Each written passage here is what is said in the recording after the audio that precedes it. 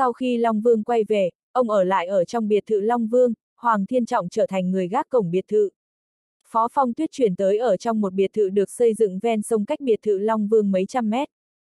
Tần Lạc đi tới gõ cửa, bên trong vang lên câu mời vào. Két!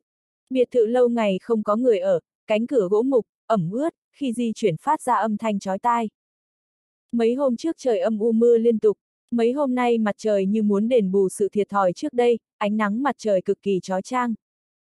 Phó Phong Tuyết trong bộ trường bào màu xanh, mái tóc dài đang đứng dưới tán cây ở góc sân, bóng dáng ông trải dài dưới ánh nắng mặt trời. Long chủ, ngài tìm tôi. Tần lạc cung kính chào Phó Phong Tuyết.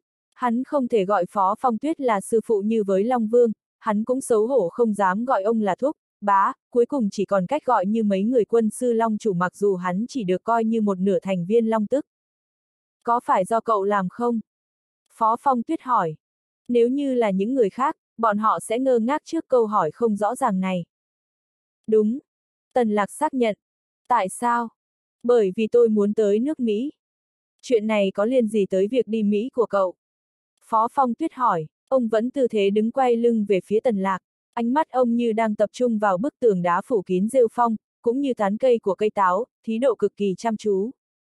Đúng vậy. Tần Lạc nói. Sư phụ không quay về tôi không dám đi. Cậu muốn ta cùng đi Mỹ với cậu? Phó Phong Tuyết hỏi. Ngài biết rồi sao? Tần Lạc kinh ngạc hỏi. Không nên làm bộ giật mình. Phó Phong Tuyết nói. Các người dùng kế bức cung không phải là muốn mời thiên trượng quay về sao? Thiên trượng chấn thủ long tức, ta mới có thời gian đi Mỹ với cậu, đây không phải là kế hoạch của cậu sao? Tần Lạc cười xấu hổ nói. Nói thật tôi đúng là đã nghĩ vậy, tôi không muốn tới Mỹ nhưng tôi lại không thể không đi. Tôi sợ chết, lại rất có thể sẽ chết. Lần trước có quân sư trợ giúp, tôi mới may mắn trốn thoát về, lần này còn nguy hiểm hơn bởi vì tôi rất có khả năng phải đối mặt với hoàng đế trong truyền thuyết. Đây chính là sự kiện có tính chất dây chuyền. Là Tần Lạc và quân sư chung tay đạo diễn. Jesu là nam diễn viên chính. Đại đầu, Long Vương và một số lão đại cao cấp là diễn viên phụ. Đương nhiên Long Vương phải quay về. Điều mọi người quan tâm nhất là Long Vương dùng cách thức nào quay về Long Tức.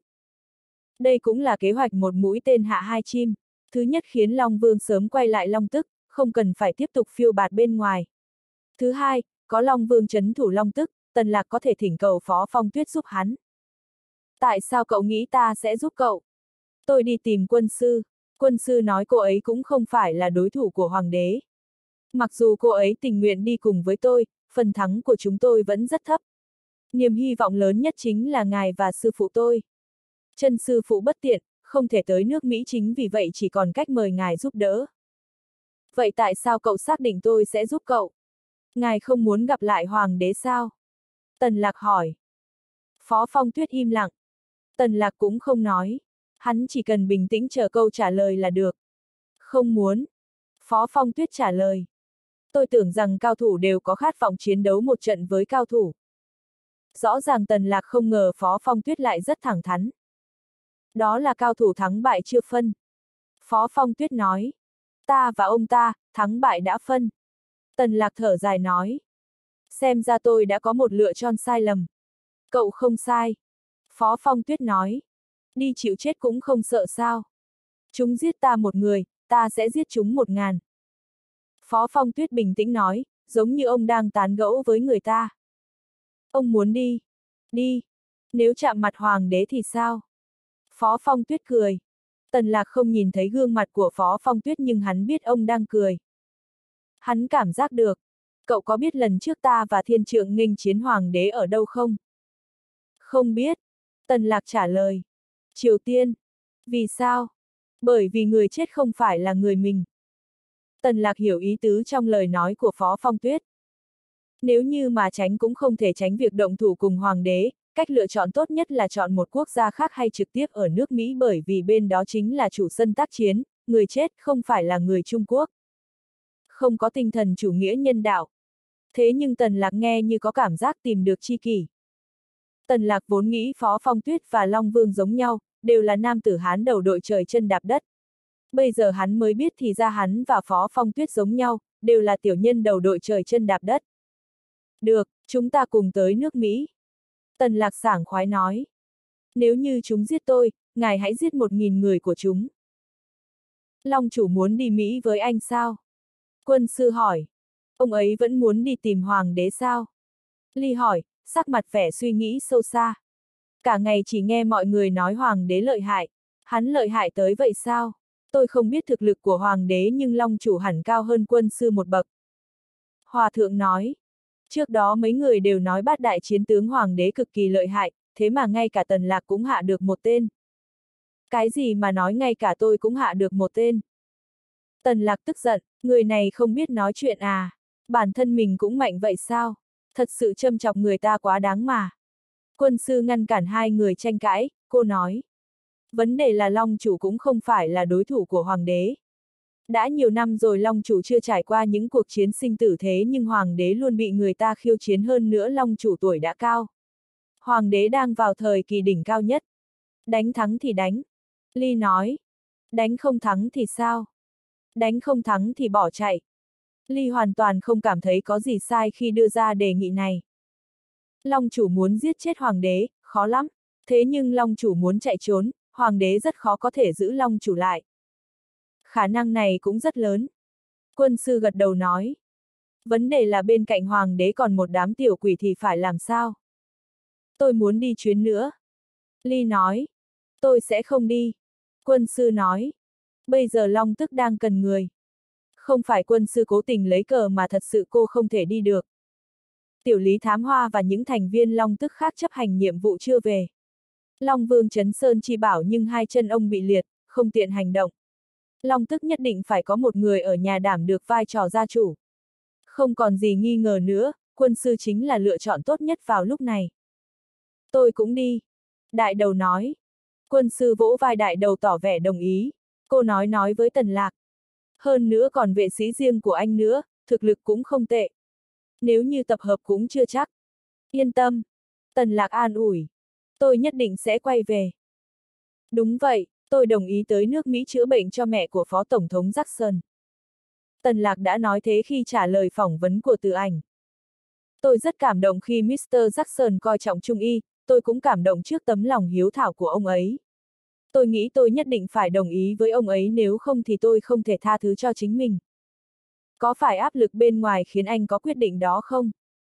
Tự ảnh vừa ghi chép vừa nói, nhìn chăm vào tần lạc với ánh mắt mê người. Không, bên ngoài không áp lực, người yêu tôi, bọn họ tôn trọng mỗi lựa chọn của tôi. Người không tôn trọng tôi, tôi cũng không thích bọn họ chấm CSO nên những người nghi ngờ hay chỉ trích, bọn họ căn bản không tồn tại đối với tôi, bọn họ không thể mang cho tôi bất kỳ áp lực nào. Nghe nói anh đưa ra điều kiện vô cùng ngặt nghèo cho Phó Tổng thống Jackson. Đúng vậy, tôi muốn ông ấy trả 100 triệu USD phí chữa bệnh. Tần lạc thẳng thắn nói. Trời! Tự ảnh kinh hãi. Điều này có thật không?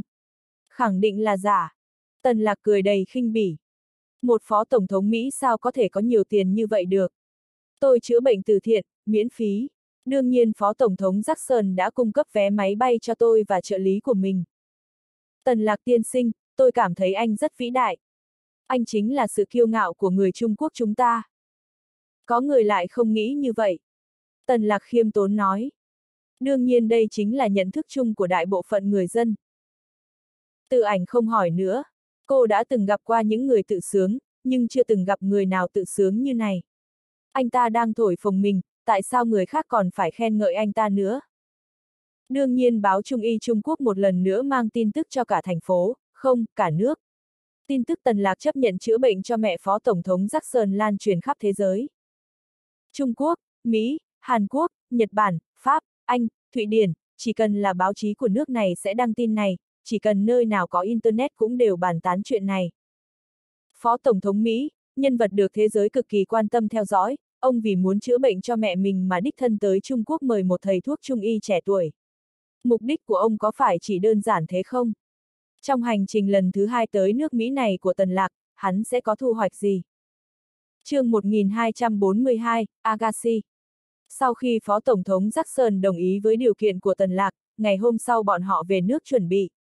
Tần Lạc không đi cùng với Phó Tổng thống Jackson, hắn còn vài việc cần giải quyết nốt ở trong nước hơn nữa hắn muốn đích thân lựa chọn người đi theo mình. Sân bay Yến Kinh, Tần Lạc và Hậu Vệ Đông, Minh Hạo, hai người dẫn theo một nhóm người của Bộ Y tế đang lưu luyến chia tay. Minh Hạo vỗ vào bả vai của Tần Lạc, cười hì hì nói. Thi triển thần kỹ, khuếch trương uy phong của nước ta khiến người nước ngoài biết Trung y Trung Quốc chúng ta lợi hại. Vì biết khá rõ chân tướng sự việc, sắc mặt hậu vệ đông khá nghiêm trọng, anh ta bắt tay Tần Lạc, nói. An toàn là quan trọng nhất, những cái khác dù quan trọng tới đâu cũng không bằng. Tần Lạc cũng nắm chặt bàn tay hậu vệ đông, cho tới tận lúc này hắn mới chính thức chấp nhận tình hữu nghị của hậu vệ đông. Lần tới nước Mỹ này, Tần Lạc dẫn theo hơn 10 trợ thủ. Vì sự kiên quyết của Lâm Hoán Khê nên lần này nàng đảm nhận vai trò phiên dịch riêng cho Tần Lạc. Đại đầu và Ly là vệ sĩ công khai, trực tiếp bảo vệ bên cạnh Tần Lạc. Đại sư Trung Y, Cố Bách Hiền và Lý Tử Nhân là người là đích thân Phó Bộ trưởng Bộ Y tế, Thái Công Dân điểm tướng đi cùng, tránh cho Tần Lạc gặp phải những vấn đề thì không có người bàn bạc. Vương Dưỡng Tâm là quản gia, phụ trách vấn đề ăn, ở, mặc, đi lại của Tần Lạc và phái đoàn thầy thuốc, trong phái đoàn, anh ta chính là người bận rộn nhất. Giêsu và Hồng Phu có thân phận đặc thù, không tiện cùng đi. Hai người đã sớm thành một đội tới nước Mỹ trước, tìm hiểu tin tức bảo vệ Tần Lạc. Còn cả hai nhân viên của Bộ Y tế, một người tên là Tiểu Linh, một người tên là Tiểu Nhã, đây là hai cô gái trẻ, dung mạo bình thường nhưng cách nói chuyện, làm việc vô cùng nhanh nhẹn, cực kỳ thông minh. Hai cô gái này chủ yếu hỗ trợ công việc của Vương Dưỡng Tâm, khi tới nước Mỹ, bọn họ đảm nhận vai trò phiên dịch cho Cố Bách Hiền và Lý Tử Nhân. Trong đoàn còn bốn thanh niên tướng mạo rất bình thường, Thái Công Dân nói đây là bốn vệ sĩ do ông mượn về. Tần Lạc không hỏi lai lịch của bọn họ, chỉ cần thân thủ của bọn họ tuyệt hảo là được, có thể bảo vệ an toàn cho mọi người trong đoàn là được. Không phải chuyện gì cũng phải biết nhiều. Những người này chính là lực lượng có khả năng nhất bảo vệ Tần Lạc rời khỏi nước Mỹ an toàn. Hơn nữa còn cả một bố trí lớn đằng sau không nói ra. Sở dĩ quên giới thiệu cũng bởi vì hắn không quá quen biết. Trường bào màu trắng khiến phong thái ông chắc tuyệt, ngạo nghễ. Mái tóc dài cột đuôi ngựa, mang phong cách của nhiếp ảnh ra hay một nhà nghệ thuật, tròm dâu dài chỉnh tề giống như quan vũ nổi danh tuấn Mỹ trong lịch sử, dáng người cao gầy, gương mặt gầy, tuấn giật, bất phàm. Điều hấp dẫn người ta nhất chính là đôi mắt, nhắm mà như không phải nhắm, tính mà như không phải tính, ánh mắt hờ hững nhìn xung quanh hay nói một cách chính xác là không quan tâm tới hoàn cảnh xung quanh. Tự do, cô độc, kiêu ngạo, hiền lành. Tàn nhẫn, phiêu bạt, ôn nhu, bất tử. Đúng vậy, bạn không cần dùng nhiều từ hình dung như vậy để mô tả. Bởi vì chính bản thân ông đã có nhiều đặc biệt, không giống như người thường. Mỗi người đi qua nhìn đều nhìn thấy cảnh tượng không giống nhau. Đây là một người đàn ông của thời đại cũ đây là phản ứng đầu tiên cũng những người lần đầu tiên nhìn thấy ông. Cũng bởi vì ông khiến cho người ta chú ý nên cho dù là người Trung Quốc, đàn ông hay phụ nữ, người nước ngoài, người tới đưa tiễn, khi nhìn thấy ông đều không tự chủ được liếc nhìn mấy lần. Có rất nhiều người sau khi nhìn một lát, bọn họ không nhịn được, lấy điện thoại di động ra chụp ảnh. Thời cổ đại có Mỹ Nam tử vệ giai bị người xem giết chết. Hiện đại có phó phong tuyết bị người vậy xung quanh ngắm nhìn. Đúng lúc này, một đám phụ nữ, đáng người cao gầy, cực kỳ xinh đẹp, tay kéo dương hành lý đi về bên này. Quần áo trên người bọn họ màu sắc khác nhau, áo tê, sất đủ các loại, có chiếc lộ khuôn ngực trắng mịn, có người quấn một chiếc khăn quanh cổ. Tất cả cùng nhau đi tới, cảnh tượng rất náo nhiệt. Bọn họ cười nói vui vẻ, bước chân nhẹ nhàng, đáng vẻ thoải mái, vui tươi. Không cần đoán cũng biết đây là nhóm người mẫu của công ty người mẫu nào đó hay đám người đẹp được chọn tham gia hoạt động gì đó. Khi các cô gái đi ngang qua Phó Phong Tuyết đang ngẩng cao đầu đầy kiêu ngạo, cô gái đi đầu liếc mắt nhìn Phó Phong Tuyết, lập tức mỹ nữ ngẩn người. Bởi vì cô ta đột nhiên đứng lại, nên các cô gái đi sau từng người đụng vào nhau. Tiếng kêu ai ái liên tiếp vang lên, chỉ còn thiếu tiếng té ngã xuống đất. Có chuyện gì vậy, sao không đi tiếp? Dương Dương, sớm biết thế này không có cậu dẫn đội nữa. Đụng đầu tôi đau quá đi mất. Nhìn cái gì vậy, hãy đi đi. Các cô gái ở sau nhìn theo ánh mắt của cô gái có tên Dương Dương, lập tức bọn họ cũng đồng thời ngây người. Một đám cô gái trẻ đứng lặng trong đại sảnh sân bay, người đi lại tấp nập chăm chú nhìn một người đàn ông trung niên một cách say đắm. Tình cảnh này quả thật rất quái lạ. Không cho ai đoạt với tớ. Cuối cùng một cô gái tóc ngắn, màu đỏ cũng có phản ứng. Tớ là người nhìn thấy đầu tiên. Cô gái đứng đầu nói, cô ta đứng chắn phía trước như gà mái bảo vệ con. Ai tranh được thì của người đó. Một cô gái ngực bự ở đằng sau chạy về phía phó phong tuyết. Agassi. Cô gái ngực bự cười tủm tỉm nhìn Phó Phong Tuyết, càng nhìn càng thấy đẹp, càng nhìn càng thấy tim đập nhanh hơn. Anh có thấy con mèo của tôi không? Mèo. Phó Phong Tuyết cau mày. Đúng vậy, một con mèo máu trắng, đứt tai. Nó to như này này. Cô gái ngực bự vừa nói vừa vẽ hình con mèo trên không. Khi cô ta nói, ngực phập phồng lên xuống. Không thấy. Phó Phong Tuyết quả quyết. Đại thúc, chú có nhìn thấy con chó nhỏ của tôi không? Nó màu trắng. Đại thúc, chú đi đâu vậy? Có khi chúng ta cùng truyền bay. Đại thúc, chú có thể để lại số điện thoại không? Khi nào rảnh chúng mình có thể đi uống cà phê.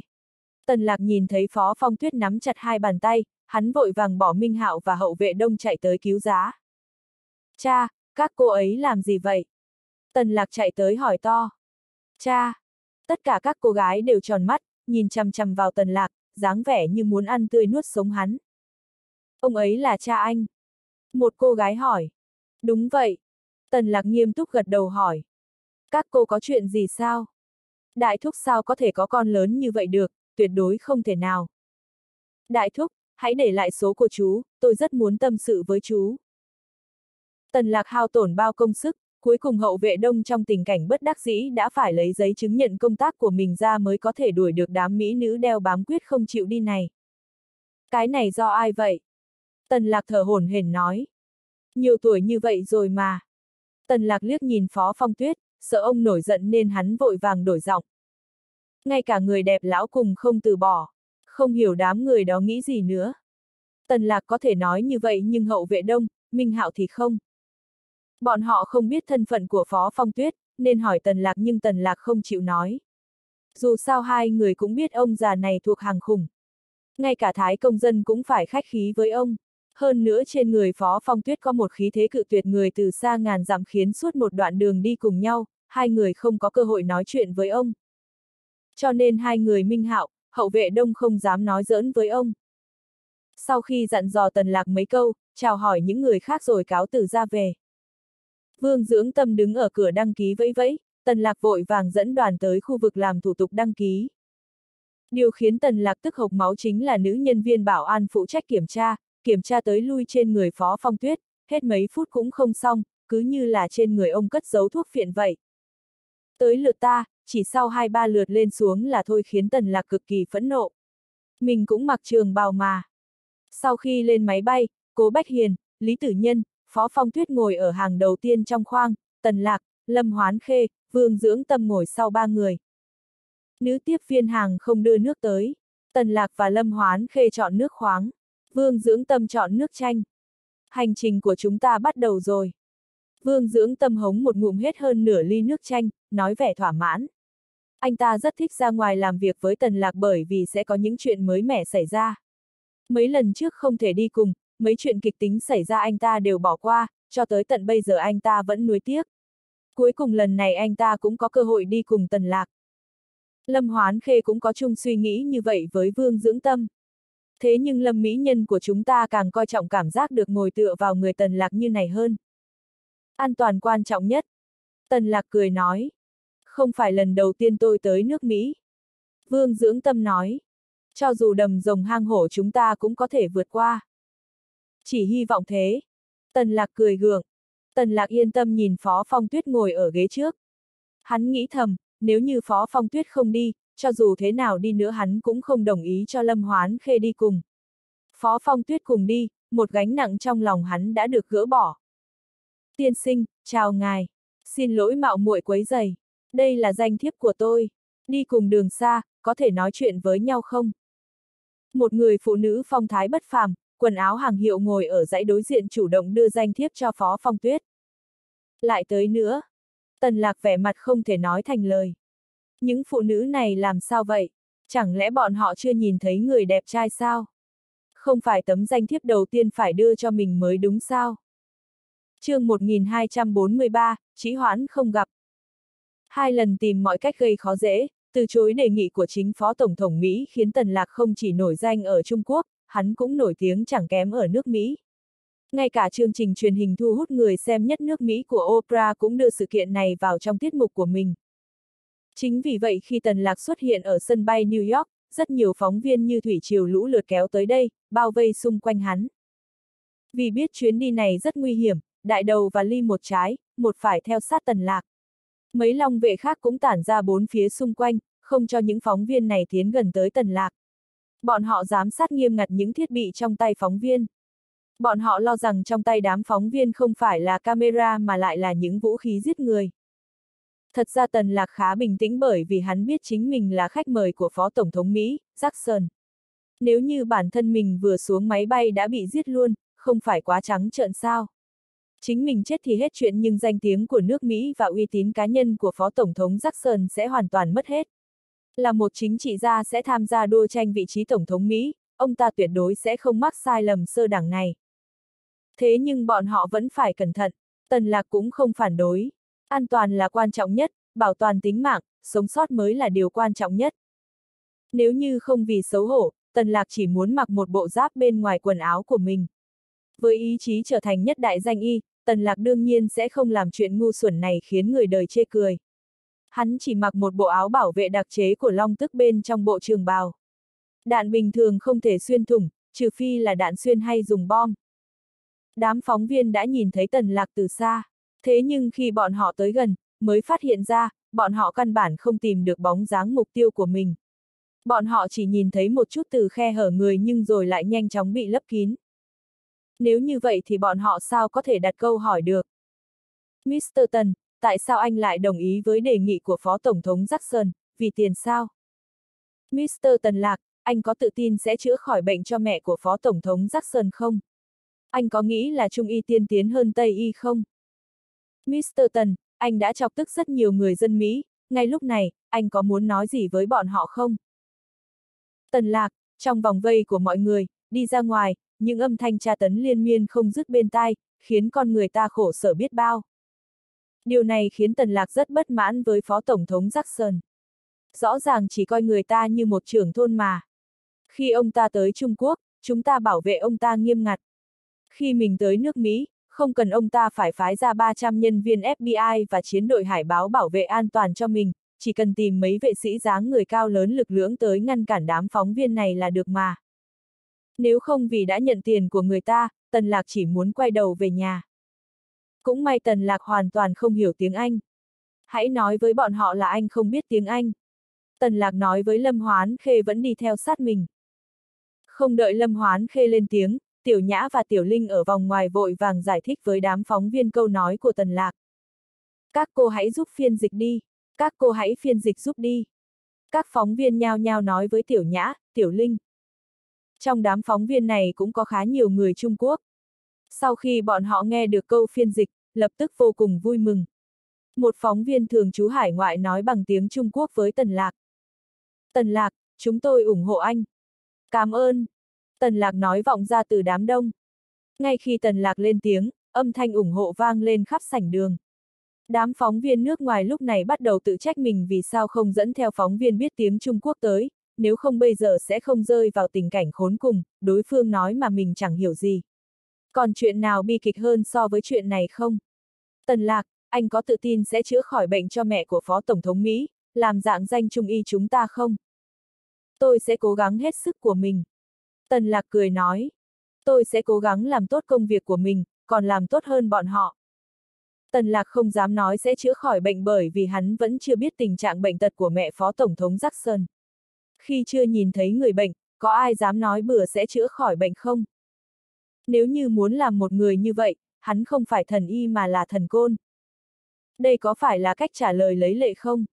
Một người đàn ông cao to, mái tóc vàng, nói bằng một giọng Trung Quốc lơ lớ. Có phải bản thân anh cũng không tin tưởng mình sẽ chữa khỏi bệnh cho mẹ Mr. Jackson không? Tôi không hiểu anh đang nói gì. Tần Lạc nói. Tôi đề nghị anh nên học tiếng Trung Quốc nhiều hơn. Tần Lạc không trả lời câu hỏi của phóng viên kia. Lấy lệ cũng được, trốn tránh cũng được. Hắn tuyệt đối sẽ không mắc chiêu khích tướng của đám phóng viên. Nếu vào lúc này hắn ăn nói ngông cuồng, sau đó bệnh của mẹ phó tổng thống an nguy chỉ trong sớm tối, không phải khi đó tự mình vả vào mặt mình sao? Còn có một cách rất ác độc nhưng Tần Lạc không dám nói, cũng không dám suy nghĩ nhiều. Hắn không hy vọng những người này lại tàn nhẫn như vậy. Trong khi đám phóng viên đang truy hỏi, hai người, một già, một trẻ mặc vest màu đen đi nhanh tới. Người già hơn đi ở trước cho cho Vương Dưỡng Tâm xem giấy chứng nhận thân phận. Ông ta nói mình là chú của Phó Tổng thống Jackson, đại diện Phó Tổng tới đón Mr. Tần Lạc.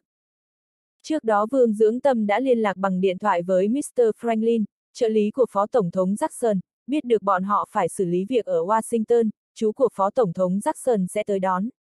Sau khi Vương Dưỡng Tâm kiểm tra giấy tờ của Jester, anh ta liền dẫn mọi người đi theo Jester ra ngoài xe. Không thể không nói, Mr. Phó Tổng thống rất tiết kiệm. Bọn họ phái một chiếc xe công vụ Buick to, cùng một chiếc xe gia đình rất thông dụng. Thế nhưng Tần Lạc cảm thấy rất hài lòng với sắp đặt này. Tần Lạc không đồng ý với đề nghị đi cùng xe với Jester. Hắn cùng với Lâm Hoán Khê, Đại Đầu và Ly ngồi lên chiếc xe công vụ.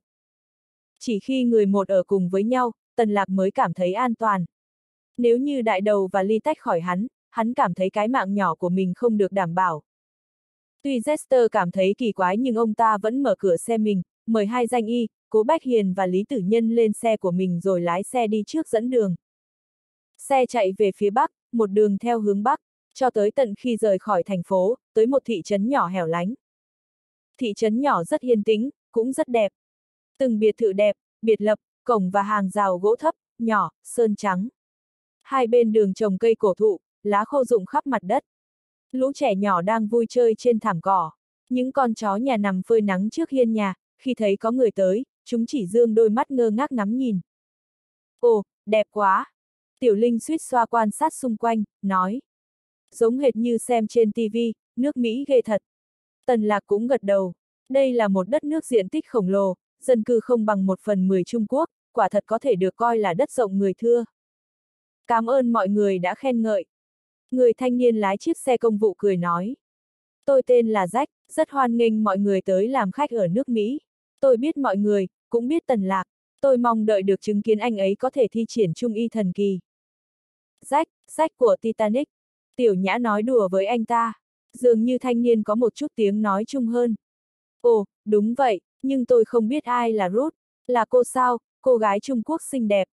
Sách cười nói. Mọi người phá lên cười, giống như lúc này giữa bọn họ không có bất kỳ sự ngăn cách. Qua quan sát của Tần Lạc, hắn cảm thấy rõ ràng Jester và Jack không biết chuyện kia. Nếu như Phó Tổng thống Jackson là người thông minh, ông ta hẳn sẽ không để người nhà dính líu tới chuyện của mình. Két! Chiếc xe của Jester dừng lại trước cửa một biệt thự, ngay sau đó chiếc xe công vụ của Jack cũng dừng lại. Chester xuống xe, ái náy nói với Vương Dưỡng Tâm. Mr. Vương, bởi vì thị trấn không có khách sạn nào tốt hơn, lại không thể để cho những vị khách quý của mình ở trong nhà trọ nên chúng tôi thuê một biệt thự ở bên cạnh. Biệt thự này rất rộng, có gần 20 phòng, đủ cho mọi người sử dụng.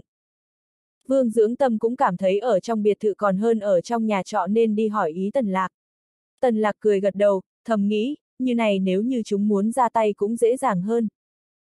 Chẳng lẽ bọn chúng muốn hạ tất cả bọn họ? Nếu như chúng quả thật có gan làm chuyện này, đây chính là huyết án làm dung chuyển thế giới. Quả nhiên ngôi biệt thự này rất rộng, có tất cả 3 tầng, hơn 20 phòng. Sau khi Ly và Đại Đầu đi kiểm tra một vòng, bọn họ đã sắp xếp Tần Lạc và Lâm Hoán Khê ở một phòng giữa tầng 2. Cố Bách Hiền và Lý Tử Nhân cao tuổi ở tầng 1. Tiểu Linh, Tiểu Nhã trẻ tuổi ở tầng 3. Đại Đầu và Ly chia nhau hai phòng ở hai bên phòng Tần Lạc. Bốn vệ sĩ Long vệ, hai người ở tầng 3, hai người còn lại ở tầng 1. Như vậy coi như đây là sắp xếp hợp lý nhất, ít nhất Tần Lạc cũng được bảo vệ chu đáo. Sau khi sắp xếp phòng xong, Tần Lạc bảo Vương dưỡng tâm đi nói với Jester là hắn muốn đi thăm bệnh cho mẹ Mr. Jackson. Tần Lạc thầm nghĩ, phải nhanh chóng chữa bệnh cho người ta rồi về nước. Nơi này không thể ở lâu. Thế nhưng Jester nói lại rằng, trước tiên các vị khách cứ tắm rửa sau đó mời đi ăn cơm. Chuyện chữa bệnh không cần vội, đợi khi Mr. Jackson quay về sẽ tự mình sắp xếp. Tần Lạc thầm nghĩ, điều này cũng đúng đạo lý, nên đã đồng ý. Thế nhưng không ngờ là chính hắn phải chờ tới 3 ngày. chương 1244, chuyện quan trọng hơn bệnh tình của mẹ. Rốt cuộc bọn họ muốn làm gì vậy? Vương dưỡng tâm nổi giận đùng đùng nói. Bọn họ có ý gì vậy? Rốt cuộc có cần chữa bệnh nữa hay không vậy? Không chữa nữa thì hãy báo cho chúng ta một câu trả lời, chúng ta lập tức mua vé máy bay về nước. Đúng vậy, nào có đạo lý nào như này? Khách tới nhà, chủ nhân biến mất. Tiểu Linh cũng cực kỳ bất mãn. Ôi, dưỡng tâm, cậu không đi hỏi Jester xem thế nào. Rốt cuộc thì khi nào phó tổng thống của bọn họ mới về đây? Cô Bách Hiền cũng nôn nóng. Bọn họ tới đây đã ba ngày mà vẫn không thấy bóng dáng phó tổng thống Jackson. Hàng ngày ngoại trừ ăn uống ra là chờ đợi. Rốt cuộc là chuyện gì đây? Hỏi rồi. Vương dưỡng tâm nói. Jester luôn trì hoãn. Ngày đầu tiên tôi hỏi ông ta, ông ta nói hôm sau sẽ về. Hôm qua tôi lại hỏi, ông ta nói nhất định hôm nay sẽ quay về. Ngay cả từ miệng ông ta tin tức còn không chính xác. Không phải có âm mưu gì chứ? Tuổi Lý Tử Nhân và Cố Bách Hiền không tranh lệch nhiều. Vì Lý Tử Nhân khá xa lạ với Tần Lạc, hơn nữa ông ta cũng không thích một thanh niên còn trẻ mà đã nổi tiếng như này nên rất ít khi nói chuyện với Tần Lạc. Hôm nay Lý Tử Nhân nói câu này, chứng tỏ ông ta cũng cực kỳ tức giận khi phải chờ đợi. Khi thấy ánh mắt mọi người đều chăm chú nhìn mình, Tần Lạc cười nói. Có lẽ là bọn họ muốn trả thù. Nghe vậy ai cũng nghĩ Tần Lạc nói có lý. Đích thân Phó Tổng thống Jackson tới Trung Quốc mời Tần Lạc, thế mà ông ta còn bị Tần Lạc ba lần từ chối. Bây giờ Tần Lạc dẫn đoàn tới nước Mỹ, chẳng lẽ bọn họ không để mình chờ mấy ngày sao? Dù sao hợp đồng đã ký, nếu như Tần Lạc dẫn người của mình bỏ về, Tần Lạc là người vi phạm hợp đồng. Điều còn quan trọng hơn là khi ở Trung Quốc, Phó Tổng thống Jackson chỉ lo Tần Lạc không tới nước Mỹ. Bây giờ Tần Lạc tới, ông ta chỉ cần khiến Tần Lạc không thể chữa khỏi bệnh hoàn toàn cho mẹ mình là ổn. Còn về phần Tần Lạc chữa như thế nào, lúc nào thì càng không cần phải gấp. Kéo dài ba tháng cũng được, không phải mi rất kiêu ngạo sao, bây giờ hãy thúc thủ chịu trói đi. Đúng vậy, nhất định là thế. Vương Dưỡng Tâm nói. Khi đó anh lần nữa anh không chịu đồng ý, trong lòng bọn họ nhất định cực kỳ hận anh. Bây giờ kéo dài chúng mình mấy ngày cũng là chuyện thường. Kéo dài mấy ngày đối với chúng ta cũng chẳng sao, tóm lại sẽ không thể tiếp tục như này. Cô Bách Hiền nói. Chúng ta sao có thể để ông ta trì hoãn như này? Nếu như ông ta bắt chúng ta đợi một tháng thì sao? Chúng ta cũng phải đợi ông ta một tháng sao? Không. Tần Lạc nói. Anh có cách nào hả? Vương dưỡng tâm vui vẻ hỏi. Anh ta biết nhất định Tần Lạc sẽ khiến những người kia không thể thoải mái được. Sân nhà cũng thế mà sân khách cũng thế. Lần trước, những người Hàn Quốc có chiếm được chút tiện nghi nào của anh ấy không? Tần Lạc nhìn Vương Dưỡng Tâm nói. Không phải mấy ngày nay liên tục có phóng viên muốn phỏng vấn tôi sao? Đúng vậy. Vương Dưỡng Tâm nói. Tôi đã từ chối bọn họ theo như anh nói. Tôi sẽ trả lời phỏng vấn của bọn họ vào ngày mai. Tần Lạc thờ ơ nhìn bên ngoài nói. Nếu như bây giờ bên ngoài có phóng viên, tôi cũng có thể trả lời phỏng vấn ngay. Được, tôi đi sắp xếp. Vương dưỡng tâm trả lời rồi đi nhanh ra ngoài. Khi nghe Tần Lạc muốn trả lời phỏng vấn của phóng viên, mấy người cố Bách Hiền vào trong phòng uống trà. Mấy vệ sĩ cũng quay về vị trí canh phòng. Lâm Hoán Khê ở lại làm phiên dịch. Đại đầu và Ly vẫn một tấc không rời, ở bên cạnh bảo vệ Tần Lạc. Vương dưỡng tâm nhanh chóng dẫn theo hai nam, hai nữ phóng viên vào trong nhà. Điều trùng hợp là hai nữ phóng viên đều là người Trung Quốc, hai nam phóng viên đều tóc vàng mắt xanh, không rõ là người nước nào. Tần Lạc Tiên Sinh, chào anh, tôi là Lưu Trân, phóng viên thường trú New York của báo Trung Quốc. Tôi rất vinh hạnh được phỏng vấn anh. Nữ phóng viên tóc ngắn đi đầu tiên chủ động bắt tay Tần Lạc, giới thiệu. Tôi là Lưu Hải, phóng viên mạng, ngưỡng mộ đại danh Tần Tiên Sinh đã lâu. Nữ phóng viên đeo kính nói. Hai nam phóng viên cũng tự giới thiệu về mình bằng tiếng Trung Quốc không quá chuẩn.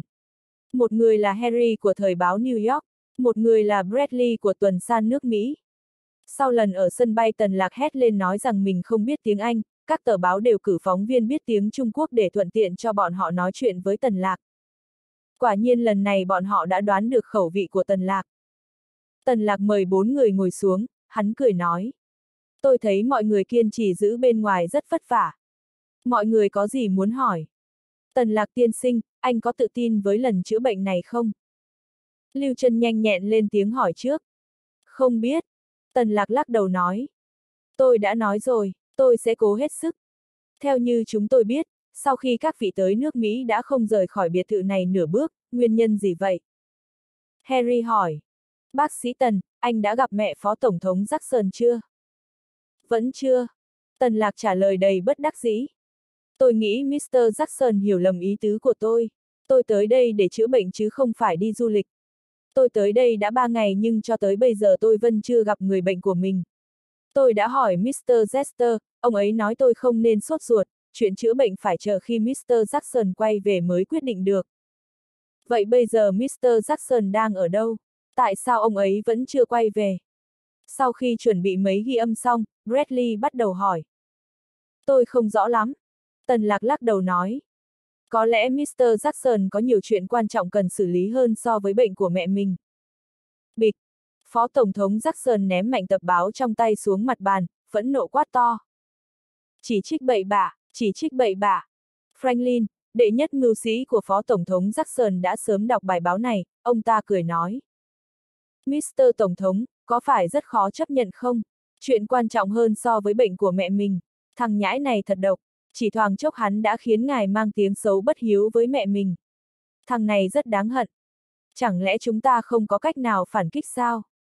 Phó Tổng thống Jackson đùng đùng nổi giận nói. Quả thật ông ta rất muốn ngâm Tần Lạc một thời gian để báo thù nổi sĩ nhục Tần Lạc nhiều lần từ chối mình. Khi ở Trung Quốc, vì để dẫn dụ gã khốn Tần Lạc tới nước Mỹ, ông ta phải nhẫn nhục nhịn vì lợi ích toàn cục. Bây giờ hắn tới địa bàn của mình, chẳng lẽ không thể giải tỏa ức chế một chút sao? Dù gì đi nữa hợp đồng đã được ký, sao phải sợ hắn bỏ chạy chứ? Chạy thì đã sao nào, bản thân ông ta sẽ hoàn thành nhiệm vụ. Tần lạc, Trung y Trung Quốc hoảng sợ bỏ chạy.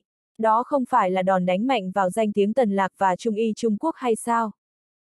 Thế nhưng kế hoạch của ông ta đã thất bại. Không chỉ ông ta không thể làm mất thể diện Tần Lạc mà ngược lại còn bị hắn cắn một vố đau điếng. Đương nhiên là có cách. Franklin nói. Bắt đầu thực hiện kế hoạch của chúng ta. Chỉ cần hắn không thể chữa khỏi bệnh cho lão phu nhân, đó chính là trả thù. Điều này khiến tôi không chịu nổi. Phó Tổng thống Jackson nói. Tối nay chúng ta bay về New York. Rất mong đợi. Franklin cười nói. Rất thú vị. Người phụ nữ nhìn tờ báo trong tay cười tủm tỉm nói. Mái tóc vàng, mắt xanh, váy đỏ, đường nét lồi, lõm, là lướt chỉ khiến người ta hộc máu mũi.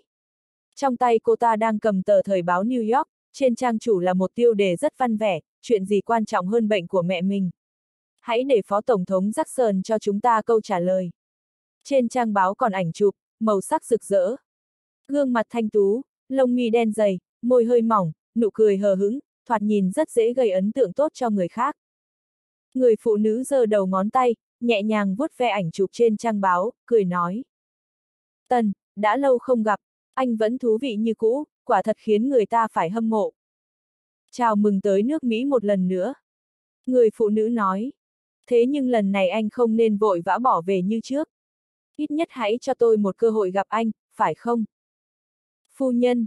Một người đàn ông mặc vest đen đứng trước cửa, giọng nói cung kính chào người phụ nữ. Ừ. Người phụ nữ trả lời. Đã tìm hiểu xong thông tin về người đàn ông kia.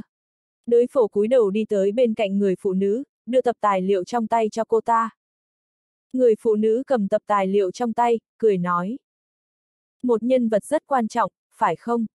Nếu như không phải là một nhân vật quan trọng, tuyệt đối sẽ không có nhiều thông tin ghi chép cẩn thận tới mức độ này. Đúng vậy. Đới phổ trả lời. Người phụ nữ mở trang đầu tiên của tập tài liệu, lập tức trên gương mặt cô ta hiện lên vẻ vui mừng, kinh hãi. Phó Phong Tuyết, chiến thần phương Đông. Ông ta đã từng cùng một người khác ngăn cản hoàng đế ở Triều Tiên. Đới phổ nói, hoàng đế không tới châu Á chỉ vì những người này chưa chết. Thú vị, thật sự rất thú vị. Người phụ nữ nói, anh nói xem nếu như ông ta chạm chán hoàng đế thì sẽ như thế nào. chương 1245, đây là thổi phồng giết người. Người mù vẫn có thể chơi bài tú lơ khơ sao? Có thể, hơn nữa còn có thể chơi rất giỏi hơn nữa lão còn có thể chơi khá tốt. Một bàn đánh bạc rất to, một ông già sắc mặt bình thản, ngồi ngay ngắn, hai bên người là hai phụ nữ tóc vàng xinh đẹp, bốc lửa. Một tay lão già xoa nắn bộ ngực đẫy đà, một tay đang luồn vào trong quần của người phụ nữ còn lại. Trong khi đó dáng vẻ của hai người phụ nữ như rất thích thú, cả hai đều quay người lại, cả người gần như tựa hẳn vào lòng lão già. Lão già ngồi đối diện với một người đánh bài khác, đó là một người Ả Rập, quần áo màu trắng, nước da đen. Hai bên cạnh gã Ả Rập cũng là bốn phụ nữ cực kỳ hợp với gu thẩm mỹ của gã. Thế nhưng bốn phụ nữ này ngồi im, không dám cử động. Bọn họ như sợ cử động của mình sẽ khiến chủ nhân không hài lòng, sẽ ra tay đánh bọn họ. Bọn hiểu rất rõ rằng, trong con mắt chủ nhân, mạng sống của những phụ nữ bọn họ còn không đáng giá bằng những thẻ bài trên bàn. Theo hết, gã người Ả Rập đẩy toàn bộ số thẻ bài trên bàn ra giữa. Chia bài đi. Lão già hờ hững nói. Người chia bài lập tức chia bài cho hai người. Người Ả Rập như không còn sức lực ngồi tựa người vào ghế. Lại thua rồi. Ông già nói. Sao có thể như vậy? Người Ả Rập nổi giận nói. Dối trá, nhất định là dối trá. Từ đầu tới cuối ông vẫn không xem bài, tại sao lại biết sẽ thắng tôi? Thua rồi không chịu nổi sao? Lão già gia tăng lực bàn tay trên ngực người phụ nữ. Khi cô ả khẽ kêu lên đau đớn, lão già mới cảm thấy cơn bực bội trong lòng giảm đôi chút. Lão thắng, lão thắng lớn, thắng hẳn 3 triệu USD nhưng tại sao lão không thể vui được? Lão luôn cảm thấy uất nghẹn trong lòng, cơn uất nghẹn này không tài nào giải tỏa được, luôn ứ động trong lòng khiến lão ăn không biết ngon, ngủ không ngon giấc. Ngay cả những thứ lão yêu thích nhất, phụ nữ và đánh bài cũng không thể khơi dậy cảm xúc mãnh liệt trong lòng lão. Tôi muốn kiểm tra, tôi muốn kiểm tra. Người Ả Rập tức giận nói. Đây là chuyện tuyệt đối không thể xảy ra. Gã không thể nào hiểu được một người mù sao có thể thắng của gã mấy triệu USD. Gã không cần số tiền này. Điều gã quan tâm nhất là bị đánh bại bởi một kẻ mù. Đó chính là cơn ác mộng cả đời của gã. Bản thân gã lại không biết rằng người thắng gã đang ngồi trước mặt cũng đã từng bị thua rất thảm hại, bị đánh bại bởi một kẻ thậm chí còn không nhìn quân bài. Cũng bởi vì tên đó dạy dỗ, lão mới tự học thành tài cách chơi bài mù. Không tin ta sao? Lão già cười hỏi, lão liếm liếm đôi môi hơi khô, một phụ nữ bên cạnh nhìn thấy hành động của lão, lập tức đưa miệng mình tới để lão già tự hút nước miếng của gã, bôi trơn môi mình. Đúng vậy, tôi không tin, tôi không tin bất kỳ ai. Gã người Ả Rập nói. Tôi muốn người của tôi kiểm tra. Không tin, ta đánh chết chúng mày. Lão già nói. Thân thể lão già đột nhiên bay lên khỏi ghế ngồi như viên đạn bắn lên không trung. Ngay khi thân thể lão già vừa nhấc lên khỏi ghế, cả người lão đã xuất hiện trước mặt gã người Ả Rập. Hai tay lão già vung lên tìm kiếm, sau đó kéo đầu gã Ả Rập sát tới trước mặt mình. Lão già há to miệng sau cắn một cái vào cái cổ gã Ả Rập. A! À, người Ả Rập gào lên một tiếng cực kỳ thêm thảm. Răng rác! Lão già vứt mạnh đầu ra, tiếng kêu của gã Ả Rập lập tức tắt ngấm. Máu tươi bắn ra xung quanh như suối phun, trong miệng lão già vẫn còn dính ra yết hầu của gã Ả Rập. Điện quang hỏa thạch, như một ý nghĩ. Lúc này cuối cùng đám vệ sĩ sau lưng gã Ả Rập đã có phản ứng, bọn họ sờ tay vào ngực, rút súng chỉ thẳng vào lão già bắn. Chậm. Thật sự là quá chậm. So với tốc độ kinh khủng của lão già, tốc độ của bọn họ quả thật giống như động tác quay chậm trên truyền hình.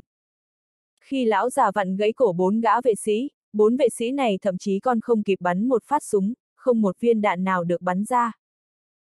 Lúc này mấy người phụ nữ Ả Rập mang tới mới kịp phản ứng, bọn họ há miệng muốn la lên.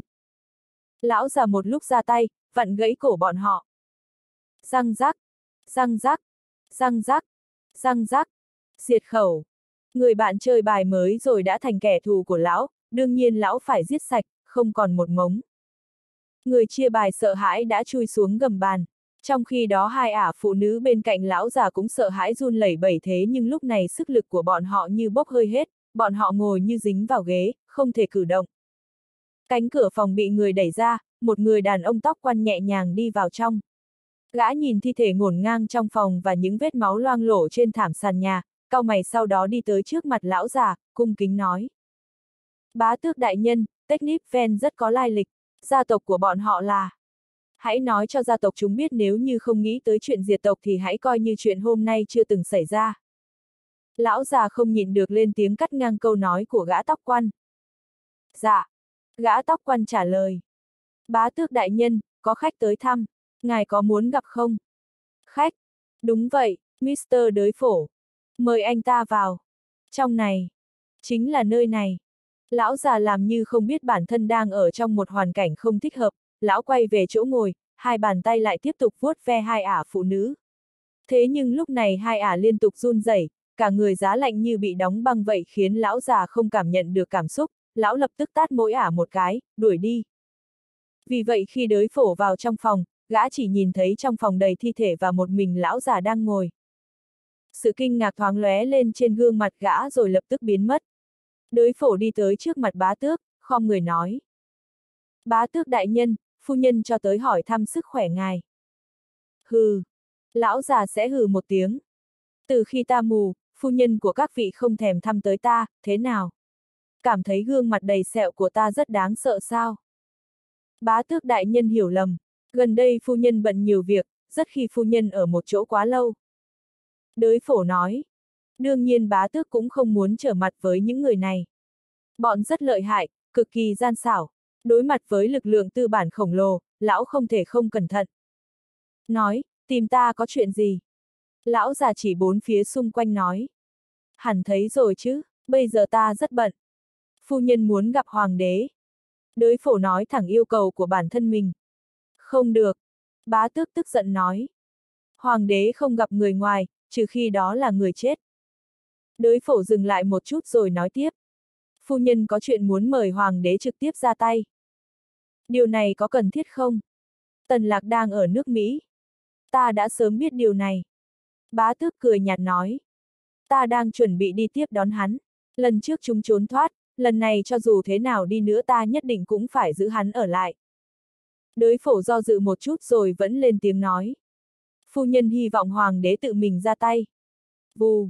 Thân thể bá tước bắn lên, nhảy tới bên người đới phổ, một tay bóp cổ gã.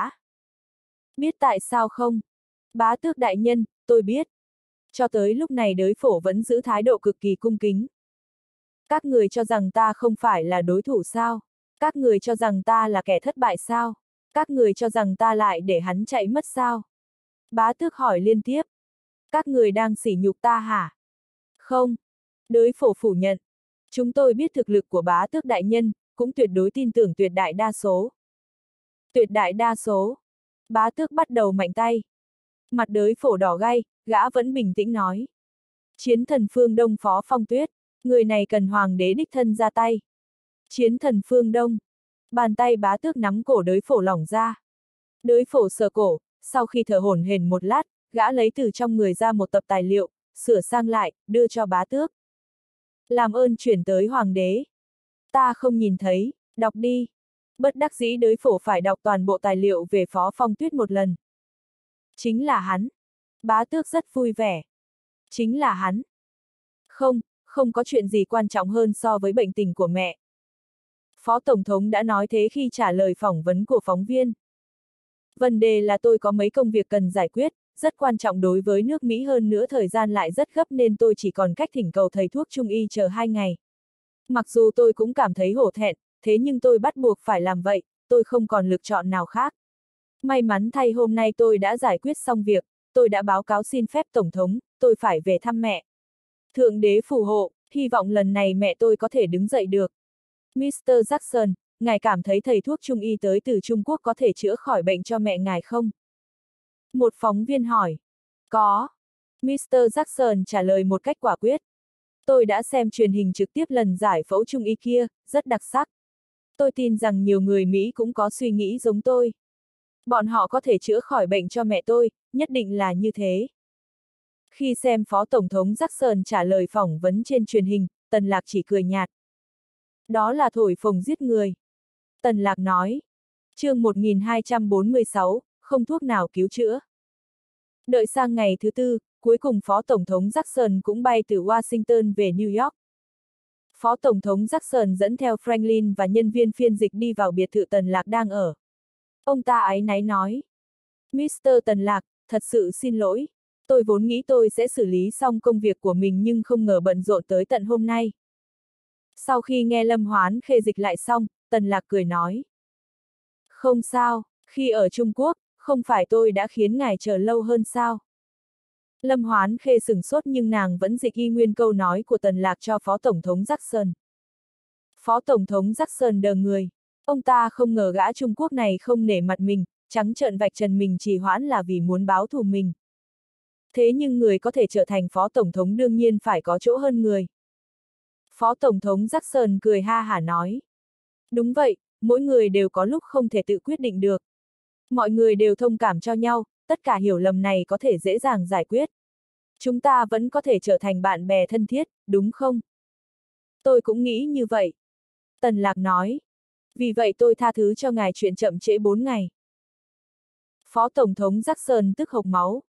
Hắn tha thứ cho mình vì chậm trễ 4 ngày nhưng mình lại không thể tha thứ cho hắn vì đã gây khó dễ khi ở Trung Quốc. Franklin lo lắng Phó Tổng thống Jackson không tự chủ được nữa, bèn lên tiếng giảng hòa. Mr. Tần Lạc, ngài Phó Tổng thống tới đây muốn mời ngài và các bạn của ngài tới ăn tối. Không hiểu các vị có đồng ý với đề nghị này hay không? Đương nhiên. Tần Lạc nói. Đây là vinh hạnh của chúng tôi. Đương nhiên Tần Lạc không từ chối. Lúc này tình cảnh của Tần Lạc giống với tình cảnh của Phó Tổng thống Jackson khi ở Trung Quốc, đều thuộc về trạng thái lâm trận nơi đất khách. Nếu như từ chối dự tiệc của Phó Tổng thống Jackson, bị đám phóng viên biết được, chỉ có trời mới biết đám phóng viên đó sẽ viết về việc đó như thế nào. Nhất định bọn họ sẽ nói hắn đang cố ý gây khó dễ, thật ra là đang dự định từ chối chữa bệnh cho mẹ Phó Tổng thống Jackson hay nói một cách chính xác hắn không thể chữa khỏi bệnh cho mẹ Phó Tổng thống Jackson. Giới truyền thông là công cụ của kẻ khác, không phải khi người ta muốn nói gì thì nói sao. Đây cũng là vinh hạnh của tôi. Phó Tổng thống Jackson cười nói. Tôi muốn biết khi nào thì mình sẽ gặp mẹ ngài. Tần Lạc hỏi. Ồ, ngay bây giờ. Phó Tổng thống Jackson nói. Mr. Tần Lạc, lúc này có tiện không? Tôi chờ đã lâu. Tần Lạc trả lời. Vậy làm phiền.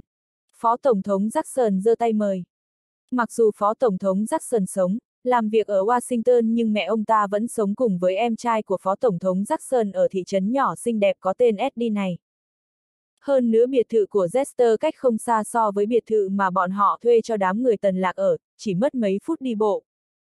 Jester và chàng thanh niên tên Jack kia đã đứng đón trước cửa, còn cả mấy người phụ nữ trong trang phục cực kỳ trang trọng. Không hiểu vì vô tình hay cố ý, khi tần lạc tới, trước cổng cũng có mười mấy phóng viên đang đứng đợi sẵn.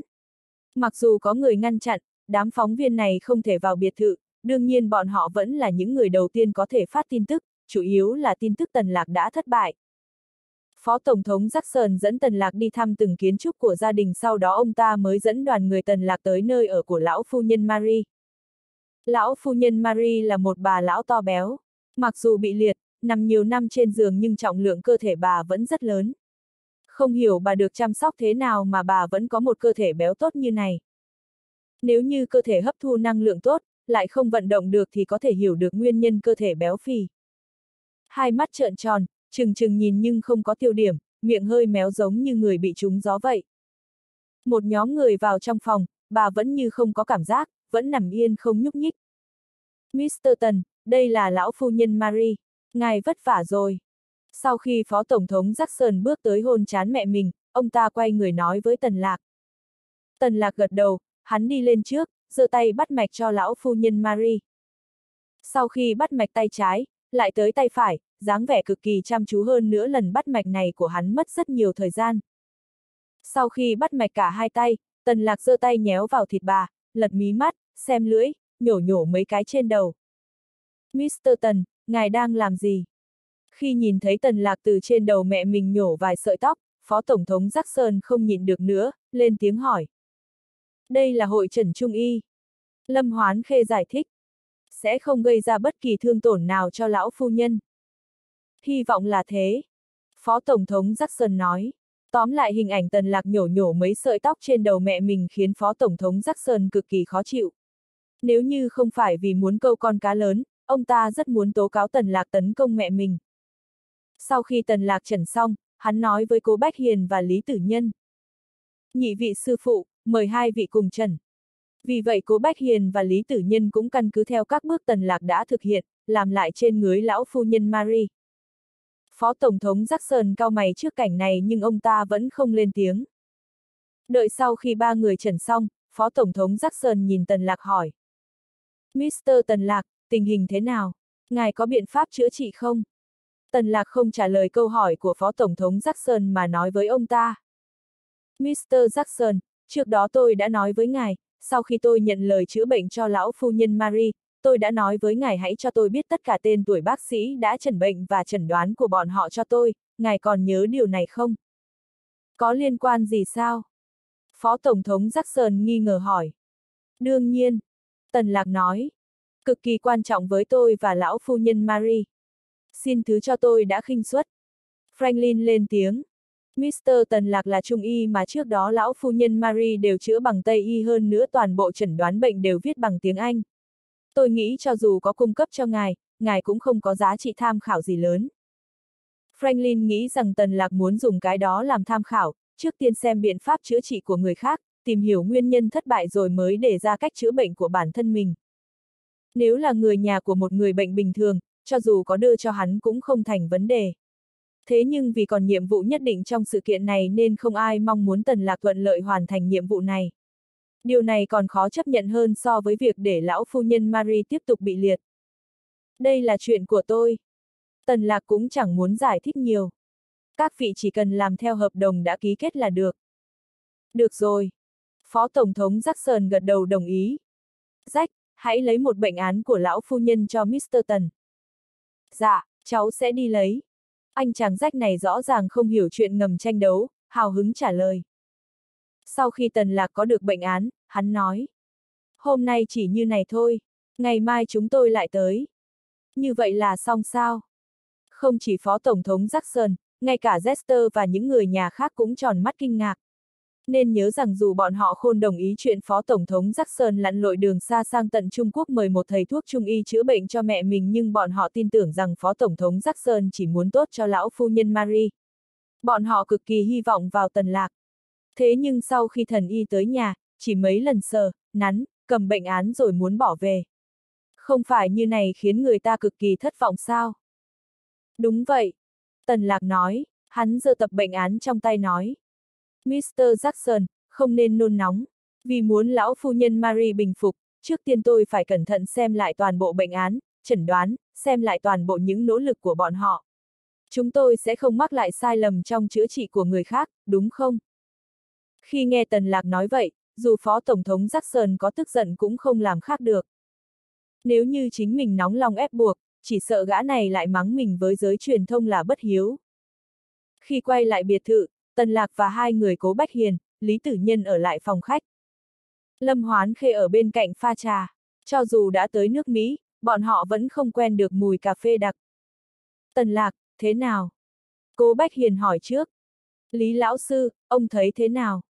Tần Lạc hỏi Lý Tử Nhân trước là bày tỏ sự tôn kính với ông ta. Tần Lạc dù rất nổi tiếng nhưng vẫn xưng với Lý Tử Nhân là sư phụ khiến Lý Tử Nhân cực kỳ hài lòng. Chút đố kỵ Tần Lạc trong lòng lập tức tan thành mây khói. Khi nghe Tần Lạc hỏi mình, ông ta suy nghĩ một chút rồi nói. Không thuốc nào cứu được. Tần Lạc lại nhìn Cố Bách Hiền, Cố Bách Hiền cũng lắc đầu nói. Kết quả chẩn đoán của ta và Lý Lão Sư giống nhau. Lão phu nhân không còn sinh cơ, bây giờ chỉ còn kéo dài hơi tàn, chỉ còn hơi tàn. Sau đó con mắt hai người Cố Bách Hiền và Lý Tử Nhân cùng tập trung trên người Tần Lạc, hai người nhìn chằm chằm vào mặt hắn, dáng vẻ vô cùng khẩn trương. Nếu như hắn cũng nói vô phương cứu chữa, vậy thì trung y nguy rồi. Tần lạc cười nói. Cố sư phụ, Lý Lão Sư, kết quả chẩn đoán của tôi cũng vậy. Không thuốc nào cứu chữa. chương 1247, mời mọi người uống thoải mái. Một câu nói khiến mọi người kinh hãi. Sắc mặt Lý Tử Nhân cực kỳ khó coi, ông ta nói. Vậy bây giờ phải làm thế nào? Bây giờ phải làm gì đây? Chúng ta tới đây tràn đầy hy vọng, vô số người dân trong nước ủng hộ, vô số đồng nghiệp trông mong, chỉ cần chúng ta lén tới cũng được. Vấn đề là lúc này truyền thông Trung Quốc đang chú ý tới chúng ta. Truyền thông nước Mỹ cũng chú ý tới chúng ta. Truyền thông thế giới cũng chú ý tới chúng ta. Nếu như chúng ta thảm bại quay về, không phải sẽ làm trò cười cho toàn thế giới sao? Câu nói của Lý Tử Nhân không phải không có ý trách cứ tần lạc. Ban đầu người ta tìm anh, anh cứ từ chối ngay không phải chuyện qua đi sao. Đồng ý cũng được, nhưng chỉ cần lặng lẽ tới thăm bệnh, hoàn toàn không có chuyện gì xảy ra. Điều nực cười là trước tiên anh từ chối người ta sau đó đồng ý. Khi từ chối khiến giới truyền thông cực kỳ xôn xao, náo nhiệt như chào đón năm mới. Bây giờ không chữa khỏi, già trẻ lớn bé mười mấy người còn mặt mũi quay về không. Sớm biết tình hình này, ông ta nhất định sẽ không nhảy vào vũng nước đục này. Thịt cá không được, gặm phải khúc xương. Danh tiếng cả đời của ông ta sẽ bị hủy vì chuyện này. Tóm lại phải có cách nào đó. Vì cố Bách Hiền có quan hệ thân thiết với Tần Lạc nên ông mới nói giúp Tần Lạc. Thật ra trong lòng cố Bách Hiền cũng cực kỳ lo lắng. Lần này đây không chỉ đơn giản là hành y cứu người mà là đấu tranh giữa Trung, Tây y. Nếu như Trung y thất bại, bọn họ sẽ có tội với Trung y. Cách nào? Lý Tử Nhân hỏi ngược lại. Kết quả chẩn đoán của ba người như nhau, lão phu nhân đã mất hết những chức năng cơ thể, chỉ nằm một chỗ. Vì lão phu nhân Marie là mẹ của Phó Tổng thống Mỹ nên ông ta không dùng từ quá khó nghe. Nếu như chúng ta không chữa trị được, có khi còn hay. Nếu như chúng ta chữa trị, nói không chừng bà ấy sẽ chết ngay. Lúc đó không còn là vấn đề thành hay bại nữa. Nếu như bọn họ tố cáo chúng ta mưu sát thì phải làm sao? Nếu điều đó là thật, chỉ sợ chúng ta không thể quay về nhà được nữa. Cố Bách Hiền cũng không nghĩ ra cách nào. Ông đá quả bóng sang Tần Lạc. Tần Lạc, cậu có cách nào không? Biện pháp thì sẽ nghĩ ra được. Tần Lạc cười nói. Vậy cậu hãy nghĩ nhanh đi. Đang suy nghĩ. Tần Lạc nói. Không một ai dám lên tiếng vì sợ quấy rầy suy nghĩ tìm biện pháp của Tần Lạc. Sau khi Lâm Hoán Khê có được bệnh án bằng tiếng Anh, nàng lập tức cùng Tiểu Nhã, Tiểu Linh chia nhau làm việc, dịch toàn bộ bệnh án từ tiếng Anh sang tiếng Trung Quốc. Trong chốc lát, toàn bộ phần dịch đã viết xong. Sau khi nhận, mở ra xem, Tần Lạc phát hiện ra bên dưới mỗi tên tiếng Anh đều có một chữ nhỏ, đẹp bằng tiếng Trung Quốc, khiến Tần Lạc cực kỳ dễ dàng khi đọc. Hắn thầm nghĩ, quyết định mang theo Lâm Hoán Khê tới Mỹ không phải quá tệ. Tần Lạc lần lượt chuyển bản dịch bệnh án cho Cố Bách Hiền và Lý Tử Nhân, ba người chăm chú ngồi đọc. Sau khi lần lượt xem xong, Tần Lạc nói. Kết quả chẩn đoán của Tây Y cũng giống như chúng ta. Lão phu nhân Marie vì huyết áp cao dẫn tới chảy máu não. Vì huyết áp cao trong một thời gian dài nên khiến thành động mạch phồng lên, khiến cho thành động mạch vốn rắn chắc bị bào mòn, trở nên mỏng, tính giòn xốp cũng tăng lên. Đây chính là nguyên nhân khi chúng ta ấn vào da thịt bà ta, hình thành vết lõm, trong một khoảng thời gian ngắn không thể đàn hồi. Tóc trên đầu cũng rất yếu ớt, giống như sợi khoai lang phơi khô, rõ ràng là có gì đó không ổn. Trên bệnh án này có ghi, trong người lão phu nhân Marie xuất hiện một số sơ thành động mạch khiến cho khả năng chịu đựng của động mạch khi huyết áp tăng lên giảm xuống, nhất là động mạch não thì càng nghiêm trọng hơn. Huyết áp đột nhiên lên cao có thể khiến cho những động mạch mà thành trong đã bị bào mòn rất mỏng đột nhiên vỡ tan, xuất hiện chảy máu não. Từ đó về sau máu không ngừng động lại bên ngoài mạch máu trong não, có thể phóng thích những vật chất hoạt tính mạch máu, những vật chất có hại này khiến động mạch xung quanh co rút thêm từng bước một, xuất hiện hiện tượng vỡ mạch máu một lần nữa, khiến nảy sinh tuần hoàn mang tính chất ác tính. Tần lạc dừng lại nửa phút, sắc mặt hắn âm trầm nhìn cố Bách Hiền và Lý Tử Nhân, nói. Não bộ của bà ta đã thành một bình chất dịch đặc sệt, hoàn toàn bế tắc. Thật sự không chỗ nào có thể ra tay. Vô phương cứu chữa. Nguyên nhân phát sinh bệnh xuất huyết não tương đối rõ ràng. Ví dụ như đau đầu, nôn mửa, gáy tê cứng, xuất huyết nhiều nhanh chóng đi vào trạng thái hôn mê. Tây y luôn điều trị theo lý luận, điều trị theo biểu hiện lâm sàng sau khi xuất huyết. Khoa giải phẫu thần kinh lâm sàng chi xuất huyết não thành 5 cấp, làm tài liệu tham khảo giải phẫu. Cấp y, tỉnh táo hay ngủ, biểu hiện liệt nửa người hay mất tiếng nói ở các mức độ khác nhau. Cấp 2, ngủ hay hôn mê, biểu hiện liệt nửa người hay mất giọng ở mức độ khác nhau. Cấp 3, hôn mê nông, liệt nửa người, đồng tử nở to. Cấp IV, hôn mê, liệt nửa người, giãn đồng tử hoặc không giãn đồng tử. Cấp phê hôn mê sâu, não cứng hay tứ chi mềm oặt. Một đồng tử hay cả hai đồng tử giãn. Căn cứ vào biểu hiện bệnh trạng của lão phu nhân Marie, bệnh của bà hẳn đã thuộc vào cấp phê Hay nói một cách khác nếu như có cấp độ vi, bệnh của bà xếp vào cấp độ vi cũng không thành vấn đề. Người Mỹ gian trá. Cô Bách Hiền vỗ tay xuống bàn trà, nói. Trong tay bọn họ đã có kết quả chẩn đoán, bọn họ đã sớm biết không thể cứu chữa được thế mà bọn họ vẫn còn hư trương thanh thế tới Trung Quốc cầu y. Bọn họ chỉ muốn làm hại Trung y chúng ta. Nhưng chúng ta đã đồng ý. Lý Tử Nhân chỉ hận rèn sắt không thành thép, ông ta chừng mắt nhìn Tần Lạc nói. Chúng ta hãy lập tức nói rõ với ngài Jackson, chúng ta không thể điều trị được căn bệnh này để cho ông ta mời cao nhân khác. Tránh để càng lâu càng bất lợi cho chúng ta. Tần Lạc lắc đầu nói. Chúng ta cần nói cho bọn họ rằng bệnh này không thuốc nào chữa được thế nhưng chúng ta không cần phải nói với ngài Jackson và người nhà ông ta mà là nói cho giới truyền thông biết. Còn tìm giới truyền thông sao? Suýt chút nữa Lý Tử Nhân hôn mê ngất xỉu. Bây giờ là lúc nào mà tiểu tử này còn không quên gây náo động. Đúng vậy. Tần Lạc cười gật đầu. Nhất định phải khiến cho toàn bộ thế giới biết tốt cuộc chúng ta đã tiếp nhận một củ khoai lang bỏng tay. Đêm, quán ba nai. Đây là một quán ba dành cho người trong giới, không nhiều người biết. Thế nhưng nó là một quán ba danh tiếng lẫy lừng trong thế giới ngầm. Bởi vì toàn bộ sát thủ trên thế giới, lái buôn, người đại diện, người bán, người mua đều tụ tập ở nơi này. Có rất nhiều nhiệm vụ ám sát, giết người diệt khẩu được mua bán ở nơi này. Đương nhiên những người tới nơi này đại đa số chỉ là những sát thủ chưa thành danh hay xếp thứ hạng không cao trong bảng xếp hạng. Một sát thủ bình thường giết nhiều người, đương nhiên bọn họ có nhiều kẻ thù hơn. Vì giữ cái mạng nhỏ của mình, bọn họ rất ít khi xuất hiện trong đám đông. Mặc dù quán ba nai chỉ dành cho người trong giới nhưng đương nhiên đây vẫn là nơi tụ tập của công chúng. Đi xuyên qua hành lang như mê cung, lại xuyên qua những trạm gác tầng tầng lớp lớp, đi ngang qua những cánh cửa nhỏ kiểm tra thân phận, cuối cùng Giêsu và Hồng Phu cũng đi tới đại sảnh quán ba. Bình thường, tương đối bình thường. Đi tới bất kỳ một quán ba tạm được nào đó ở New York này, thiết bị còn khá hơn cả trong quán ba này, mang phong cách đặc sắc hơn. Quả nhiên sau khi chứng kiến tận mắt, lòng hiếu kỳ của Hồng Phu đã được thỏa mãn nhưng cũng mang theo sự mất mát rất lớn. Nàng hỏi, ở đây sao? Đương nhiên. Giêsu cười nói, gã đi thẳng tới quầy ba, nói với người phục vụ quầy rượu béo mập. John, cho tôi một ly lam huyết. Chào anh bạn. John cười sảng khoái nói. Giêsu, tại sao anh lại quay về? Tôi dẫn bạn mình tới chơi. Giêsu cười nói.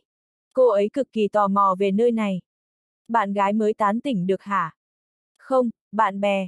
John không hỏi tiếp, anh ta đặt mộ ly đồ uống màu xanh lam trước mặt Giêsu và nói. Tôi nghĩ cô ấy sẽ cực kỳ thất vọng. Những ai lần đầu tiên tới nơi này cũng cư xê kỳ thất vọng. Giêsu, ngay cả anh cũng thế. Đúng vậy.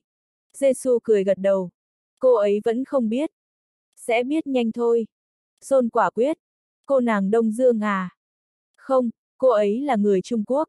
Cô ấy không bia tiếng Anh. Giêsu giải thích. Ồ, một cô nàng Trung Quốc. John vừa nói tiếng Anh với một giọng Anh, Mỹ chuẩn mực thế mà ngay lập tức anh ta chuyển sang nói tiếng Trung Quốc rất lưu loát. Cô em xinh đẹp, em muốn uống gì? Hồng Phu liên tục quan sát, đánh giá bốn phía xung quanh, đột nhiên nàng nghe thấy có người nói chuyện với mình bằng tiếng Trung Quốc, hơn nữa lại là một người béo mập, khiến nàng vô cùng ngạc nhiên. Hồng Phu chăm chú quan sát John một lát rồi nói. Sữa chua.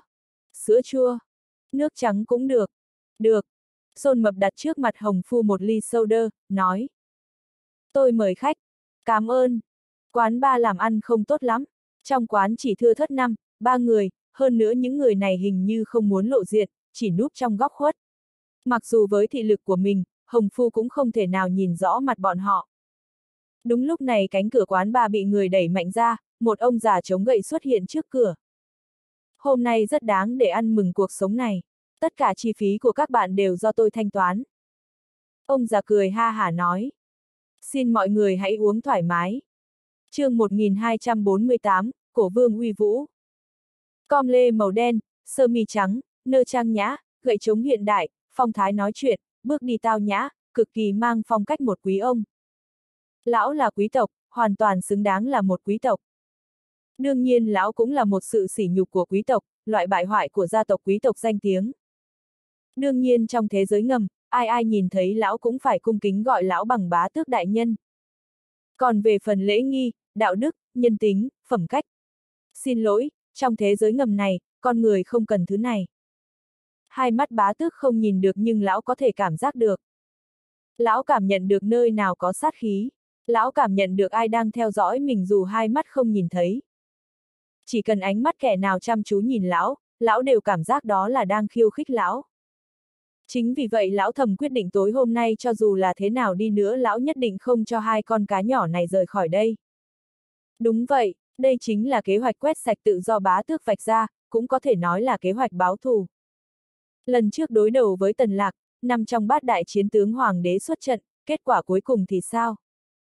Giã thú trúc bản vô tâm chết trận, kim đồng trọng thương, ngọc nữ hôn mê bất tỉnh, trong bụng còn mang rắn độc. Điều khiến người ta khó chấp nhận nhất chính là bá tước, người được người ngoài xưng tụng là hoàng đế đế nhị hay người phát ngôn của hoàng đế lại bị người ta hủy đôi mắt. Kết quả này không chỉ khiến người bị hại khó có thể chấp nhận được mà còn khiến hoàng đế có cảm giác như bị người ta trắng trợn tát vào mặt. Hoàng đế nổi giận, ông ta mắng đám người bá tước tối tăm mặt mũi. Bản thân đám người bá tước cũng cảm thấy hổ thẹn, ngày đêm suy tính kế hoạch báo thù. Ông trời đã tọa nguyện lòng người. Bây giờ một lần nữa tần lạc tới nước Mỹ, cuối cùng bọn họ cũng có cơ hội báo thù mối huyết hận này. Bá tước không chỉ tới một mình, đằng sau lão còn xuất hiện kim đồng, ngọc nữ. Bản thân kim đồng bị trúng độc, phải mặc quần áo giải độc do phòng thí nghiệm cung cấp. Ngọc nữ chúng độc xà cũng bị hoàng đế dùng thủ pháp xoa bóp dẫn dụ ra ngoài sau đó chặt thành hai nửa. Sau một thời gian nghỉ ngơi tĩnh dưỡng, kim đồng, ngọc nữ đã khôi phục lại tình trạng ban đầu của mình. Quỷ ảnh chiếm ưu thế về tốc độ, liên tục ở trong trạng thái bất bại cuối cùng liên tục bị tần lạc bắt kịp khiến thể xác và tinh thần của gã chịu sự đả kích rất mạnh. Bá tước đi trước, ba chiến tướng theo sau, bốn người đi tới hình thành thế bao vây hai người Giêsu, Hồng Phu. Cô em xinh đẹp, bây giờ em đã biết vì sao trong quán ba lắp đặt thiết bị đơn giản chưa? John bình tĩnh nói, hình như anh ta đã quen với những chuyện này. Nếu biết sớm bỏ đi thì hay rồi. Hồng Phu bưng ly nước soda uống và nói.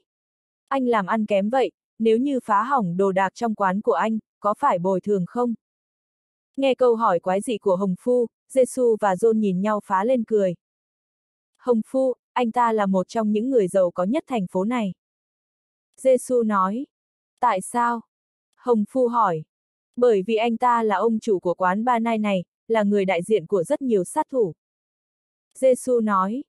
Hồng Phu nghiêm túc quan sát John rồi nói. Không giống. Không giống. Giêsu sảng khoái cầm ly lam huyết uống một hơi cạn rồi nói với Hồng Phu. Cô có cảm thấy tôi là sát thủ không? Hồng Phu liếc nhìn Giêsu một cái rồi nói. Như là nghiêu Lang. Thật ra Hồng Phu cũng chẳng biết Ngưu Lang là cái gì. Vì Giêsu đã từng dẫn nàng đến Rông Rai, nên nàng nhớ cái tên đó. Có lẽ đó là một nghề nghiệp. Hai người chăm chú nói chuyện với nhau như không phát hiện ra bá tước đi tới cạnh mình.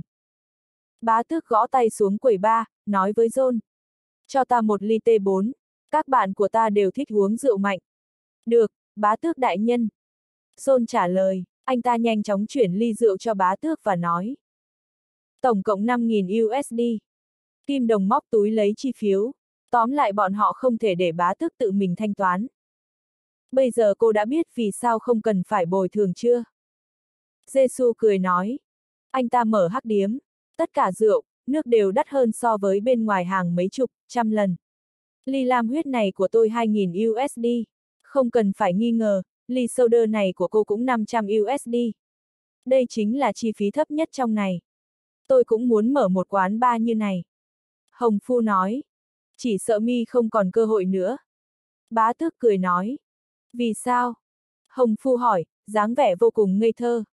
Bởi vì bản thân ta không cho phép, không cho phép các người rời khỏi đây. Bá tước cầm ly tê 4 của mình, ly rượu mạnh đang sôi sùng sục như nước sôi. Lão uống một hơi cạn, để mặc luồng chất lỏng mang theo ngọn lửa xâm nhập vào ngũ tạng lục phủ, cả người lão lập tức chảy mồ hôi ròng ròng. Đây chính là cách hâm nóng cơ thể tốt nhất. Nếu nói người hận nhất tần lạc nhất là bá tước, hận nhất hồng phu là hai anh em kim đồng, ngọc nữ. Ánh mắt hai anh em không để trên quầy ba trước mắt. Kim đồng anh Tuấn, sát khí bừng bừng, nhìn chằm chằm vào bao tay của mình. Ánh mắt của ngọc nữ sắc như dao nhìn hồng phu chằm chằm, đồng thời trong tay cô ta cũng cầm một thanh trùy thủ hình dáng rất cổ quái. Chỉ cần bá tước ra lệnh một tiếng, bọn họ sẽ lập tức phát động tấn công cực kỳ hung mãnh. Bọn họ sẽ làm cho hồng phu đi tìm cái chết, không chết không dừng lại. Giêsu, lần trước tao đã cho mày một cơ hội. Bá tước nhìn Giêsu nói.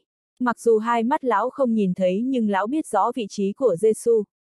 Hơi thở của Giêsu và Hồng Phu khác nhau, mùi cơ thể của hai người cũng khác nhau. Nhưng mày đã từ chối. Nếu không ông hãy cho tôi một cơ hội nữa đi. Giêsu cười nói. Nhất định lần này tôi sẽ nghiêm túc suy nghĩ. Đối với tao mà nói, một lần đã là nỗi sỉ nhục. Bá tước nói. Mày từ bỏ thân phận sát thủ cao quý, hạ mình đi làm vệ sĩ cho một người Trung Quốc. Chẳng lẽ mày còn không biết, bây giờ mày chính là nỗi sỉ nhục của giới sát thủ sao? Tao thật sự không hiểu, vì sao mày lại dám mang ả này tới nai? Chẳng lẽ mày muốn cho bạn mày xem sự xấu hổ của mày sao? Làm sát thủ rất nguy hiểm, tôi cảm thấy làm vệ sĩ tốt hơn. Giêsu nhìn đôi mắt khép kín của bá tước nói. Ngài bá tước, nghe nói mắt ngài bị mù. Nếu như ngài không thể tiến hành công việc hiện nay, tôi có thể giới thiệu công việc giúp ngài. Thế nhưng có thể khẳng định, ngài không thể làm vệ sĩ. Làm bảo vệ có được không? Dám chạm vào vết thương lòng của mình, quả thật bá tước như muốn nổi điên. Hai bàn tay bá tước nắm chặt, cả người lão rung lên như một băng đạn. Bạo cốt, không khí mà bảo.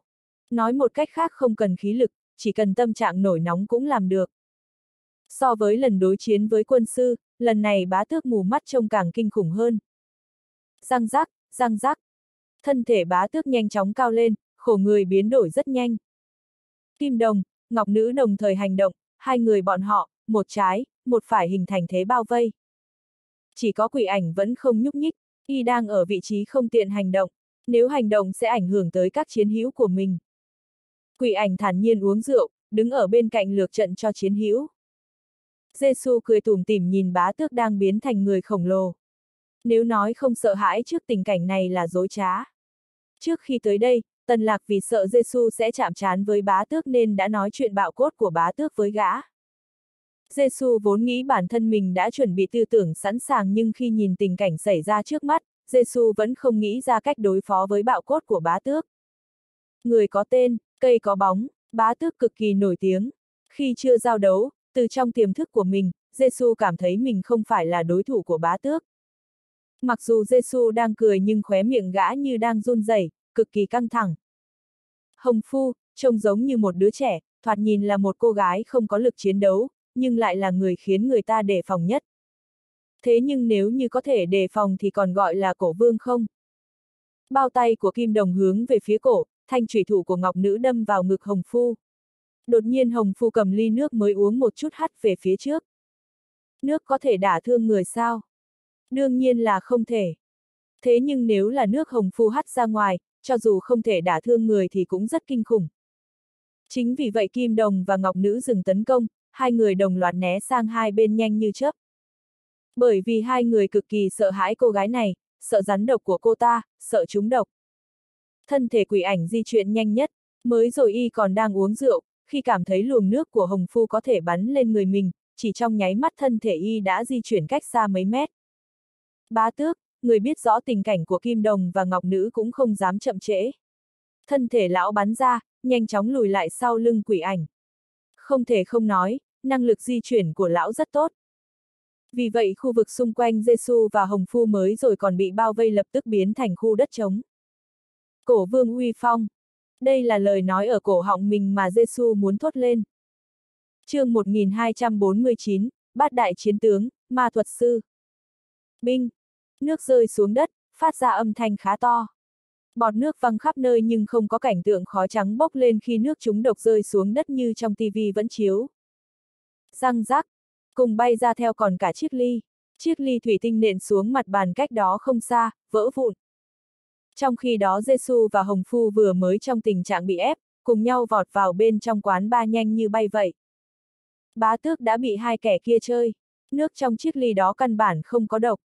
Tình trạng bạo cốt của lão đã hoàn thành, mặc dù thân thể không cao bằng kim đồng nhưng vẫn còn cao hơn cả quỷ ảnh và ngọc nữ.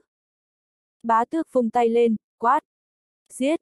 Ngay sau đó lão vọt lên đuổi theo. Quỷ ảnh không nói không rằng nhưng ngay lập tức vọt lên trước bá tước. Sau cùng là hai anh em kim đồng, ngọc nữ. Hai anh em này không có ưu thế về tốc độ. John bình tĩnh nhìn cả đám rời khỏi, hình như anh ta còn đang tiếc rẻ bọn họ không đập vỡ bức tranh, bàn hay những vật trang trí gì đó.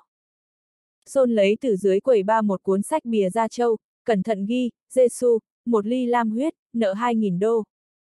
Sau khi suy nghĩ một lát, anh ta viết tiếp, bạn Giêsu đánh vỡ một ly thủy tinh, nợ 250 đô. Cô em xinh đẹp, nước thì miễn phí nhưng ly thủy tinh thì không. John lầm bầm sau đó anh ta lại cẩn thận cất quyển sách của mình đi, như sợ bị người ta lấy trộm mất. Rõ ràng Giêsu rất quen thuộc quán ba này. Gã chạy trước dẫn đường, sau khi vượt qua hai hành lang, Giêsu xông vào một nhà vệ sinh nam. Hồng Phu theo sát đằng sau. Hồng Phu vừa chạy vừa lấy từ trong ngực ra một bao vải nhỏ, vẩy những bột phấn màu trắng trong bao vải xuống đất, để lại mối họa ngầm cho những kẻ đang truy kích đằng sau. Chúng nhất định phải tránh những bột phấn này mới tiến lên được, khiến chúng chậm hơn rất nhiều. Hồng Phu chạy tới cửa nhà vệ sinh nam, nàng nhìn hình vẽ trên tường rồi lập tức lui lại, quát. Mau ra đây. Giêsu xông lại nhanh như tia chớp, cần tay Hồng Phu chạy đi, nói. Bây giờ là lúc nào rồi mà còn nghĩ tới chuyện đó hơn nữa trong này không có ai. Tôi không sợ bên trong có người. Hồng Phu tiện tay giải chất bột trắng, nói. Tôi sợ vào trong nhà vệ sinh thì hết đường trốn. Không cần lo lắng. Giêsu tung chân đá tung cánh cửa nhà vệ sinh. Sau khi xông vào trong nhà vệ sinh, gã lục tìm một lát, vách tường nhà vệ sinh vang lên tiếng kèn kẹt. Dầm. Vách tường tách ra hai bên, hình thành một lối đi ngầm nhỏ hẹp. Giêsu đẩy Hồng Phu chạy ra ngoài rồi sau đó gã mới xông ra ngoài. Hồng Phu không chạy ngay, nàng đợi sau khi Giêsu chạy đi trước, nàng ném bột phấn cầm sẵn ở hai tay hướng về phía tường nhà vệ sinh, ngăn cách đám người bá tước đuổi theo. Gào! Hai người đã chạy xa mà vẫn còn nghe thấy tiếng gầm phẫn nộ của bá tước. Sau khi xuyên qua tường nhà vệ sinh, hai người tiến vào một công viên không rõ tên. Hai người nhanh chóng chạy về phía công viên, chỉ cần bọn họ chạy vào trong đám cây rậm rạp là có thể thoát được đối phương đuổi giết. Thế nhưng bọn họ nghĩ quá đơn giản. Cả hai đang cắm đầu cắm cổ chạy chối chết, đột nhiên một bức tường lửa ở phía trước lao tới. Hai người kinh hãi, tại sao lại có người ngăn chặn bọn họ ở phía trước? Chẳng lẽ đám người bá tước bố trí mai phục sau quán ba sao? Chỉ trong nháy mắt, bức tường lửa đã bay tới trước mặt. Giêsu và Hồng Phu vội vàng nằm xoài xuống mặt đất, bức tường lửa bay vụt qua đỉnh đầu bọn họ. Bọn họ có thể cảm giác được sức nóng ghê gớm trên người mình, giống như da thịt họ bị đốt cháy vậy. Khi hai người vẫn chưa kịp nhỏm dậy, vô số đinh sắt dập giảm như rừng từ trên không lao xuống, giống như một cơn mưa đinh vậy. Cơn sóng này chưa dẹp xong, cơn sóng sau lại lao tới. Thủ đoạn của đối phương trùng trùng lớp lớp, vô tận, giống như đã tính toán trước phản ứng của Hồng Phu và Giêsu vậy. Hai người cực kỳ kinh hãi, liên tục thực hiện mấy cử động lý ngư đả đỉnh rất khó coi, cố gắng thoát khỏi màn bao phủ của cơn mưa đinh sắt. Lực đinh sắt lao mạnh cắm xuống nền xi măng, âm thanh va chạm liên tục vang lên bên tai hai người. dáng người hồng phu thấp bé, phản ứng cực kỳ nhanh nhẹn, lựa chọn phương hướng lao mình tới cực kỳ chính xác, giữ toàn thân thoát ra ngoài. Phản ứng của Giêsu cũng rất nhanh, phương hướng cũng không tệ nhưng vì thân thể gã to lớn. Trong lúc Giêsu đang lao mình ra ngoài, hai chiếc đinh sắt cắm trúng bắp chân gã. Hai người chia nhau, một trái, một phải, sắc mặt cảnh giác quan sát bốn phía xung quanh. Không có ai sao. Đúng lúc này một chuyện cực kỳ quỷ dị xảy ra. Vị trí mới rồi bọn họ đứng còn ánh trăng, còn cả ánh sáng yếu ớt của bóng đèn hắt tới. Hai mắt bọn họ có thể mơ hồ phân biệt cảnh vật, có thể mơ hồ nhìn thấy con đường đi nhỏ giữa hàng cây ở trong công viên. Thế nhưng đột nhiên lúc này không gian biến thành một mảng tối đen. Dường như cả thế giới này đều bị bóng đêm nuốt mất. Trong mắt bọn họ như không còn bất kỳ ánh sáng nào, không biệt được bất kỳ vật nào, núi, cây cối, hoa cỏ, tất cả đều biến mất không còn tâm tích. Cẩn thận! Giêsu không quan tâm máu ở chân đang chảy như suối, nhỏm người dậy quan sát xung quanh. Tình hình này rất quỷ dị, bất kỳ giây phút nào bọn họ cũng sẽ bị kẻ thù tập kích.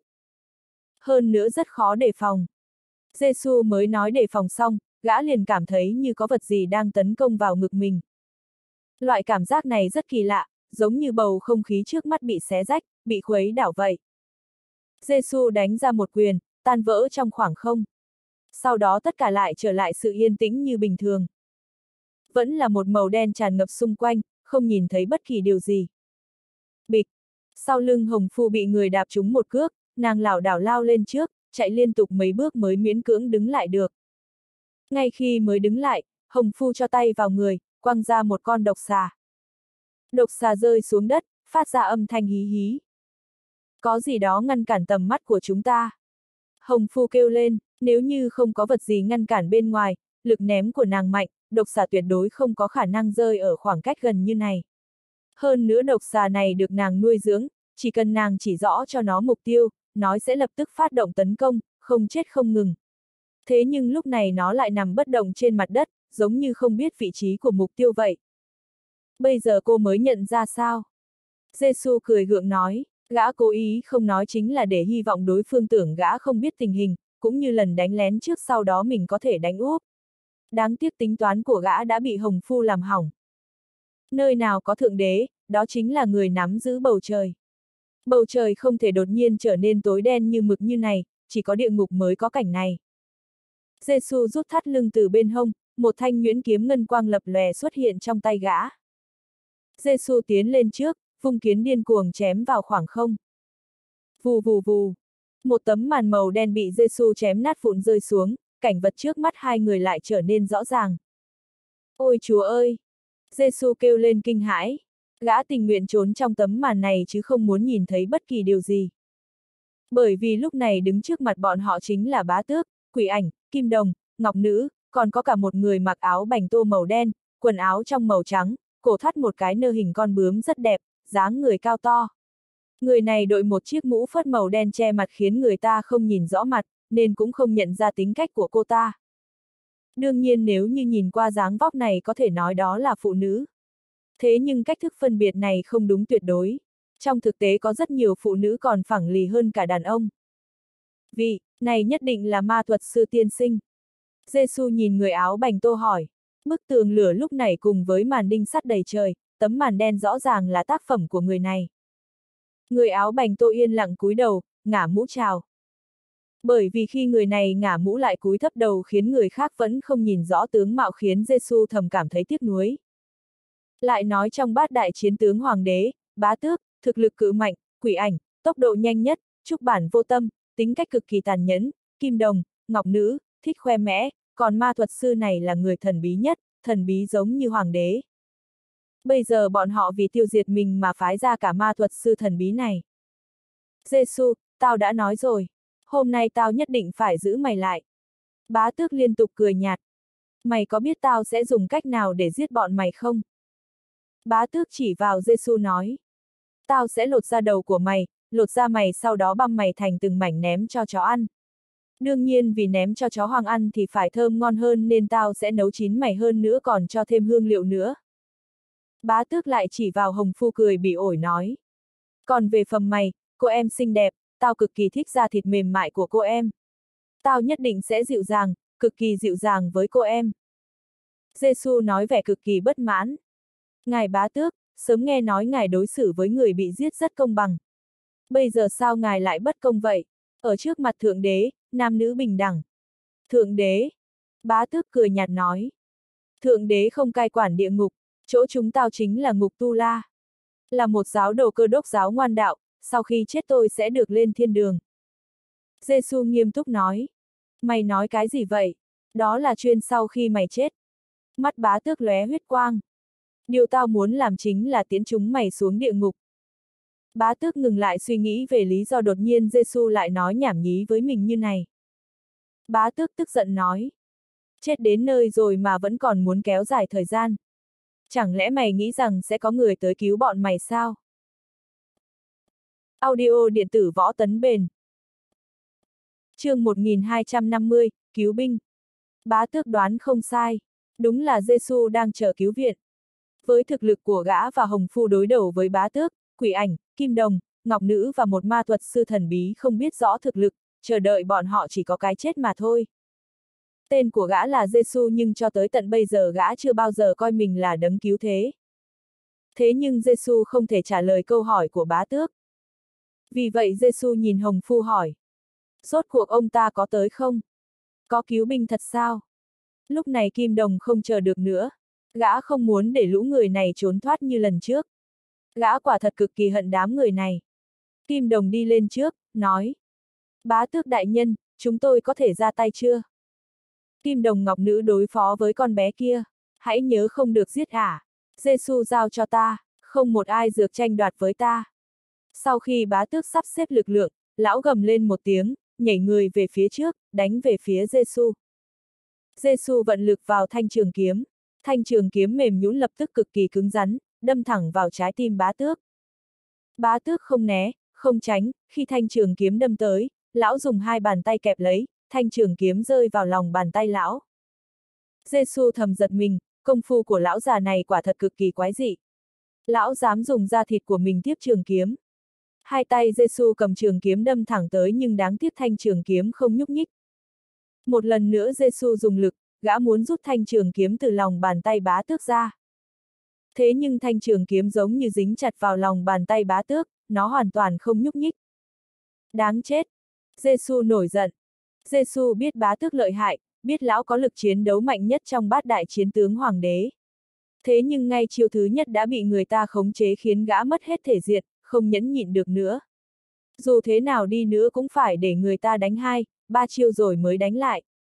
Lão làm như vậy không phải cực kỳ không có nghĩa khí không? Giêsu không đâm trường kiếm về phía trước, cũng không muốn rút lại. Hai tay Giêsu cầm trường kiếm, dùng lực khuấy mạnh. Giêsu muốn gọt sạch các ngón tay và thịt bàn tay của bá tước. Trong khi khuấy, Giêsu còn cố tình giảm lực khiến thanh nhuyễn kiếm lại trở nên mềm, càng thuận tiện cho gã trong việc sử dụng. Đáng tiếc kết quả rất khác biệt so với suy nghĩ của gã. Thanh nhuyễn kiếm vừa trở nên mềm lập tức cứng rắn trở lại, giống như trường hợp một phụ nữ lẳng lơ khiêu khích đồ chơi của đàn ông vậy. Ngay khi Giêsu thả lực, bá tước lập tức phát lực, cướp quyền khống chế thanh nhuyễn kiếm. Hai tay bá tước kẹp thanh kiếm, cả người tiến nhanh về phía trước. Một cước tung ra hướng về hạ bộ Giêsu, bá tước dự định một cước này loại bỏ tính đàn ông của gã đẹp trai này, từ nay về sau vô duyên với chị em. Không thể không nói, từ trong xương tủy của mình bá tước rất tự ti. Từ nhỏ tới lớn bá tước chỉ có dáng người nhỏ bé. Lão luôn mang lòng thù hận những người đàn ông cao lớn, đẹp Terry phong độ, huống chi người phụ nữ mà lão yêu thương lại bị một gã đàn ông đẹp trai cướp mất. Điều này càng khiến trong mắt bá tước, bọn họ càng như là đại địch cả đời lão. Bá tước điên cuồng chơi đùa phụ nữ, cướp đoạt phụ nữ của những người đàn ông đẹp trai chính là vì muốn thỏa mãn tính hư vinh của mình, trà đạp danh dự của những người mà gã căm giận. Là một người yêu thích cái đẹp, sao Giêsu có thể để bá tước hủy đi tính mạng của mình? Lão có thể đánh vào mặt mình nhưng tuyệt đối lão không thể đá vào hạ bộ mình. Giêsu nổi giận, giận dữ, đáng chết.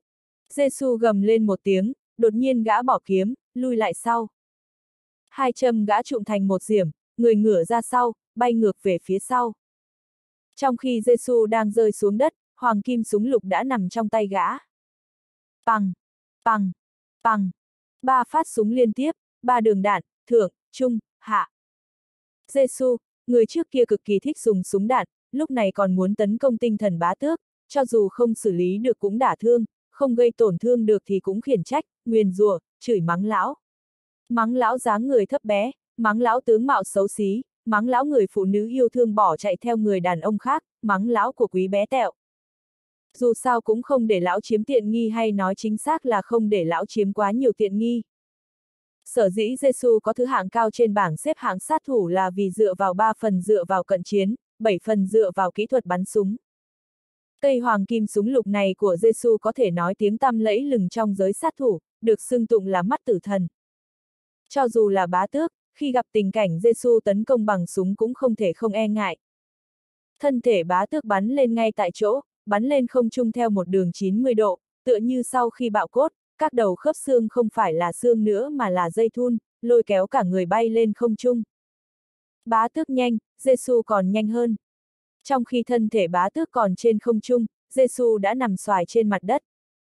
Từ dưới thấp lên cao, một lần nữa bắn ra ba viên đạn. Bằng, bằng, bằng. Tốc độ cực nhanh, không ngừng nghỉ. Lần này chính là đường đạn hình tam giác. Giêsu muốn phong tỏa đường di chuyển của bá tước, khiến bá tước không có điểm mượn lực trên không trung. Điều tiếc nuối duy nhất của Giêsu là khẩu súng ngắn của gã không có nguồn đạn vô cùng vô tận như của những nam diễn viên chính trong phim trên TV, vĩnh viễn không cần thay băng đạn. Mặc dù ngay khi Giêsu bắn xong, gã đã lập tức thay luôn một băng khác. Mặc dù thời gian chết không tới một giây đồng hồ. Thế nhưng chưa tới một giây đồng hồ này là thời gian đủ cho một cao thủ có thể làm được rất nhiều việc. Thân thể bá tước bỏ chạy trong không trung, viên đạn đuổi theo cực nhanh hay có thể nói bá tước nhìn thấy Giêsu nổ súng lên trời thì biết Giêsu muốn làm gì. Thân thể lão lập tức thẳng đứng trong không trung thay vì nằm sấp như trước.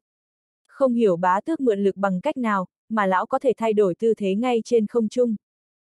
Ba viên đạn bay lướt qua mông bá tước lên không trung trong khi đó bá tước cũng thuận thế thiên cân trụy, cả người rơi nhanh xuống dưới. Trong khi Giêsu nạp đạn xong, giơ súng định bắn tiếp, bàn chân to nặng nề của bá tước giáng xuống người Giêsu nằm trên mặt đất. Giêsu kinh hãi, lập tức lăn mình né tránh. Bá tước nhanh chóng đuổi theo, mỗi bước chân đều dẫm về hướng đầu Giêsu. Mỗi bước chân, các khớp xương của bá tước đều vang lên âm thanh răng rắc cực kỳ quái dị. Trong khi bá tước và Giêsu đang cận chiến, Kim Đồng, Ngọc Nữ, hai anh em này cũng đồng thời đánh về phía Hồng Phu. Ngọc Nữ, tóc vàng mắt xanh đã bị Hồng Phu bắt nuốt mấy con rắn, hơn nữa khi ả bị tần lạc bức cung, Hồng Phu còn khiến ả nhả ra rồi lại nuốt vào. Tình cảnh đó chính là nổi sỉ nhục lớn nhất trong đời Ngọc Nữ, cực khổ lớn nhất, chuyện đáng buồn nôn nhất. Tất cả những chuyện này đều do Hồng Phu ban tặng, chính vì vậy giết chết Hồng Phu là khát vọng của Ngọc Nữ. Kim Đồng xuất thân danh môn, ngoại trừ thất bại trong tay Hoàng đế, trở thành hầu cận của Hoàng đế, cả đời này gã chưa từng chịu uất ức nào khác. Thế nhưng ả kia đã từng ném một con kiến vào người gã, khiến gã sống không bằng chết, liên tục xé rách ra thịt ở ngực gã. Cho tới tận bây giờ, trong ngực kim đồng còn một cái động rất to, sau khi cởi quần áo ra, trông cực kỳ đáng sợ. Điều này đối với kim đồng yêu thích hình dáng bề ngoài, kiêu ngạo là chuyện không thể tha thứ được. Gã có đủ lý do để giết chết Hồng Phu. Một khi hai anh em lòng tràn đầy thù hận ra tay, đó chính là đại sát chiêu. Chiếc bao tay màu trắng của kim đồng luôn hướng tới cổ Hồng Phu, chỉ cần gã có cơ hội sẽ ngay lập tức cắt đứt nó. Trong khi đó thanh thủy thủ kỳ dị trong tay ngọc nữ luôn tấn công về ba hướng chung, hạ trên người hồng phu. Ngực, bụng, đùi của nàng đều là mục tiêu. Kim đồng, ngọc nữ là song sinh cùng chứng, hai người có năng lực tâm linh tương thông. Đây chính là điều cực kỳ quan trọng, cũng cực kỳ nguy hiểm trong chiến đấu. Kim đồng muốn làm gì, ngọc nữ đều cảm giác được. Ngọc nữ muốn tấn công vào nơi nào, kim đồng cũng biết trước. Không cần tính toán, không cần suy nghĩ đó chỉ là phản ứng tự nhiên của cơ thể. Cộng thêm hiệu quả đó, Hồng Phu thực sự không phải là đối thủ của hai đối thủ này hợp lại. Mấy lần nàng muốn lấy vật gì đó từ cái bọc nhỏ bên thắt lưng nhưng vì hai anh em cùng nhau tấn công nên nàng chỉ còn cách vất vả chống đỡ. Hồng Phu không phải là đối thủ của hai anh em, nàng cuống cuồng lùi lại sau. Chiêu thức Hồng Phu càng lúc càng loạn, bước chân cũng trở nên lảo đảo, không ổn định. Ngoại trừ dùng chiêu thức lấy mạng đổi mạng vẫn còn miễn cưỡng chống đỡ được, Hồng Phu hoàn toàn không có cơ hội tấn công. Hồng Phu thua, điều này có thể đoán được. Hậu quả của thất bại chính là cái chết. Cũng may bá tước đã nói không muốn giết chết nàng. Lão muốn nàng sống. Đương nhiên mọi người đều hiểu rõ bá tước. Hậu quả của câu đó còn khủng khiếp hơn cả cái chết. Quỷ ảnh và ma thuật sư không rõ tính cách không tham chiến. Hai người, một trái, một phải đứng ở bên ngoài lược trận hơn nữa còn tránh trường hợp Jesu và Hồng Phu thừa cơ hội chạy trốn hơn nữa bọn họ cũng có thể đề phòng kẻ thù bên ngoài tấn công. Nếu như có. Đúng lúc này, đột nhiên quỷ ảnh có cảm giác lạnh lưng, có người tập kích đằng sau. Bản thân là một sát thủ hạng nhất, phản ứng đầu tiên của quỷ ảnh chính là bỏ chạy. Quỷ ảnh dùng tốc độ vô địch thiên hạ bỏ chạy. Thế nhưng tốc độ gã vẫn chậm, chậm hơn một bước chương 1251, Phó Phong Tuyết tập kích. Sở dĩ quỷ ảnh được gọi là quỷ ảnh là vì gã giống như quỷ ảnh khiến người ta khó có thể nắm bắt được. Tốc độ của gã khiến người ta khó có thể nhìn rõ thực hư. Cho dù là hoàng đế, một khi gã chủ động dùng tốc độ, gã chưa từng bị đánh bại. Gã vẫn coi đây là niềm tự hào, cái để kiêu ngạo. Lần đầu tiên gã thất bại là khi ở Trung Quốc, gặp gã thanh niên thoạt nhìn chói gà không chặt kia. Cho tới tận bây giờ quỷ ảnh vẫn không hiểu, thân thủ gã đó không đủ mạnh, động tác cũng không nhanh, tại sao hết lần này tới lần khác gã thanh niên đó có thể đỡ được sát chiêu của mình. Thế nhưng gã không nôn nóng. Quỷ ảnh biết bản thân mình nhất định phải bắt được gã đó, chỉ có thể biết đáp án từ chính miệng gã mà thôi. Gã một mực kiên nhẫn chờ đợi. Khi quỷ ảnh dùng mình, cảm giác có người tập kích sau lưng, phản ứng đầu tiên của quỷ ảnh chính là tránh né. Đây chính là kinh nghiệm quý giá mà gã thu được từ vô số lần chạy thoát khỏi cái chết từ chân tơ kẽ tóc chỉ cần còn sống là có thể phản kích. Lần này cũng không phải là ngoại lệ. Gã phát hiện ra tung tích kẻ thù từ rất sớm, trốn cũng rất. Gã tưởng rằng gã có thể chạy trốn. Nhưng tại sao lại không trốn thoát, trừ khi hoàng đế đích thân ra tay, còn không một ai có thể truy theo dấu vết của gã. Thế nhưng sự thật luôn rất tàn khốc. Một đạo ngân quang lóe lên, cơn rét lạnh sau lưng càng lúc càng trở nên giá lạnh. Quỷ ảnh kinh hãi, gã biết mình đã bị thương. Quỷ ảnh có thể cảm nhận được lưỡi dao sắc bén cắt đứt quần áo, xuyên vào da thịt mình. Mặc dù là nhẹ, nhẹ tới mức gã gần như không phát hiện ra. Quỷ ảnh chạy được hơn 10 mét rồi đứng lại, lúc này gã mới cảm nhận được cơn đau thấu thấu xương truyền tới từ sau lưng. Bàn tay gã sờ soạng tìm, trên lưng gã có một miệng vết thương rất dài. Hơn nữa miệng rất sâu. Bàn tay sờ vào phần da thịt bị mở ra, còn cả máu tươi dinh dính. Mình bị thương. Quỷ ảnh còn không tin. Trong tình trạng dốc toàn lực chạy trốn, vì sao còn bị thương? Quỷ ảnh quay người, nhìn người mới tới với sắc mặt gần như không thể tin được. Trường bào màu xanh tung bay, tóc dài buộc gọn. Tay cầm trường kiếm, khí thế ngút trời. Mặc dù quan điểm thẩm mỹ phương Tây có sự khác biệt rất lớn, thế nhưng khi quỷ ảnh nhìn thấy gương mặt của người đàn ông phương Đông này, gã vẫn cảm nhận đây chính là một Mỹ nam tử hiếm có trên đời. Đương nhiên quỷ ảnh không quan tâm tới đẹp hay không đẹp. Điều gã kinh ngạc chính là khí chất của người này. Loại khí chất này rất đặc biệt, giống như khí chất của võ sĩ, hiệp khách thời cổ đại. Tính thì ôn hòa như ngọc, động thì giết người như cắt cây cỏ. Vào thời đại này sao lại có người như này? Phó Phong Tuyết cũng rất kinh ngạc, sự kinh ngạc đã lên tới mức độ sửng sốt. Phó Phong Tuyết rất tự tin đối với thuật tiềm hành của mình, ông rất tin tưởng vào một kiếm chém ra vừa rồi. Thế nhưng màn tập kích bất ngờ của ông lại không thể cắt đối phương ra làm hai mảnh, mà gần như chỉ mở một vết thương trên lưng đối phương. Điều này khiến Phó Phong Tuyết cảm thấy rất mất mát, rất bi thương. Ông đang ngờ rằng có phải mình đã già rồi không nếu không sao một tiểu lâu la lại không bị cắt ra làm hai đoạn. Bạn thấy đó, đẳng cấp con người với con người khác nhau. Trong mắt người ngoài, quỷ ảnh chính là một trong bát đại chiến tướng hoàng đế, là cuồng ma sát nhân, thả xuống địa ngục còn hơn gặp quỷ ảnh. Thế nhưng trong mắt Phó Phong Tuyết, người này chỉ là một tiểu lâu la. Phó Phong Tuyết đang cảm thấy rất khổ sở chỉ vì một kiếm của mình không thể chém gã đó thành hai đoạn. Nếu như Phó Phong Tuyết cho quỷ ảnh biết suy nghĩ của mình, ông còn không làm quỷ ảnh. Sở dĩ Phó Phong Tuyết không thừa thắng đuổi giết là bởi vì ông cũng đang tự tìm hiểu vấn đề mà ông khó có thể giải thích được. Mi nhìn cũng được lắm. Phó Phong Tuyết nhìn quỷ ảnh nói. Dĩ nhiên có thể tránh một kiếm của mình, gã đáng kiêu ngạo. Quỷ ảnh không hiểu Phó Phong Tuyết đang nói gì, nhưng gã bị vẻ mặt của Phó Phong Tuyết chọc giận. Khi nhìn thấy Phó Phong Tuyết, quỷ ảnh xoay người bỏ chạy, tuyệt đối không để đối phương chém mình một kiếm nữa. Ma thuật sư cũng là một trong hai người lược trận. Khi phát hiện địch tập kích, ả à còn chưa kịp báo động thì đã thấy quỷ ảnh khởi động tốc độ của mình. Ma thuật sư thầm thở phào nhẹ nhõm. Với hiểu biết của ả à với quỷ ảnh, chỉ cần quỷ ảnh khởi động tốc độ trước kẻ thù, không kẻ thù nào có thể đuổi kịp gã. Khi nhìn thấy kiếm quang lập lòe như kim long, ma thuật sư thoáng nheo mắt. Tại sao lại có người có tốc độ như vậy? Sao lại có người có kiếm như vậy? Sau đó quỷ ảnh bị thương, lưng gã bị đối phương mở một đoạn dài. Khi Phó Phong Tuyết một lần nữa tấn công, quỷ ảnh không chiến mà bỏ chạy, ma thuật sư ra tay. Hai tay ma thuật sư vung lên, một bức tường lửa lăng không hiện ra trước mắt, gầm rú bay tới hướng Phó Phong Tuyết. Chút tài mọn. Phó Phong Tuyết vung kiếm đánh một chiêu về phía bức tường lửa kia. Răng rắc. Bức tường lửa lập tức bị chém thành hai nửa, bay về phía sau ông. Đối với Phó Phong Tuyết mà nói giết quỷ ảnh hay giết ma thuật sư cũng giống nhau. Nếu như quỷ ảnh không nghênh chiến mà ma thuật sư chủ động xông tới, Phó Phong Tuyết cũng không ngại giết chết đối phương. Dù sao Phó Phong Tuyết đã nhận ra tốc độc của gã kia có chỗ hơn người. Nếu như không dốc toàn bộ sức lực đối phó với gã, rất khó có thể đuổi kịp gã. Khi nhìn thấy bức tường lửa bị hủy, ma thuật sư hoàn toàn không bất ngờ. Hai tay giơ lên, từng hạt thủy tinh xuất hiện bay về phía Phó Phong Tuyết. Phó Phong Tuyết không né, không tránh, vung cho ông kiếm điên cuồng chém. Những hạt thủy tinh nhỏ bé đó không thể tiếp cận ông. Điều thần kỳ là mỗi một kiếm của ông đều chém vỡ một số hạt châu. Những hạt châu bị nghiền vỡ phát ra âm thanh lách tách. Trong không khí còn mang theo mùi A, xít sun, phu, rít nồng nặc. Rõ ràng khi tiến gần người, chúng có thể nhanh chóng ăn mòn cơ thể người.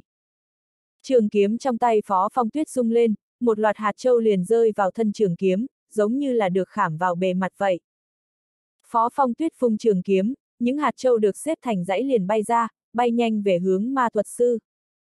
Áo bành tô trên người ma thuật sư liền mở ra, bao vây đám hạt châu sau đó ả quay người 180 độ, những hạt châu này lập tức biến thành ám khí bay về phía Phó Phong Tuyết. Răng rắc, Phó Phong Tuyết lại bổ một kiếm, một lần nữa hạt châu vỡ lại vang lên. Từ khi Phó Phong Tuyết tập kích quỷ ảnh cho tới khi ma thuật sư mạo hiểm cứu giá, thời gian chỉ như ánh chớp. Trong khoảng thời gian ngắn ngủi đó, hai người đã đại chiến mấy hiệp. Cũng không tệ lắm. Phó Phong Tuyết bình luận, ông vốn nghĩ rằng đó chỉ là một tên giả thần giả quỷ. Bây giờ xem ra tên này quả thật có chút thực lực. Ít nhất trong vòng mấy chiêu ông tuyệt đối không thể dùng kiếm hạ được đối phương, thậm chí còn không cả chạm vào người đối phương. Phó Phong Tuyết liếc nhìn Giêsu và Hồng Phu đang khổ chiến, ông biết bản thân mình phải nhanh chóng giải quyết hai người này. Một lần nữa Phó Phong Tuyết di chuyển. Không lao xuống, không bay lên, không chạy.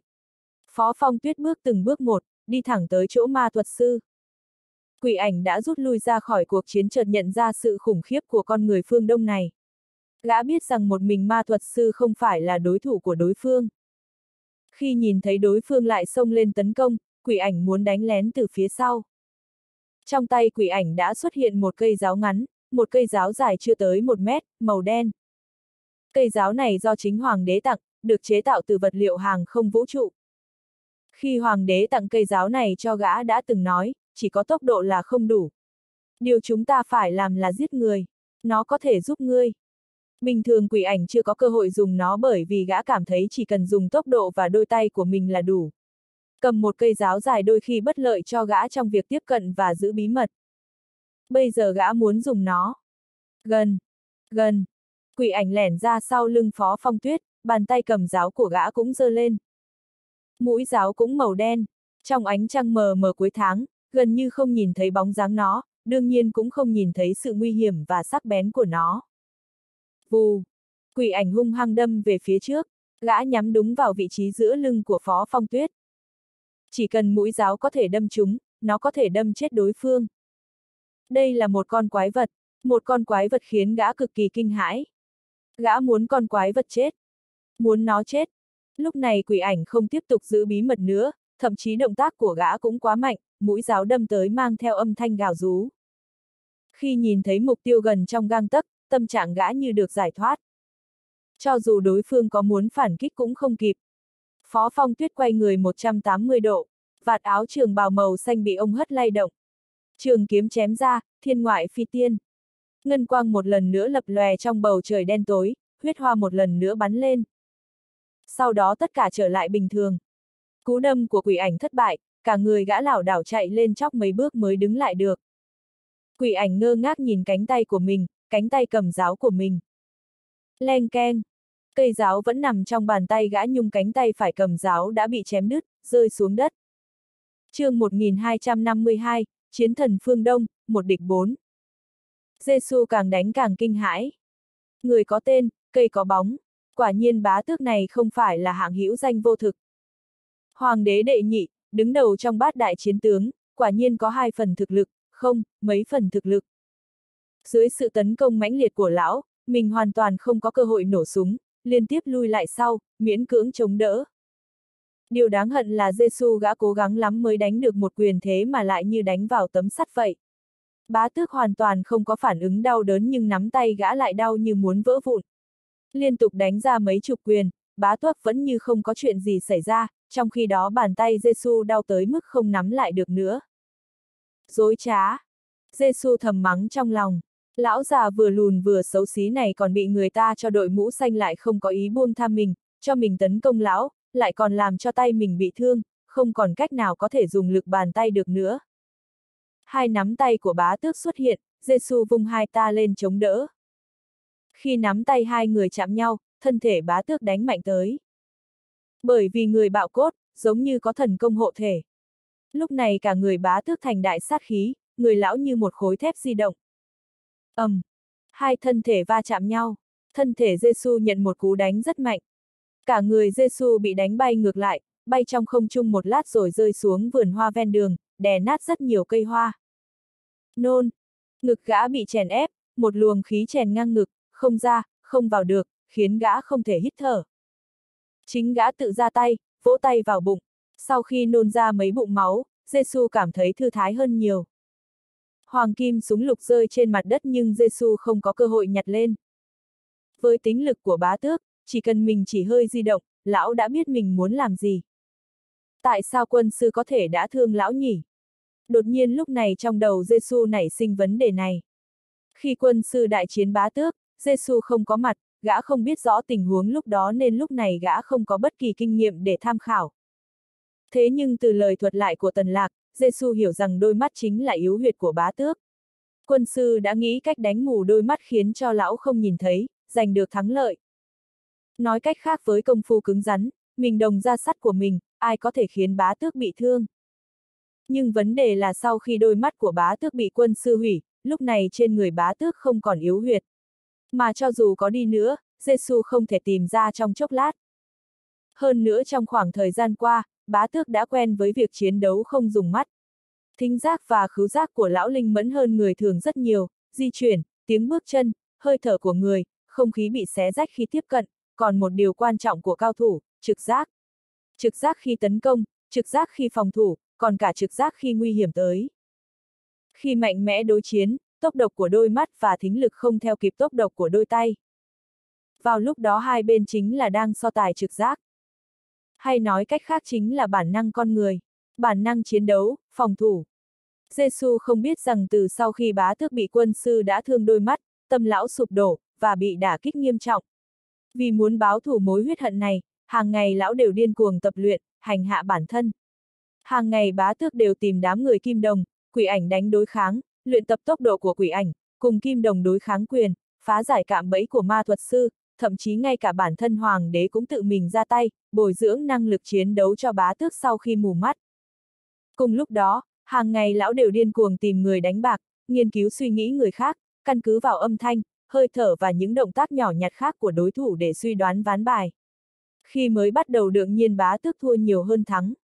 Thế nhưng sau khi bá tước nắm giữ được bí quyết, lão thắng nhiều hơn thua, thậm chí lão còn thắng nhiều tiền hơn so với thời gian mắt chưa mù. Mấy tháng rèn luyện chỉ vì một thời khắc giết địch. Đêm nay chính là thời điểm lão báo thù rửa hận.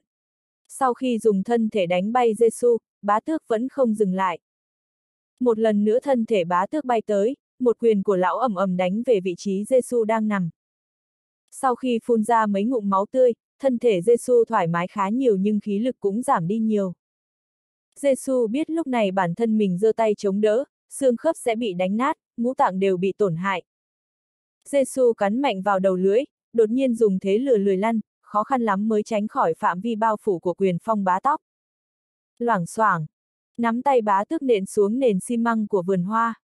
Nắm đấm bằng thịt của bá tước lần đầu tiên tiếp xúc với gạch, gạch thất bại, nát vụn như tương, trong khi đó nắm đấm của bá tước vẫn nguyên vẹn. Điều này không khỏi Giêsu đang nằm bên cạnh ê răng, quá mãnh liệt. Khi nhìn thấy bá tước lại đuổi theo mình, Giêsu giật mạnh cái túi nhỏ bên hông ném về phía bá tước. Một quyền của bá tước khiến chiếc túi mở ra sau đó vô số ong mật nhỏ bay vù vào bao vây quanh bá tước. Vì có ong ăn thịt người ngăn cản, Giêsu có cơ hội ngắn ngủi chạy trốn.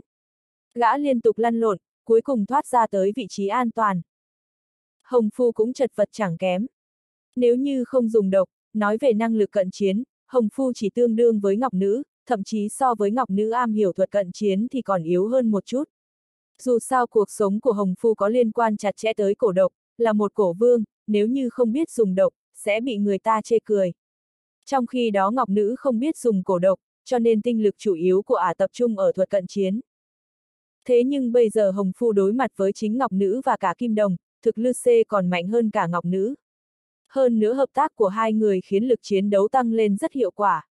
Một người công trên, một người công dưới, phối hợp ăn ý, Hồng Phu luôn khó khăn né tránh một quyền, thân dưới lại nghênh đón một trận đao quang, kiếm ảnh.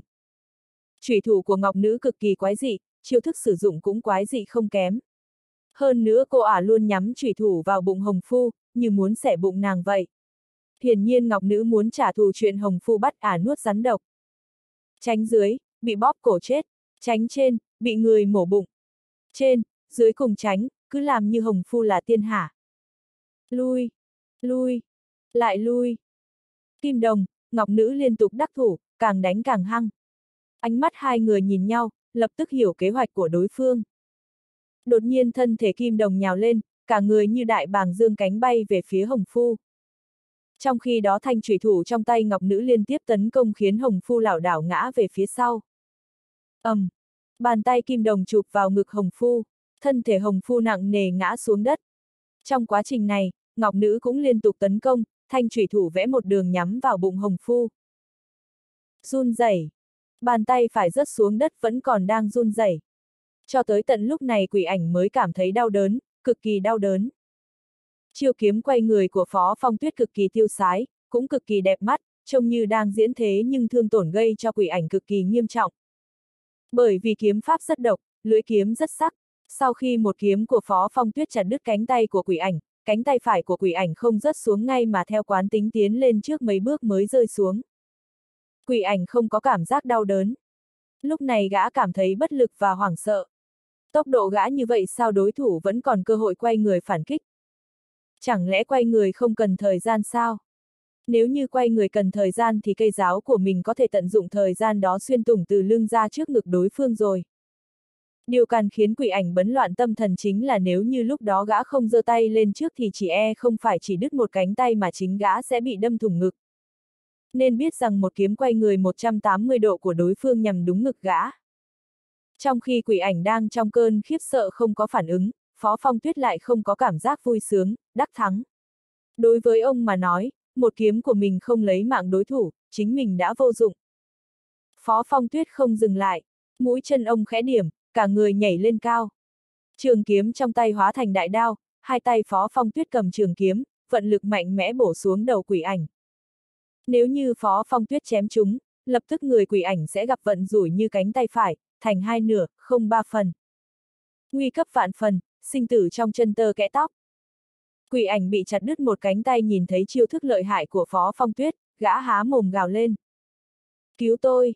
Ma thuật sư tấn công từ phía sau, tay áo vung lên, hạt giấy màu trắng bay múa đầy trời.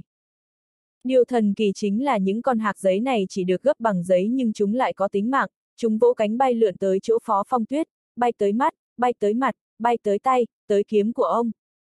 Bá tước nghe thấy tiếng kêu cứu, thân thể một lần nữa bắn lên, từ bên trái tấn công Phó Phong Tuyết, đòn như sấm sét, mục tiêu chính là đầu Phó Phong Tuyết. Trong khi đó Kim Đồng cũng từ bỏ vinh quang truy sát Hồng Phu, từ bên phải tấn công Phó Phong Tuyết. Chiến thần phương Đông, một địch bốn. chương 1253, bóp chặt cổ họng.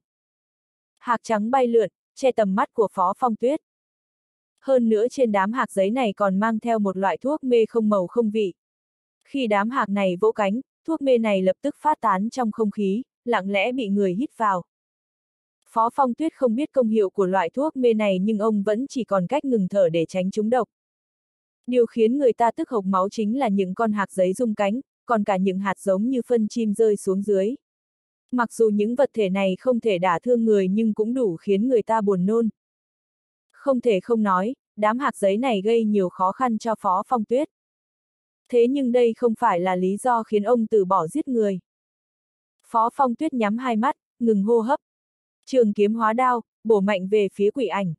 Một điều rất rõ ràng, Phó Phong Tuyết hoàn toàn không coi trọng thế tấn công của bá tước từ bên trái và của kim đồng từ bên phải. Giết giết giết giết giết. Mũi kiếm xé rách bầu không khí, cũng chặt đứt đám hạt giấy ngăn cản phía trước. Phó Phong Tuyết với tư thế tiến lên, cực kỳ quyết liệt đánh về phía quỷ ảnh, không chém chết kẻ thù, quyết không lùi bước.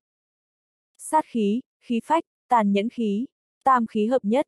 Mặc dù quỷ ảnh là người giết người như cỏ rác nhưng gã cũng cực kỳ kinh hãi, kinh hồn táng đởm khi nhìn thấy thế tấn công của Phó Phong Tuyết. Vì, đại thúc này, chúng ta có mối đại thù sao? Không thể không nói, quỷ ảnh cũng một đời kiêu hùng.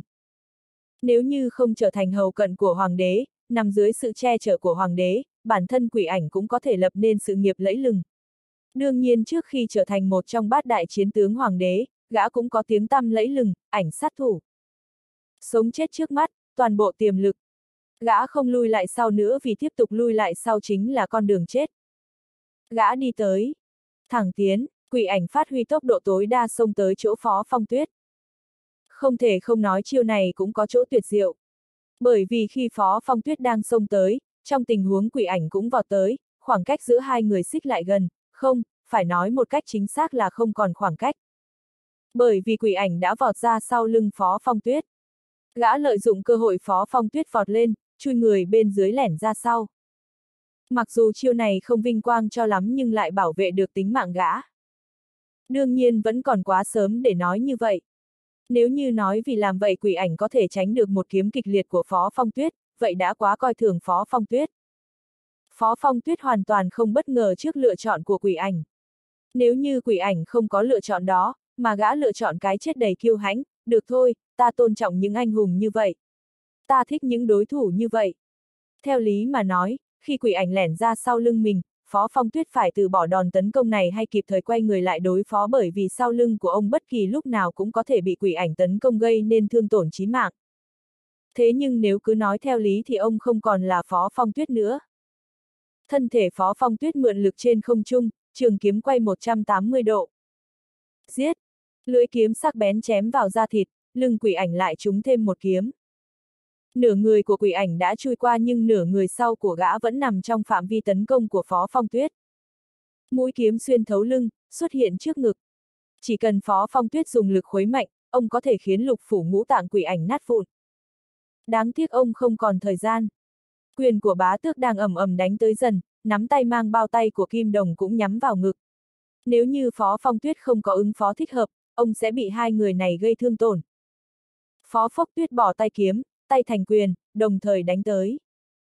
Loảng xoảng. Sau khi nắm tay bá tước phát ra âm thanh cạch cạch cạch cả người gã bay ngược về phía sau.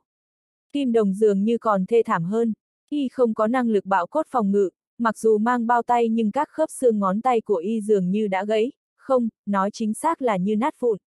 Kim đồng đau tới mức gần như ngạt thở. Răng rắc răng rắc, thân thể kim đồng bay lên cao rồi rơi xuống một cây cổ thụ, nhưng không thể nằm yên trên đó nên nặng nề rơi xuống dưới, liên tục đè gãy nhiều cành non. Trong khoảnh khắc đối quyền với Phó Phong Tuyết, bạo cốt của bá tước đã phát huy tới tận cùng nên cho dù thiết quyền của Phó Phong Tuyết thiên hạ vô địch nhưng thượng tổn gây cho bá tước rất nhỏ.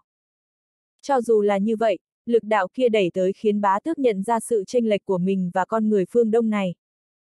Cả người bá tước cuống cuồng lui lại sau, cho tới tận lưng dựa vào một thân cây cổ thụ mới đứng lại. Cánh tay phải mới đấu quyền đang run rẩy, giống như người thiếu ma túy vậy. Chiến thần phương Đông. Bá tước nhìn Phó Phong Tuyết, thốt lên. Bá tước đã biết tư liệu về người này từ đới phổ nhưng lão không ngờ lại đối chiến cứng với hắn. Khi phu nhân Violet một lần nữa đề nghị bái kiến hoàng đế, đề nghị hoàng đế tự mình ra tay, bá tước vẫn không coi trọng chuyện này. Bây giờ bá tước đã biết quả thật đáng để hoàng đế ra tay. Ngay lúc này lão cùng Kim Đồng, ma thuật sư, ba người vây đánh phó phong tuyết, quỷ ảnh còn bị hắn đâm một kiếm. Nếu như từng người một bị hắn đánh bại, mình và người của mình còn con đường sống không? Mấy chiến tướng bọn họ không phải là đối thủ của con người này. Mặc dù suy nghĩ này khiến con người ta cực kỳ khó chịu nhưng bá tước không thể không nghĩ tới nó.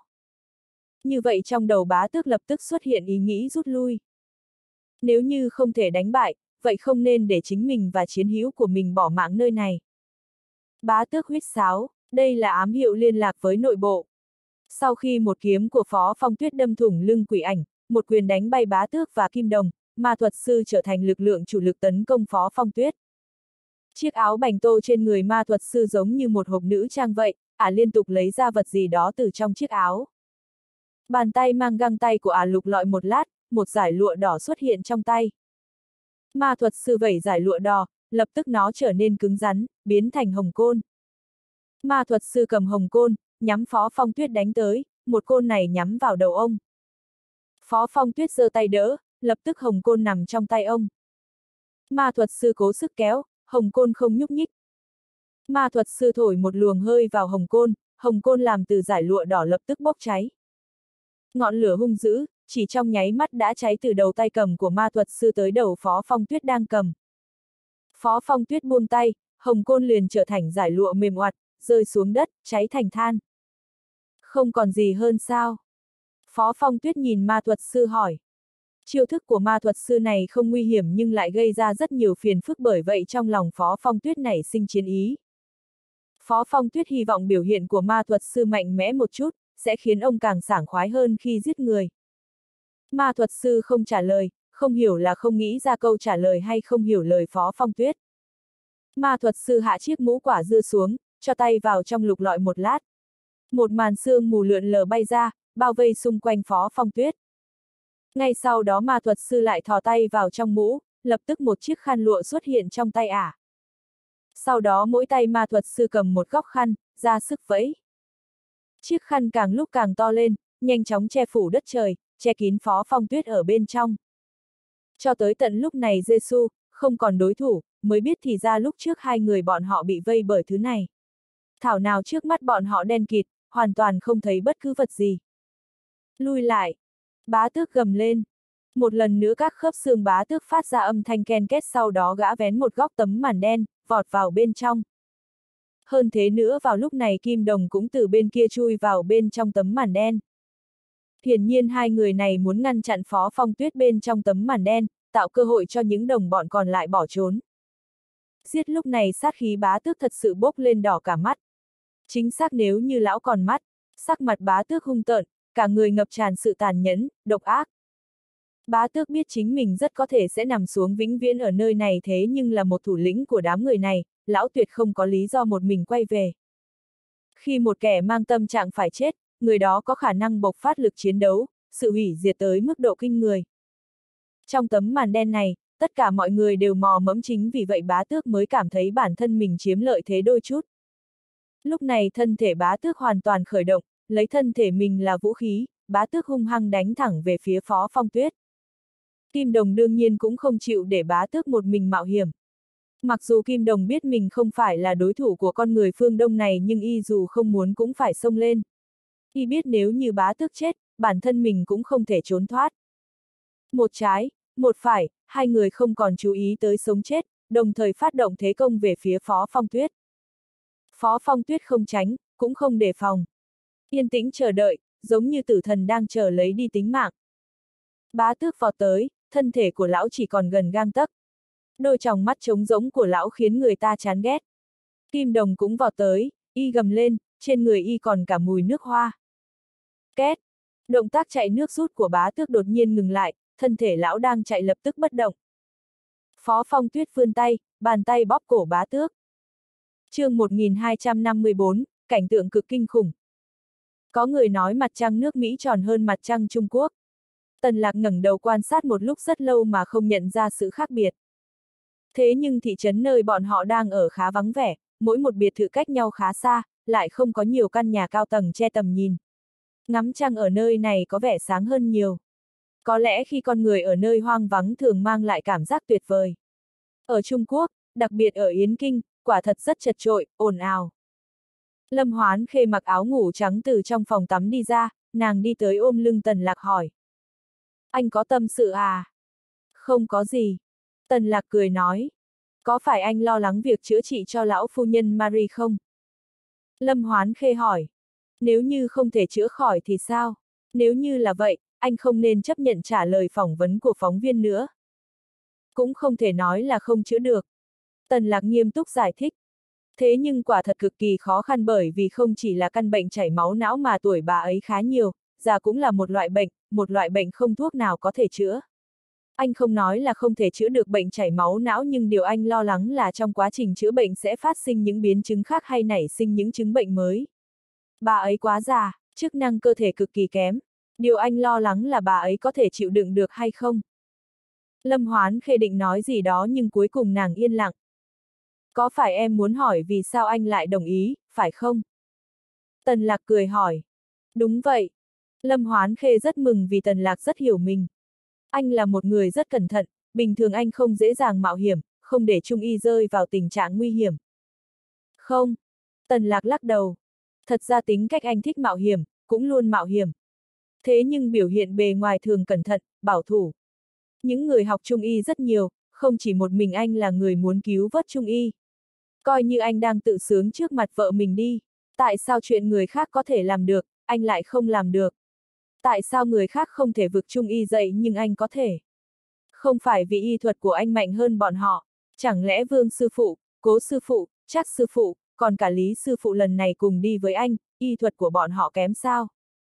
Y thuật bọn họ không tồi. Bọn họ là những nhà trung y đồng trang lứa. Ngoại trừ không có thái ất thần châm, về phương diện thang thuốc và chẩn đoán bệnh, bọn họ còn mạnh hơn anh một chút. Kinh nghiệm chữa trị của bọn họ là thứ anh không có. Thế nhưng vì sao bọn họ lại không dám nhảy vào vũng nước đục này? Là vì bọn họ rất bảo thủ, bọn họ rất quy củ, bọn họ cực kỳ sợ mạo hiểm. Bệnh trọng cần thuốc liều cao.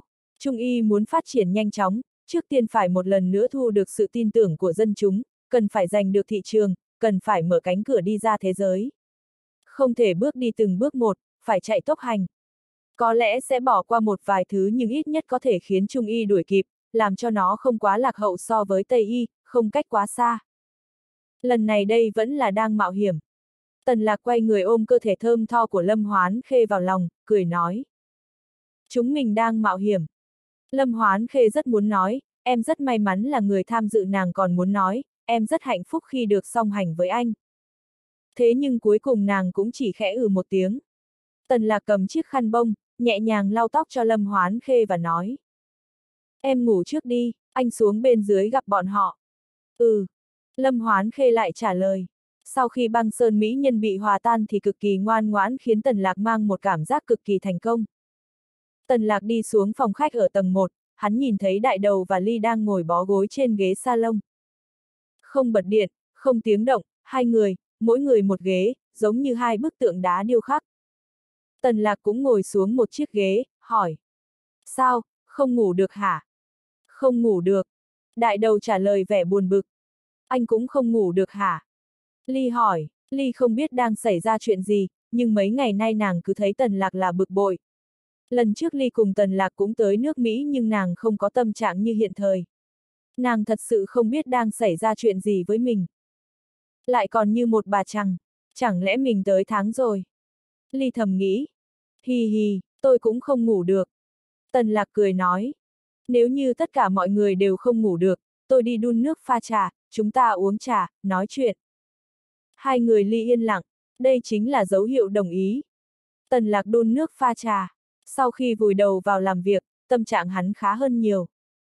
Sau khi pha trà xong, tần lạc dùng kẹp chuyển chén tới trước mặt ly và đại đầu. Hai người này vẫn không nhúc nhích, rõ ràng không có tâm trạng thưởng trà lúc khuya. Số cuộc ly là người đầu tiên không chịu được. Ly nhìn tần lạc hỏi. Liệu có xảy ra chuyện gì không? Xảy ra chuyện gì? Tần lạc hỏi. Giêsu và cả Hồng Phu. Ly nói, anh để bọn họ bên ngoài làm mồi dẫn dụ, liệu có nguy hiểm quá không?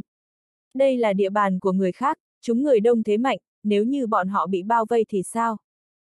Không phải Long chủ đã ra ngoài rồi sao? Tần lạc cười hỏi. Long chủ tới chậm thì sao?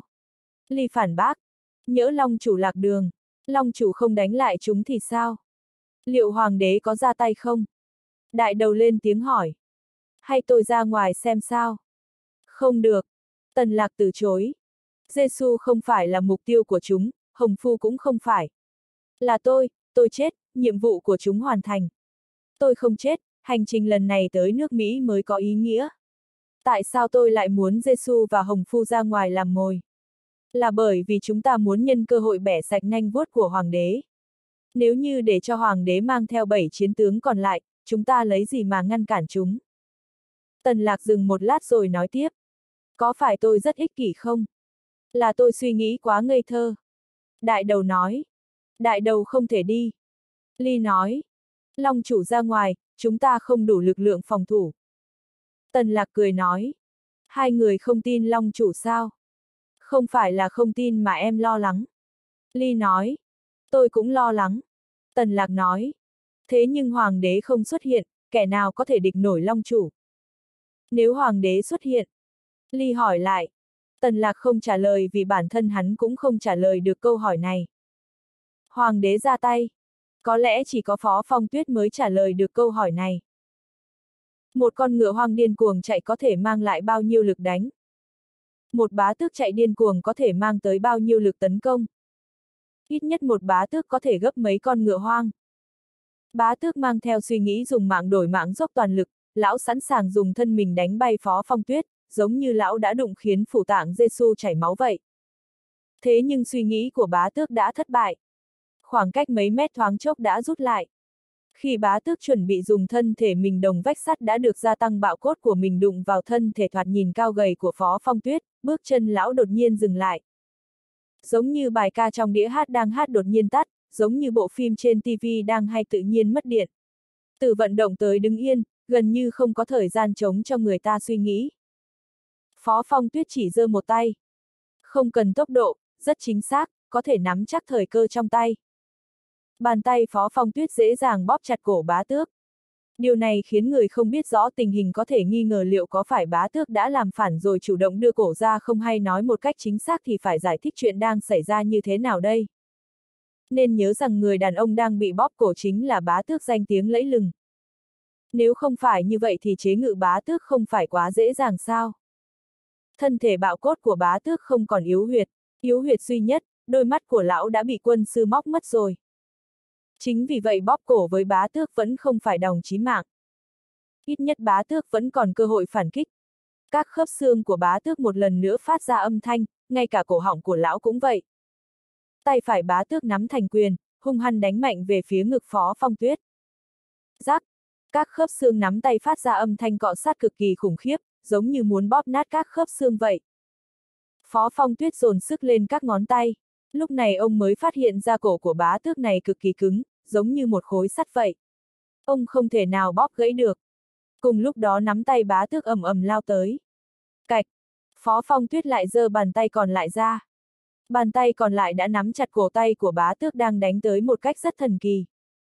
Cuối cùng Kim Đồng cũng tìm được cơ hội, thân thể y phi nhanh tới, hóa quyền thành đao, hung hăng đánh về phía cổ Phó Phong Tuyết. Phó Phong Tuyết cao mày sau đó tay trái ông phát lực rất mạnh. Răng rác, toàn bộ cánh tay phải của bá tước đã bị tháo rời giống như một hình người plastic vậy. Nếu như nó không chảy nhiều máu thì đúng là như vậy. Một cảnh tượng cực kỳ khủng bố xuất hiện. Bàn tay trái của Phó Phong Tuyết cảm cánh tay phải của bá tước bị đánh gãy, dùng đoạn cánh tay này làm vũ khí, hung tợn đánh về phía sau. Loảng xoảng, thân thể kim đồng đang từ sau đánh tới chúng chiêu, bị cánh tay đánh bay lại sau.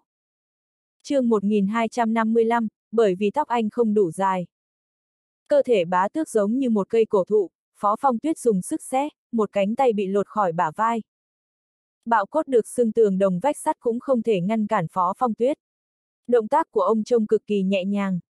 Máu tươi từ miệng vết thương nơi khớp xương và da thịt bị cắt đứt chảy ra như suối, chỉ trong nháy mắt trên mặt đất đã thành một dòng suối nhỏ. Dòng suối nhỏ này không ngừng lan tràn, tưới cho đám cây, hoa trong công viên. Sau khi Phó Phong Tuyết dùng cánh tay cụt của bá tước đánh bay kim đồng, ông thậm chí còn không thèm quay đầu nhìn. Ông vứt cánh tay cụt của bá tước xuống đất, nhìn bá tước nói. Trung Quốc có một câu ngạn ngữ, phòng thủ tốt chính là tiến công. Có thân xác mình đồng ra sắt là tưởng rằng mình thiên hạ vô địch. Cực kỳ ngu xuẩn. Coi như buổi tối hôm nay Phó Phong Tuyết đã nói liên tục hai câu dài. Sau khi nói xong Phó Phong Tuyết không thèm để ý tới bá tước đang điên cuồng dẫy dụa hay nhìn tới vẻ mặt cực kỳ kinh hãi của lão. Bàn tay phải đang bóp chặt cổ bá tước lại tăng sức, lại dùng lực. Răng rắc răng rắc. Đột nhiên cổ bá tước so lại, vị trí tay cầm của Phó Phong Tuyết đã bị bẻ gãy. Khi không còn xương chống đỡ, chiếc cổ trở nên mềm nhũn. Phó Phong Tuyết buông tay, thân thể bá tước rơi xuống đất. Một đời kiêu hùng cứ thế ra đi. Điều kỳ lạ là sau khi người bá tước rơi xuống đất, thân thể lão một lần nữa vang lên những âm thanh ken két giống như đang đảo đậu xào. Sau đó thân thể lão bắt đầu thu nhỏ lại, sau đó trở thành một lão già nhỏ bé như ban đầu. Thì ra bạo cốt vốn dựa vào khí lực để duy trì. Sau khi con người chết, toàn bộ khí lực biến mất, không thể nào tiếp tục duy trì tình trạng bạo cốt, thân thể con người sẽ trở lại hình dáng ban đầu. Sau khi giải quyết xong bá tước, Phó Phong Tuyết quay người đi tới chỗ Kim Đồng. Gương mặt Kim Đồng đầy máu, giống như y ngã từ trên trời xuống, gương mặt bị giáng thẳng xuống đất. Lúc nãy y từ phía sau phi tới, chuẩn bị dánh lén Phó Phong Tuyết, điều Kim Đồng không ngờ tới là đối phương lại dùng một cánh tay đầy máu tấn công mình, điều khiến Kim Đồng càng hoảng sợ hơn, cánh tay máu đó là của bá tước. Ngay khi y còn chưa kịp phản ứng thì đã trúng chiêu vào mặt. Không chống đỡ được, khi thân thể y xông tới, đầu xông lên trước. Vì vậy mặt y đã trúng một côn cực mạnh. Choáng váng đầu, hoa mắt. Cực kỳ sợ hãi. Căm hận và không cam lòng. Gương mặt đẹp, anh Tuấn của y là thế mà bây giờ trông chẳng khác nào ác quỷ hút máu người mới bỏ từ địa ngục lên. Khi nhìn thấy Phó Phong Tuyết thong thả đi lại chỗ mình, Kim Đồng cố gắng đứng dậy phản kháng. Thế nhưng xương chân trái đã gãy, cho dù có thể miễn cưỡng đứng dậy cũng không thể nào ra tay được. Lần đầu tiên, Kim Đồng cảm thấy cái chết tới gần mình như lúc này. Gả người phương Đông mặc trường bào màu xanh, mái tóc dài này như một ác ma. Chỉ có ác ma trong truyền thuyết mới có khuôn mặt, khí chất, thực lực như vậy. Tao sẽ không để cho mày giết tao. Tao sẽ không để cho mày giết tao. Kim đồng gào lên, y giơ bàn tay mang bao tay hướng về cổ mình, chỉ nghe ục một tiếng, cả người kim đồng ngã xuống đất. Kim đồng đã dùng hai tay mình cắt đứt cổ vô số người. Điều mỉa mai là trước khi chết một giây, y đã tự tay cắt đứt cổ họng mình. Phó Phong Tuyết đứng lại, nhìn thi thể trên mặt đất dáng vẻ đầy hứng thú. Tấm màn bao phủ quanh bọn họ lay động rơi xuống đất khiến Phó Phong Tuyết lại nhìn thấy ánh mặt trời, không ánh trăng. Trước mặt ông lúc này chỉ còn hai người còn sống, Giêsu và Hồng Phu. Giêsu biết bá tước và Kim Đồng xông vào trong tấm màn đen ngăn cản Phó Phong Tuyết. Bây giờ Phó Phong Tuyết đi ra ngoài trong khi đó tấm màn rơi xuống đất, nơi đó mơ hồ có hai thi thể trên mặt đất, lập tức Giêsu biết chiến quả. Giêsu nhìn người đàn ông phương đông cao lớn vẻ cực kỳ sùng bái, nói. Chúng chạy thoát rồi, Hồng Phu bị thương, tôi không dám truy đuổi. Thật ra Giêsu cũng bị thương, thế nhưng vết thương của Hồng Phu khá nghiêm trọng. Hơn nữa là một người đàn ông, gã xấu hổ không thể nói với một cường giả khác là mình bị thương nên không dám đuổi bắt kẻ thù. Anh ta bảo hai người quay về. Phó Phong Tuyết nói. Sau khi nói xong câu này, Phó Phong Tuyết bước đi, thậm chí ông chưa từng liếc nhìn Giêsu và Hồng Phu. Giêsu cảm thấy cực tổn thương, gã nói. Chúng ta rốt cuộc có cùng một chiến tuyến không vậy? Sau đó Giêsu nói với Hồng Phu ở đằng sau. Cô nói đi tôi có thích hợp đi cùng một con đường với ông ta không? Không phù hợp. Hồng Phu nói. Tại sao? Giêsu có vẻ bị đả kích rất mạnh. Vì tóc anh không đủ dài. Cạch cạch. Tiếng gõ cửa rồn dập vang lên khiến phu nhân Violet đang say giấc mộng giật mình tỉnh dậy rất tức giận. Thế nhưng cô ta không bộc phát cơn giận của mình vì cô ta biết người bên cạnh mình biết bản thân mình không thích bị quấy rầy trong khi ngủ. Nếu như có người tới quấy rầy lúc này, chứng tỏ bọn họ có lý do không thể không quấy rầy. Violet rời khỏi giường, nhặt chiếc áo sa mỏng rơi trên mặt đất mặc lên người sau đó đi tới mở cánh cửa phòng. Binh! Violet phung tay tát vào mặt người đàn ông đang đứng trước cửa, nói. Ta biết anh có lý do nhưng ta rất tức giận. Người đàn ông bị đánh không nhúc nhích, gã chỉ khom người báo cáo. Phu nhân, bá tước chết rồi. Cái gì? Phu nhân Violet giật mình kinh hãi. Mới thu được tin tức, bá tước dẫn theo mấy thuộc hạ, Kim Đồng, Ngọc Nữ, Quỷ Ảnh và Ma Thuật Sư đi giết Giêsu, chiến thần phương Đông Phó Phong Tuyết xuất hiện cứu viện. Bá tước, Kim Đồng chết, Quỷ Ảnh bị chặt đứt một tay, tính mạng mong manh như đèn trước bão. Chỉ có Ma Thuật Sư và Ngọc Nữ là còn sức chiến đấu. Ngu xuẩn, Violet tức giận gầm lên. Cực kỳ ngu xuẩn, bá tước chỉ là một lão già ngông cuồng tự cao tê tê ụ đại, không biết xấu hổ, chết còn không tính, còn dẫn những người khác chết theo, tội không thể tha thứ. Nếu ta là hoàng đế, cho dù lần này lão không chết, ta cũng muốn giết lão. Sau khi phu nhân Violet chửi mắng mấy câu, cô ta cười nhạt nói. Ta đã nhiều lần thông báo nhất định hoàng đế phải trực tiếp ra tay, thậm chí còn chuyển tài liệu của Phó Phong Tuyết tới cho lão thế mà lão vẫn không đề phòng. Từ sau khi đi theo hoàng đế, cho dù ở châu Âu, hay châu Mỹ, không một kẻ nào dám chống đối lão, liệu có phải vì thế lão nghĩ mình thiên hạ vô địch không? Chẳng lẽ lão không biết thân phận của mình sao? Lão chỉ là một nô bộc của hoàng đế, một con chó giữ nhà mà thôi. Người đàn ông tên đới phổ này cúi thấp đầu, không dám lên tiếng, dù chỉ một câu. Phu nhân Violet đi vào phòng khách, mở tủ rượu, rót một ly Gladiator Blood, uống một hơi cạn rồi nói. Rõ ràng đó là kế dụ địch, lão dễ dàng mắc lừa như vậy sao? Họ tần kia mang theo chiến thần phương Đông tới nước Mỹ nhưng trong lòng anh ta cũng hiểu rõ rằng chỉ dựa vào năng lực của một mình phó phong tuyết, tuyệt đối không thể chống lại lực lượng của hoàng đế vì vậy anh ta mới thả Giêsu và con đàn bà thích dùng độc kia ra làm mồi dụ, mục đích chính là dụ bá tước ra tay. Kế hoạch dụ địch đơn giản như vậy mà bá tước mắc bẫy. Bây giờ sáu chiến tướng hoàng đế mang tới nước Mỹ thì không chết cũng tàn phế, chỉ còn ma thuật sư và ngọc nữ có thể chiến đấu. Điều này có nghĩa là dù hoàng đế ra tay, đối mặt với sự vây công của tên tiểu nhân tần lạc kia, hoàng đế cũng không chắc chiếm được lợi thế. Nếu như bá tước biết kìm nén, chờ đợi hoàng đế dẫn mọi người cùng tấn công, chúng sao còn cơ hội sống sót đây? Liệu hoàng đế có ra tay không? Đới phổ hỏi. Không biết. Phu nhân Violet lại uống cạn một ly rượu mạnh. Ta chưa từng gặp ông ta, thậm chí ta còn không biết ông ta có ở châu Mỹ hay không. Phu nhân, bây giờ chúng ta phải làm gì? Thứ nhất thúc đẩy giới truyền thông thông tin tỉ mỉ tình hình tần lạc chữa bệnh cho lão phu nhân Marie, nhưng nhất định phải cẩn thận, cẩn thận đề phòng bị anh ta lợi dụng truyền thông. Mặt khác chúng ta nhất định phải nắm được mấy nhà truyền thông, nhất định phải bắt nó phục vụ lợi ích của chúng ta. Phu nhân Violet lập tức ra lệnh. Dạ, phu nhân. Đới phổ trả lời. Thứ hai, phu nhân Violet nhìn ly rượu đỏ như máu của mình, nói. Chiến tướng hoàng đế tổn thất nghiêm trọng, nhất định lúc này ông ta đã biết tin tức. Ta nghĩ lúc này ông ta sẽ chủ động tới gặp ta. Quả nhiên phu nhân Violet danh bất hư truyền. Giọng nói một người đàn ông vang lên. Giọng nói mang chất giọng Pháp chính tông, phát âm tiếng Pháp mà giới quý tộc Pháp hay dùng. Không hổ là một trong hai quan chấp sự năm sao trên toàn thế giới. Cánh cửa biệt thự bị người đẩy ra, một người đàn ông trẻ tuổi tóc đỏ đi vào. Hoàng đế! Phu nhân Violet kinh hãi kêu lên. chương 1256, tôi là thầy thuốc có trách nhiệm. Mấy người cố Bách Hiền không hiểu nguyên nhân gì khiến ba người tần lạc, đại đầu, ly cả đêm không ngủ, chỉ ngồi ở phòng khách uống trà, nói chuyện. Ngay cả Lâm Hoán Khê cũng không biết rốt cuộc bên ngoài đã xảy ra chuyện gì. Đối với ba người bọn họ mà nói, đây là một đêm vô cùng yên tĩnh, dễ chịu, một đêm vô cùng bất an, cực kỳ lo lắng. Khi Phó Phong Tuyết đi vào phòng, Tần Lạc cao hứng tới mức suýt chút nữa hất nước sôi vào tay mình. Tần Lạc đi tới đón Phó Phong Tuyết, hắn nhìn vết máu trên áo trường bào màu xanh của ông, hỏi. Thế nào? Không có gì đặc biệt. Sau khi Phó Phong Tuyết nói xong câu nói chẳng đầu chẳng đuôi đó, ông đi thẳng lên lầu. Không có gì đặc biệt là sao vậy?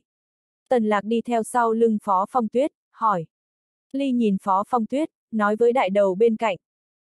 Hai người bọn họ không? Ly không nói hết câu vì nàng thấy sau khi Phó Phong Tuyết đi vào trong phòng của mình đã đóng cửa lại, Tần Lạc bị ngăn cách bên ngoài cửa. Tần Lạc chỉ hận không thể phá cửa đi vào, túm lấy ông già kia hỏi cho ra chuyện. Rốt cuộc bên ngoài đã xảy ra chuyện gì vậy? Giêsu và Hồng Phu có bị thương không? Bây giờ bọn họ đang ở đâu? Vì có nhiều câu hỏi không có câu trả lời, Tần Lạc đứng tần ngần trước cửa một lát. Tần Lạc đi xuống lầu, nói. Đại đầu, cậu ra ngoài xem tình hình thế nào. Không được, chúng ta không đủ người. Ly nói. Long chủ đã về rồi. Tần Lạc buồn bực nói. Giêsu và Hồng Phu không rõ thế nào. Nếu như không hiểu rõ tình hình, tôi không thể ngủ yên được. Được. Đại đầu trả lời. Tôi cũng đi. Ly nói. Được, hai người cùng đi. Tần Lạc nói, hắn để cho hai người đại đầu và Ly cùng đi ra ngoài. Hai người đi có thể bảo vệ lẫn nhau. Dù gì đi nữa lúc này Phó Phong Tuyết đã quay về, có mặt ông ở đây, có lẽ không kẻ nào có thể tấn công vào trong. Thật ra lúc này không cần lo lắng cho sự an toàn của hắn. Đúng lúc đó bên ngoài vang lên tiếng nói chuyện. Ba người tần lạc, đại đầu và ly vội vàng chạy ra ngoài, nhìn thấy Giêsu đang đỡ Hồng Phu đứng trước cống, tranh cãi gì đó với vệ sĩ gác đêm. Người một nhà. Tần lạc nói to. Hai vệ sĩ do Thái công dân mượn về liếc mắt nhìn nhau rồi lại biến mất trong bóng đêm. Tần lạc đi tới đỡ Hồng Phu, hỏi. Bị thương có nghiêm trọng không? Rất nghiêm trọng. giê -xu nói, khi giê -xu dìu Hồng Phu, máu tươi từ người nàng đã thấm đẫm tay gã. Khi nhìn thấy dáng vẻ hôn mê, không tỉnh táo của Hồng Phu lập tức tần lạc bước tới đỡ người nàng, nói. Trước tiên tôi cần xem vết thương của cô ấy. Khi nhìn thấy đại đầu và ly cũng đi tới, giê -xu nhún nhún vai vẻ bất đắc dĩ nói. Thật ra tôi cũng bị thương. Không một ai nghe thấy. Sau lưng Hồng Phu chúng ba đao, mông nàng cũng bị hai đao. Một đao khá nông những đao còn lại khá sâu, cắt tới động mạch. Đây chính là nguyên nhân sau khi Hồng Phu đã được bôi thuốc, máu vẫn liên tục chảy. Tần lạc vội vàng dùng ngân châm cầm máu cho Hồng Phu, sau đó hắn lại dùng kim khâu miệng vết thương lại.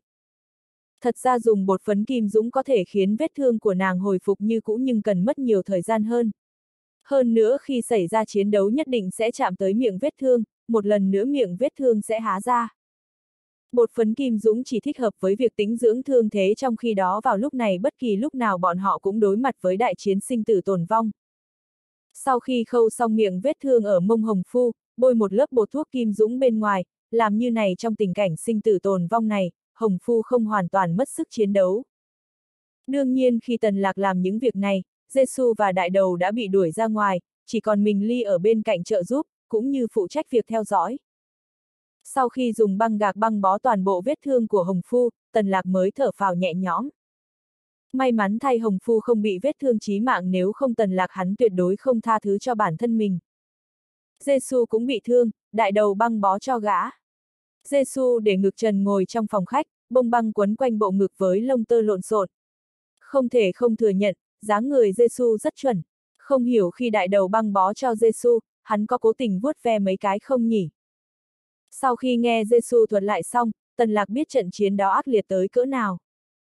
Khi Tần Lạc nghe kể Phó Phong Tuyết xuất hiện với phong thái nhà vô địch, chém nứt một tay quỷ ảnh, giết chết hai viên đại tướng bá tước, Kim Đồng, hắn có cảm giác mình quá ngu ngốc khi định đạp cửa ông già đó xông vào trong, hắn thầm mắng. Ông già này cực kỳ trâu bò, hành vi đó rất tiểu nhân. Vì vậy Tần Lạc dự định sáng mai nhất định sẽ phải gặp, nói mấy câu vỗ mông ngựa ông già kia mới xong. Mấy người Lâm Hoán Khê và Vương Dưỡng Tâm cũng bị đánh thức, cho tới lúc này bọn họ mới lơ mơ biết chuyện xảy ra bên ngoài. Sau khi nghe Giêsu cường điệu chuyện xảy ra đêm nay, Vương Dưỡng Tâm cực kích động, không thể kiềm chế bản thân. Anh ta chỉ hận mình không thể lập tức bái sư, học thành công phu chỉ trong 3 phút sau đó ra ngoài tung hoành chém giết. Tần Lạc xua tay nói. Khuya rồi, về ngủ thôi. Tần Lạc ôm Lâm Hoán Khê đi lên lầu trước tiên, bỏ mặc đám cô nam quả nữ ngồi đầy trong phòng ghen ghét, hâm mộ. Bây giờ người nổi rất nước Mỹ là ai? Jeremy Lin?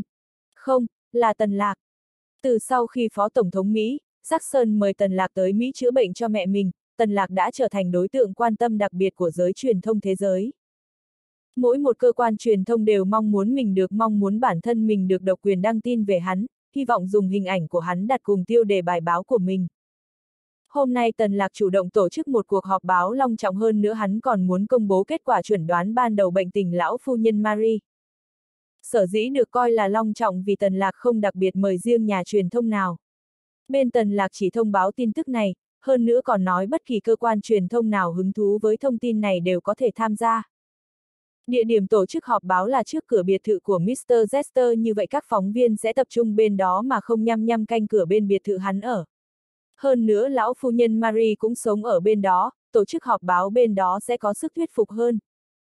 Thời gian tiến hành họp báo vào 10 giờ sáng. Khi thời gian họp báo chưa tới, trước cửa biệt thự Zester có rất nhiều phóng viên tụ tập, bọn họ tụ tập, chen chúc trước cửa, chật như nêm cối. Phó Tổng thống Jackson tức điên người, ngay khi nhìn thấy Tần Lạc, câu hỏi đầu tiên của ông ta là Tại sao lại tổ chức họp báo? Tại sao trước đó các vị không thương thảo với chúng tôi? Sau khi nghe Lâm Hoán khê thông dịch lại, Tần Lạc mỉm cười phản kích. Mr. Jackson, chẳng lẽ chúng tôi không có quyền gặp mặt các bạn bè phóng viên sao? Chẳng lẽ ngài cấm chúng tôi sao?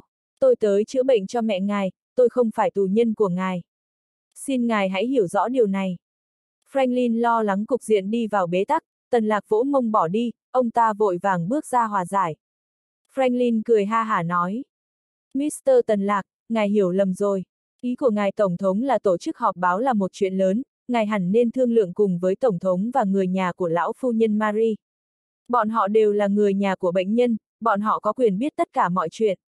Huống chi chủ đề hôm nay của ngài là công bố tình trạng bệnh của bệnh nhân. Thì ra là vậy.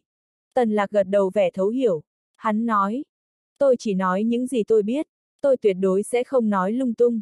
Hơn nữa tôi có kết quả chuẩn đoán của các thầy thuốc khác. Tôi nghĩ giới truyền thông hẳn đã cần phải biết một vài điều, đúng không? Phó Tổng thống Jackson nhìn Tần Lạc vẻ cực kỳ khó hiểu.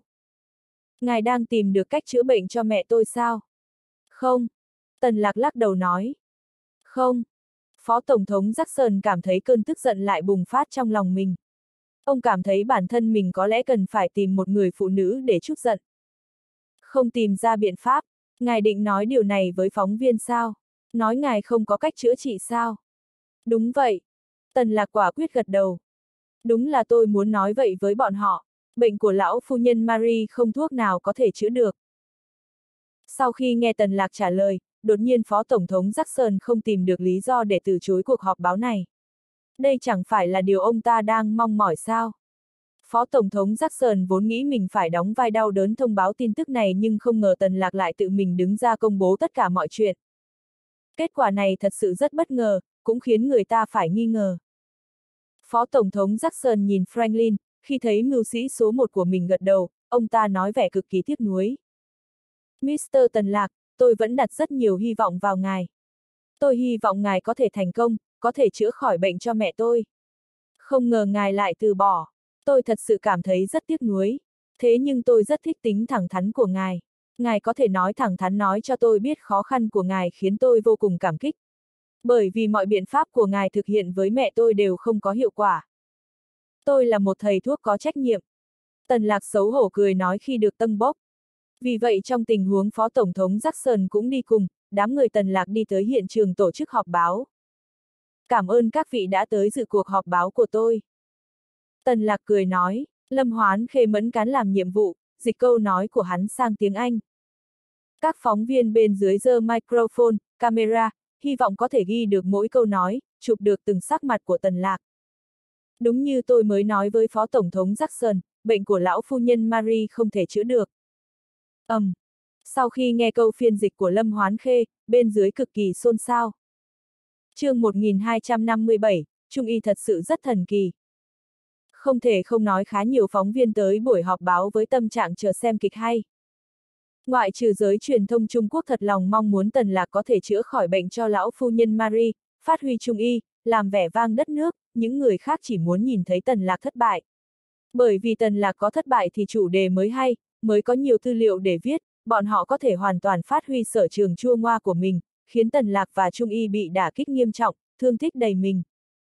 Thế nhưng điều bọn họ không ngờ là kết quả tới nhanh như vậy, một kết quả hoàn toàn đúng như mong chờ của bọn họ. Vì vậy ngay khi Lâm Hoán khê dịch xong câu của Tần Lạc, bên dưới lập tức vang lên tiếng xì xào bàn tán, cả đặt câu hỏi. Vì Tần Lạc không nghe hiểu tiếng Anh nên những âm thanh đó với hắn chỉ như một dàn hợp tấu của chợ rộng lớn. Hắn chỉ cảm thấy ồn ào chứ hoàn toàn không biết bọn họ đang nói những gì. Phó Tổng thống Jackson và Franklin liếc mắt nhìn nhau, hai người hoàn toàn yên lặng, thậm chí trên nét mặt Phó Tổng thống Jackson còn mang theo vẻ tiếc nuối. Bọn họ rất khôn ngoan che giấu suy nghĩ, sự vui mừng của mình. Bọn họ biết lúc này có rất nhiều camera đang tập trung vào bọn họ. Nếu như bọn họ cười nói vui vẻ, đây sẽ là một xì căng đan. Thầy thuốc tuyên bố bệnh tình của lão phu nhân Marie không thể cứu chữa, Phó Tổng thống Jackson tươi cười giống như đang chúc mừng. Chẳng lẽ ông ấy hy vọng mẹ mình chết sớm sao? Phó Tổng thống Jackson và Franklin phối hợp ăn ý, chỉ một cái liếc mắt đã hiểu ý tứ của nhau. Franklin tiến lên trước, nói với các phóng viên bên dưới. Xin chào các bạn phóng viên. Xin mọi người hãy yên lặng. Mọi người cũng biết Mr. Tần Lạc không biết tiếng Anh. Nếu như mọi người đồng thời lên tiếng hỏi, Mr. Tần sẽ không hiểu mọi người đang nói gì đó. Phiên dịch của ngài ấy cũng rất khó dịch tất cả câu hỏi của mọi người. Tôi có một đề nghị. Bây giờ tôi sẽ gọi tên. Khi tôi gọi tới tên ai, người đó có thể hỏi Mr. Tần câu hỏi của mình. Mọi người cảm thấy thế nào? Đương nhiên các phóng viên không có ý kiến. Nhưng Lâm Hoán Khê và Vương Dưỡng Tâm thì không. Ông căn cứ vào cái gì mà cho mình quyền chỉ định phóng viên? Chẳng lẽ bản thân chúng tôi không thể lựa chọn phóng viên sao? Là một thư ký, một trợ thủ thân tín của Tần Lạc, Lâm Hoán Khê muốn mình sẽ đưa ra kháng nghị trước. Lâm Hoán Khê nói tiếng Anh bằng một giọng cực kỳ lưu loát với Franklin. Sơ, để cho công bằng tôi thấy nên để tôi lựa chọn phóng viên vì tôi không biết một ai trong số bọn họ, tôi sẽ không quan tâm, ưu tiên bất kỳ người nào. Lâm Hoán Khê vừa nói xong, tiếng xì xào bàn tán bên dưới lại vang lên. Bạn nên nhớ rằng trong phóng viên cũng chia thành, đại phóng viên và tiểu phóng viên, chia thành phóng viên át chủ bài và phóng viên lăng xăng, chia thành phóng viên báo lớn và phóng viên báo nhỏ. Nếu như Franklin chỉ định, đương nhiên ông ta sẽ chỉ định những phóng viên báo lớn hay những phóng viên có quan hệ tốt với bọn họ trong khi đó những phóng viên báo nhỏ hay không quen biết sẽ rất khó có cơ hội. Nếu như Lâm Hoán Khê là người chỉ định, cơ hội được phỏng vấn của bọn họ là ngang bằng nhau. Lâm Hoán Khê lấy lý do công bằng để phản đối, hiển nhiên Franklin không thể làm gì khác. Quyền lựa chọn phóng viên được trao vào tay Lâm Hoán Khê. Lâm Hoán Khê thuận tiện chỉ một phóng viên người Trung Quốc. Đương nhiên lúc này quyền trong tay mình, mình phải quan tâm tới đồng bào mình. Chỉ vì thể diện vớ vẩn và lễ nghi mà phải nhường cho người nước ngoài, bỏ mặc đồng bào của mình, không thèm quan tâm sao. Đó là hành vi cực kỳ ngu ngốc. Nữ phóng viên thường chú kia không ngờ mình là người đầu tiên được đặt câu hỏi, cô hỏi vẻ kích động xen lẫn lo lắng. Tần lạc tiên sinh, tại sao lại có kết luận là không thuốc nào chữa khỏi? Theo như tôi được biết đây chỉ là kết quả chuẩn đoán sơ bộ của anh. Anh hoàn toàn có thể tiến hành chuẩn đoán lại vài lần nữa. Nữ phóng viên này hỏi rất thẳng thừng nhưng bên trong hàm chứa lời khuyên. Cô nói với Tần Lạc, đây chỉ là kết quả chuẩn đoán sơ bộ, anh không cần phải công bố kết quả này với mọi người, có lẽ anh có thể tìm cách khác để giải quyết vấn đề. Nữ phóng viên đặt câu hỏi bằng tiếng Trung Quốc, Tần Lạc không cần Lâm Hoán Khê dịch lại. Tần lạc móc từ trong cặp ra một tập bệnh án và kết quả chuẩn đoán, cười nói. Đây là kết quả chuẩn đoán sơ bộ của tôi, cũng là kết quả chuẩn đoán của các giáo sư, chuyên gia nổi tiếng nước Mỹ, thậm chí toàn thế giới, kết quả đều giống nhau. Tần lạc đọc một phần kết quả của bọn họ, hắn nói tiếp. Trong này có bác sĩ Edward, Mr. Raoul, Mr. Brooklyn, Mr. Booth, còn cả ngài Aoi của Nhật Bản. Bọn họ đều là những chuyên gia hàng đầu trong lĩnh vực não khoa hoặc xuất huyết não. Kết quả chuẩn đoán của bọn họ nhất định cực kỳ chính xác. Lâm Hoán Khê chỉ một phóng viên Mỹ, ám chỉ anh ta có thể đặt câu hỏi. Mr. Tần Lạc, kết quả chuẩn đoán của anh là căn cứ vào kết quả chuẩn đoán của người khác sao? Như vậy thì tôi thật sự cảm thấy tiếc nuối thay Mr. Jackson. Nam phóng viên đó cười đầy khinh miệt, ý tứ của anh ta rất rõ ràng, Phó Tổng thống Jackson hao tổn rất nhiều công sức, thời gian lặn lội sang tận Trung Quốc cầu thần y, thế mà thần y lại căn cứ vào kết quả của người khác để kết luận, điều này không phải quá châm biếm sao? Chẳng lẽ Phó Tổng thống Jackson không hiểu những kết quả chuẩn đoán đó mà phải lặn lội mời một người hành nghề Trung y, chưa từng học Tây y sang giảng giải cho mình hay sao? Sau khi nghe Lâm Hoán khê dịch lại xong, Tần Lạc mỉm cười. Hắn vốn biết trước sẽ gặp những câu hỏi khó, quả nhiên những người đó không khiến hắn thất vọng. Nhìn vẻ mặt Tần Lạc, các phóng viên khác cũng cảm thấy khó hiểu. Thừa nhận sự thất bại của mình trước mặt người khác không phải một chuyện đáng để kiêu ngạo, vì sao anh ta lại có thể cười đầy quỷ dị như vậy nhỉ? Chẳng lẽ đây chính là tinh thần A Quy như mọi người vẫn nói sao? Không, kết quả chuẩn đoán của tôi là căn cứ vào việc sờ của tay tôi, ánh mắt nhìn của tôi, vọng hình, nghe khí, hỏi, bắt mạch. Đây chính là tứ chuẩn của Trung Y, còn thông qua nhìn làn da của người bệnh, và cả nhổ tóc nữa. Bởi vì Lâm Hoán khê dịch rất chân thực nên khi các phóng viên nghe nói tần lạc nhổ sạch lông của người bệnh tức thì bên dưới cực kỳ ồn ào. Người này lại dám nhổ lông của lão phu nhân Marie sao? Gã, này, rốt cuộc gã muốn làm gì vậy? Sắc mặt Phó Tổng thống Jackson và ngài Zester cực kỳ khó chịu. Hai người bọn họ cảm thấy Tần Lạc đang làm nhục lão phu nhân Marie trước mặt mọi người. Nhưng Tần Lạc không nhìn sắc mặt bọn họ, hắn nói tiếp. Phương pháp chuẩn đoán đó rất thuận tiện, rất đơn giản, không cần thiết bị tiên tiến, không cần chi phí đắt tiền, không có bất kỳ tác dụng phụ hơn nữa nó còn cực kỳ hữu dụng. Ít nhất kết quả của tôi trùng hợp với bệnh án trước đó. Bệnh của lão phu nhân Marie không thể chữa khỏi. Lâm Hoán khê lại chỉ một phóng viên người Trung Quốc. Nam phóng viên này hỏi. Tần lạc tiên sinh, anh không cần thử lại sao? Tất cả mọi người đều đặt rất nhiều hy vọng vào anh. Đương nhiên là như vậy. Tần lạc nói. Tôi tuyệt đối sẽ không từ bỏ. Không từ bỏ. Phó Tổng thống Jackson và Franklin liếc mắt nhìn nhau nhưng cuối cùng không ai nói gì. Thế nhưng bọn họ nghĩ mãi mà vẫn không hiểu, không từ bỏ chữa trị vậy hắn tổ chức họp báo, thông báo không thuốc chữa trị để làm gì. Không phải hắn đang mâu thuẫn, tự mình bạt tai mình hay sao? Tới lượt một phóng viên Mỹ hỏi, lại một câu hỏi sắc bén. Mr. Tần Lạc, anh mới nói bệnh của lão phu nhân Marie không còn thuốc chữa trị nhưng bây giờ anh lại nói anh tuyệt đối không từ bỏ. Điều này chứng tỏ anh không muốn nhận thua, đúng không? Nếu như anh không chữa khỏi trong vòng một năm thì anh sẽ không nhận thua trong một năm. Nếu như 10 năm anh không chữa khỏi thì anh sẽ không nhận thua trong vòng 10 năm. Anh cần bao nhiêu thời gian để chữa trị cho lão phu nhân Marie? 3 năm, 5 năm hay là lâu hơn? Tôi sợ chúng ta và lão phu nhân Marie không chờ được. Vấn đề này chỉ có thượng đế mới có câu trả lời. Mọi người cười phá lên. Câu hỏi của phóng viên này quá cay nghiệt. Ý của anh ta rất rõ ràng. Tần Lạc không muốn nhận thua với bên ngoài nên cố tình trì hoãn việc chữa trị. Nếu như kéo dài, lão phu nhân Marie đương nhiên sẽ chết, hắn sẽ không bao giờ bị thua. Tần Lạc cười nói. Câu hỏi tiếp theo. Gã phóng viên kia to tiếng phản đối vì Tần Lạc không trả lời câu hỏi của mình. Tần Lạc nhếch miệng cười nói. Tôi chỉ nói mỗi phóng viên đều có cơ hội đặt câu hỏi, tôi không nói nhất định sẽ trả lời tất cả câu hỏi của phóng viên. Hơn nữa câu hỏi này cực kỳ ngu ngốc, tôi không biết nên trả lời như thế nào. Tần lạc lại bắt đầu dùng tới lời nói cay độc như thường lệ của mình. Nếu như tôi vì muốn chỉ hoãn, tôi có cần vội vàng tổ chức họp báo thông báo bệnh của lão phu nhân không chữa được như này không? Tôi chỉ nói bệnh lão phu nhân không thuốc nào có thể chữa được nhưng nhất định cúng tôi sẽ nghĩ ra biện pháp chữa trị. Thế nhưng điều này cần phải có thời gian. Tôi làm như vậy không phải chỉ để cho đám người ngu ngốc nhảy ra công kích tôi sao? Anh mắng tôi là ngu ngốc, tôi nhất định sẽ kiện anh. Phóng viên đó gầm lên. Tôi không mắng anh là đồ ngu. Tần lạc nói. Tôi chỉ nói câu hỏi của anh rất ngu. Vậy không phải anh mắng tôi ngu sao? Vị phóng viên nào liên tục nói mình ngu ngốc, vậy tôi thật sự không biết nên khuyên nhủ anh thế nào nữa. Mr. Tần Lạc, rốt cục mục đích tổ chức cuộc họp báo của anh là gì?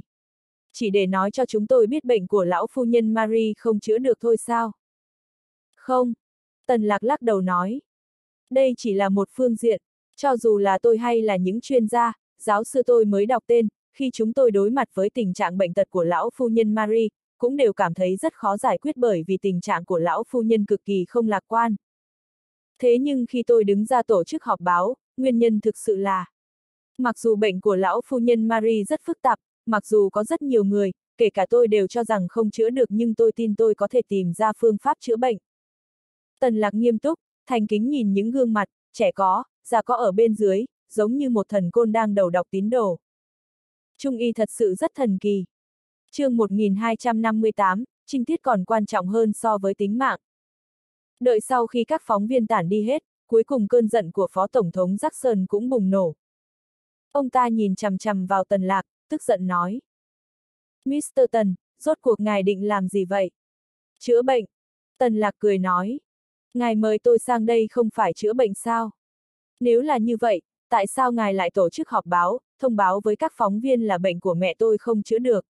Tại sao ngài lại làm như vậy? Mr. Jackson, tôi không nói dối. Tần Lạc nói. Quả thật bệnh của lão phu nhân Marie không thuốc nào chữa được, tôi thật sự chỉ muốn công bố sự thật cho giới truyền thông. Phó Tổng thống Jackson cười nhạt nói. Mục đích thật sự của ngài là gì? Ngài đã hỏi như vậy thì tôi cũng thẳng thắn nói cho ngài biết. Tần lạc cười, nụ cười vô cùng ngây thơ, nhưng trong mắt Phó Tổng thống Jackson mang hàm ý cực kỳ châm trọng. Bọn họ một lần nữa bị chơi, lại bị gã nhóc này chơi. Tôi muốn giới truyền thông báo cho toàn bộ thế giới biết rằng bệnh của lão phu nhân Marie rất khó trị, căn bản là không có khả năng chữa khỏi. Không chỉ một mình tôi nói như vậy mà tất cả các chuyên gia nổi tiếng tôi đã đọc tên cũng nói như vậy. Bọn họ không thể chữa khỏi, bọn họ đã từ bỏ cơ hội chữa trị của mình. Nếu như tôi chữa khỏi bệnh cho lão phu nhân Marie, có phải trung y rất thần kỳ không? Có phải đã chứng minh tôi còn mạnh hơn cả những người đó không? Đối mặt với một người đã nổi tiếng vô sỉ, bạn nhất định sẽ không biết đối đáp như nào cho phải. Ít nhất Phó Tổng thống Jackson đã bị Tần Lạc khiến tức giận không thể nói được gì nữa. Mr. Jackson, tôi biết lý do ngài mời tôi tới nước Mỹ. Ánh mắt Tần Lạc sáng rực nhìn Phó Tổng thống Jackson, hắn nói. Tôi tình nguyện tới đây, nói rõ tôi cũng có mục đích của mình cần hoàn thành. Chúng ta đều có mục đích riêng của mình. Đây vốn là một ván bài, có thắng tất có thua. Chúng ta đều cố gắng muốn trở thành người thắng cuộc cuối cùng. Nếu như tôi từ bỏ không chữa bệnh cho lão phu nhân Marie hay tôi không chữa hết bệnh, ngài thắng. Nếu như tôi chết ở nước Mỹ, ngài cũng thắng. Nếu tôi chữa khỏi bệnh cho lão phu nhân Marie, Trung Y thắng. Tôi chết, tôi và Trung Y thua. Từ góc độ thắng cuộc, ngài đang chiếm ưu thế cho nên ngài không nên lo lắng như vậy sẽ lộ chân tướng. Sắc mặt Phó Tổng thống Jackson cực kỳ âm trầm nhưng rồi ông ta nhanh chóng khôi phục vẻ bình thường. Ông ta cười ha hả, nắm tay Tần Lạc, nói. Mr. Tần, ngài thực sự là một người rất thú vị. Ngài không giống người Trung Quốc, ngài giống như người Mỹ chúng tôi. Tôi càng ngày càng thích ngài. Không, tôi là người Trung Quốc. Tần Lạc từ chối lời khen của ông ta. Người Trung Quốc điển hình sinh ra và lớn lên ở đất nước mình. Người Trung Quốc có cách thức hài hước của riêng mình, không bộc lộ ra ngoài nhưng rất sắc bén. Vấn đề là Mr. Jackson vẫn còn chưa hiểu rõ người Trung Quốc chúng tôi. Tôi nghĩ càng ngày tôi càng hiểu rõ. Phó Tổng thống Jackson nói. Tối nay tôi tổ chức tiệc ở nhà tôi, mời Mr. Tần Lạc và các đồng nghiệp của ngài tới dự. Không biết tôi có hân hạnh được ngài chấp nhận lời mời không? Rất vinh hạnh. Tần Lạc sảng khoái đồng ý. Đợi sau khi Phó Tổng thống Jackson và các trợ lý rời đi. Vương Dưỡng Tâm cười nói. Anh đúng là không thể làm trưởng thôn. Người ta là quan chức tai to mặt lớn thế mà bị anh chọc giận chết đi sống lại. Tôi nhìn thấy cũng không đành lòng. Nếu như anh biết mục đích thực sự của ông ta khi mời tôi tới đây, anh còn động viên tôi đánh cho ông ta mấy bạt tai. Tần lạc cười nói. Vậy anh hãy nói cho tôi biết mời anh tới đây của ông ta. Vương dưỡng tâm nói. Nói không chừng chính tôi cũng không nhìn được xông tới cho ông ta mấy bà tai. Vậy bỏ đi. Tần Lạc nói. Ở nước Mỹ đánh người là phạm pháp. Ở Trung Quốc cũng vậy. Đúng không? Tần Lạc cười hỏi. Tần Lạc đi vào phòng Hồng Phu, Hồng Phu đang nằm trên giường xem hình ảnh động và uống sữa chua. Không thể không nói khi một cô gái chăm chú làm một việc gì đó, dáng vẻ bọn họ cực kỳ đáng yêu. Ví dụ như khi bối bối chăm chú xem mèo và chuột, đôi mắt tròn không chấp, nụ cười vui vẻ trên gương mặt. Ví dụ tiếp như khi Hồng phụ uống sữa chua, hai má phồng lên, gương mặt cũng mang một nụ cười đầy hưởng thụ, giống như lúc đó nàng đang làm chuyện vui vẻ nhất trên thế gian này vậy. Lần này nàng thật sự oan ức cho nàng, bụng chúng nhiều vết thương, vết thương sau lưng rất sâu, đặc biệt một đau ở mông. Nếu như cắt sâu thêm một chút, chỉ e sẽ cắt đứt một miếng thịt. Tần Lạc quyết định, chờ khi quay lại Yến Kinh, chính hắn sẽ dùng bột phấn kim dũng lau khắp người nàng một lần. Đương nhiên nếu như Hồng Phu đồng ý. Khỏe chưa? Tần Lạc đứng trước cửa hỏi. Sắc mặt Hồng Phu thay đổi rất khó lường khi nàng nhìn thấy Tần Lạc đi vào. Ban đầu là vui sướng, sau đó là nhục nhã, tiếp đó lại trở thành sự phẫn nộ. Điều này khiến Tần Lạc ngơ ngác không hiểu.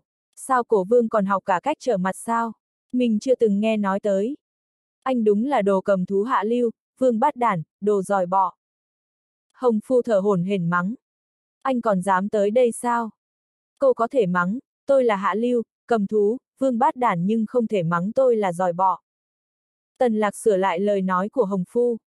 Tôi là một người đàn ông có phẩm chất, hơn nữa tôi dựa vào hai bàn tay để nuôi sống bản thân không có liên quan gì tới giỏi bọ. Hơn nữa tại sao tôi không thể tới đây? Tôi tới thăm vết thương của cô. Nếu như tôi không tới, nhất định cô sẽ tức giận, đúng không? Anh nói đi, có phải anh dùng chúng tôi làm mồi dụ không? Hồng Phu tức giận hỏi. Anh cho tôi và giê -xu tới nước Mỹ trước chính là để chúng tôi thu hút sự chú ý của bọn họ, đúng không?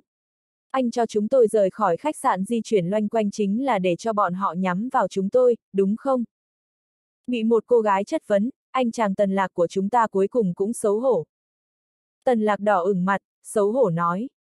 Tôi tưởng rằng, cô đã sớm nghĩ ra. Anh đúng là đồ vương bát đản. Hồng Phu ném bình sữa chua trong tay vào đầu tần lạc. Anh lợi dụng chúng tôi lại còn mắng tôi là đồ đần. Anh có tin tôi phóng cổ độc giết chết anh, phóng rắn độc ra cắn chết anh không? Không tin. Tần Lạc nói. Anh. Hồng Phu tức tới phát khóc. Gã đàn ông này sao vậy? Anh ta không thể giả vờ một chút sao? Anh ta không thể giả vờ sợ hãi chút sao? Bàn tay nhỏ bé của Hồng Phu lục lọi quanh ngực, nàng cân nhắc xem phóng cổ độc ra cắn chết hẳn hay phóng rắn độc ra cắn chết hắn, hay đồng thời phóng cả hai ra cắn chết hắn. Bởi vì chúng ta là bạn bè. Tần Lạc nói, hắn nói rất nghiêm túc và chân thành, còn cả sự ái náy, lo lắng, đau đớn, tiếc nuối. Bạn bè chân chính sẽ hiểu hành động của tôi. Cô cũng vậy mà Giêsu cũng vậy. Hồng Phu chu miệng nhưng lại không biết nói gì cho đúng. Nếu mình tiếp tục lằng nhằng trong vấn đề này, vậy chúng tỏ mình không phải là bạn của anh ta. Nếu như cứ thế mà bỏ qua chuyện này, mình sao có thể đàm phán điều kiện với anh ta đây? Coi như là vậy thì anh cũng không nên. Không nên gì? Tần lạc nghi ngờ hỏi.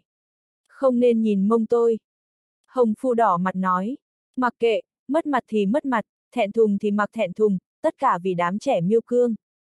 Tôi chỉ giúp cô chữa thương. Tần lạc giải thích. Khi đó cô hôn mê, tình hình cực kỳ nguy hiểm. Bây giờ cô tỉnh lại, hẳn cô có thể cảm nhận được vết thương của mình rất nghiêm trọng, đúng không? Cho dù là vậy anh cũng không nên nhìn mông tôi. Hồng Phu nói. Anh khi không được phép của người khác, anh đã nhìn mông của một cô gái. Cô gái? Chính là tôi. Hồng Phu nghiến răng nghiến lợi nói. Nếu như không vì cái mông đang đau đớn, nàng chỉ muốn đứng dậy cắn hắn mấy cái. Tôi mặc kệ, anh phải bồi thường tổn thất cho tôi. Tần lạc bất đắc dĩ nói. Được rồi, cô muốn gì? Thứ nhất, tôi làm mồi cho anh, bị thương chồng chất, suýt chút nữa mất mạng, chỉ bằng cái này, anh phải xây 500 trường tiểu học ở Miêu Cương. Không được có kè mặc cả, chẳng lẽ mạng của tôi còn không giá trị bằng 500 trường tiểu học sao? Đồng ý. Tần Lạc gật đầu đồng ý. Dù sao đất nước cũng có kế hoạch viện trợ Miêu Cương, bản thân mình vẫn đang thuận nước đẩy thuyền mà thôi. Thứ hai, vì anh đã nhìn thấy mông tôi, anh phải thành lập 500 bệnh xá ở Miêu Cương. Chờ một chút. Tần Lạc vội vàng lên tiếng. Tại sao nhìn mông phải trả giá cao hơn làm mồi? Bạn nên biết rằng thành lập 500 bệnh xá đủ tiêu chuẩn, tài chính đầu tư cần phải nhiều hơn xây dựng một trường tiểu học. Bởi vì tôi là cổ vương. Hồng Phu tức giận nói. Đối với chúng tôi mà nói trinh tiết còn quan trọng hơn tính mạng. chương 1259, ngài cũng thích ăn xương. Tại sao? Tần Lạc hỏi. Tại sao đối với cổ vương, trinh tiết còn quan trọng hơn tính mạng? Anh đã thấy có cổ vương nào bị người ta nhìn mông chưa? Hồng Phu nói, dáng vẻ cực kỳ tuổi thân.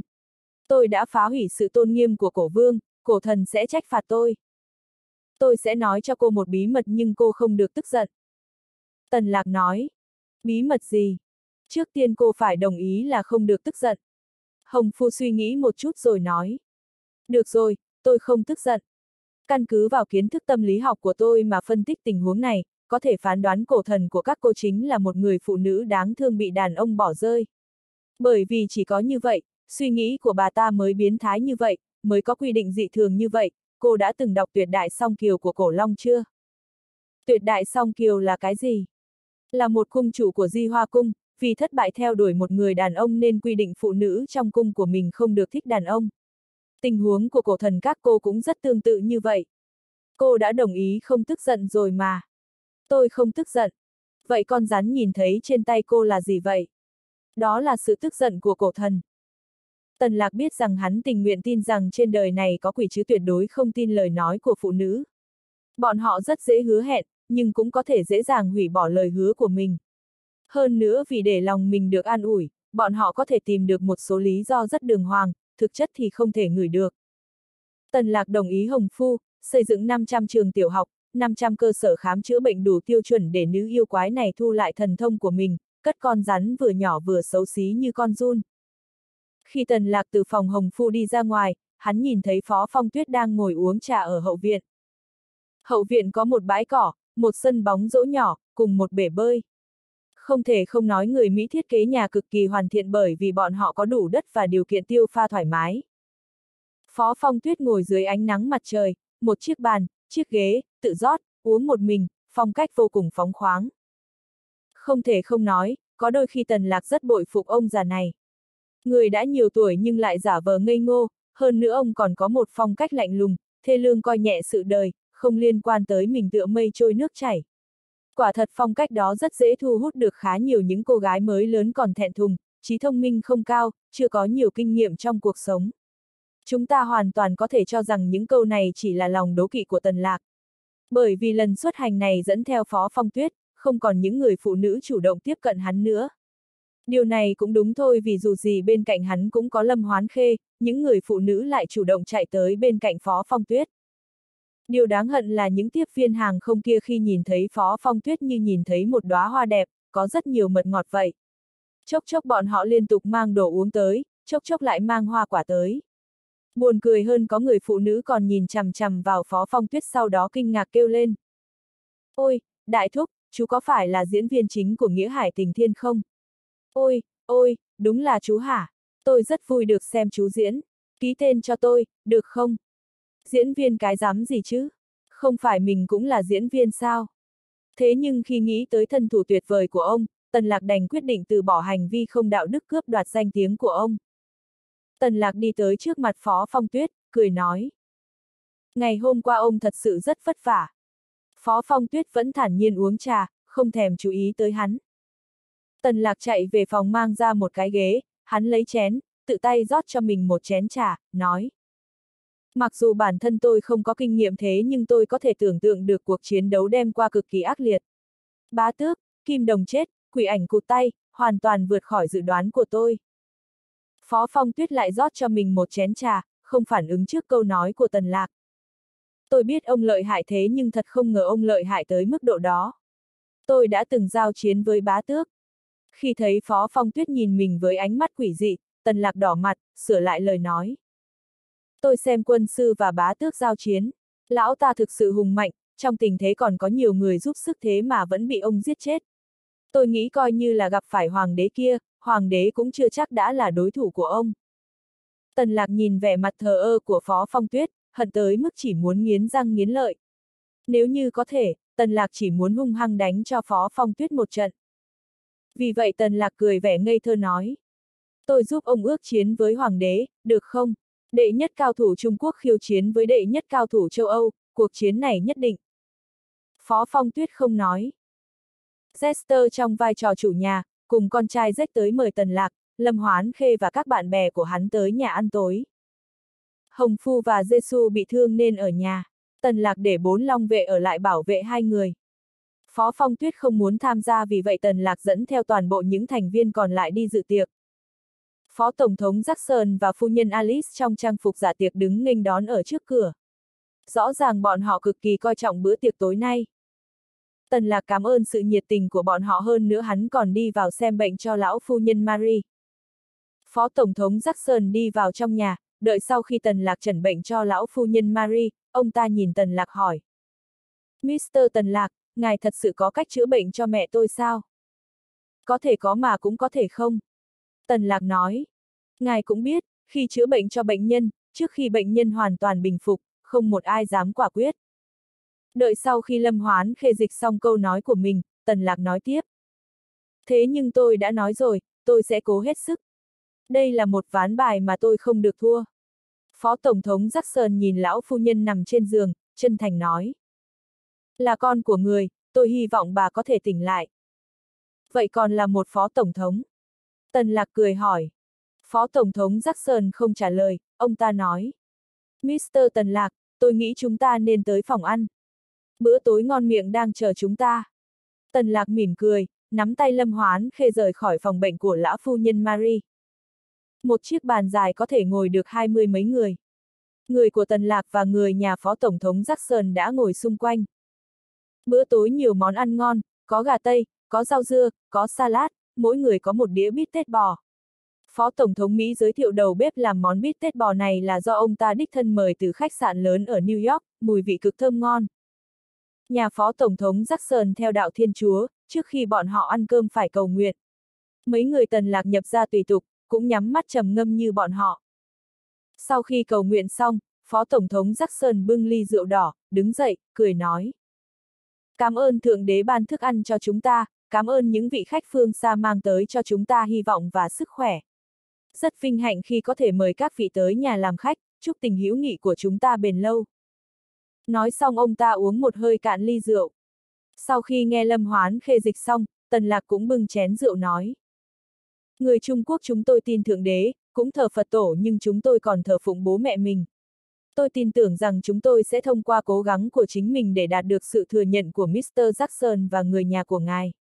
Đây chính là mục đích tới nước Mỹ lần này của chúng tôi. Chúc mọi người khỏe mạnh mặc dù như vậy thì toàn bộ các thầy thuốc trên thế giới sẽ thất nghiệp. Nói xong Tần Lạc cũng uống cạn chén rượu của mình. Sau khi chủ, khách đều phát biểu chúc mừng, những người khác cũng đều nâng cốc uống cạn.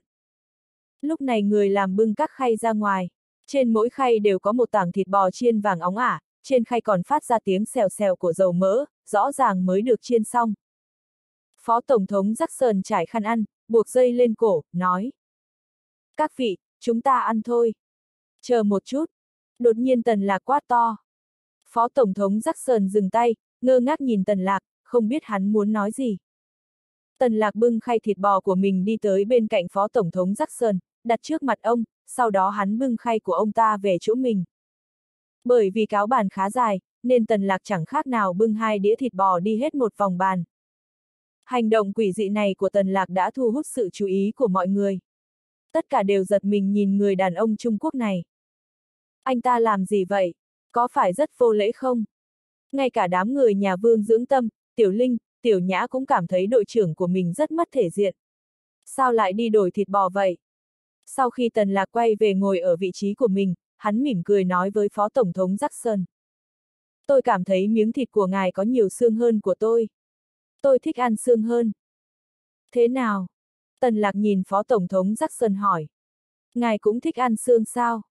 Khi đang nói, Tần lạc đã cắt một miếng thịt bò cho vào miệng.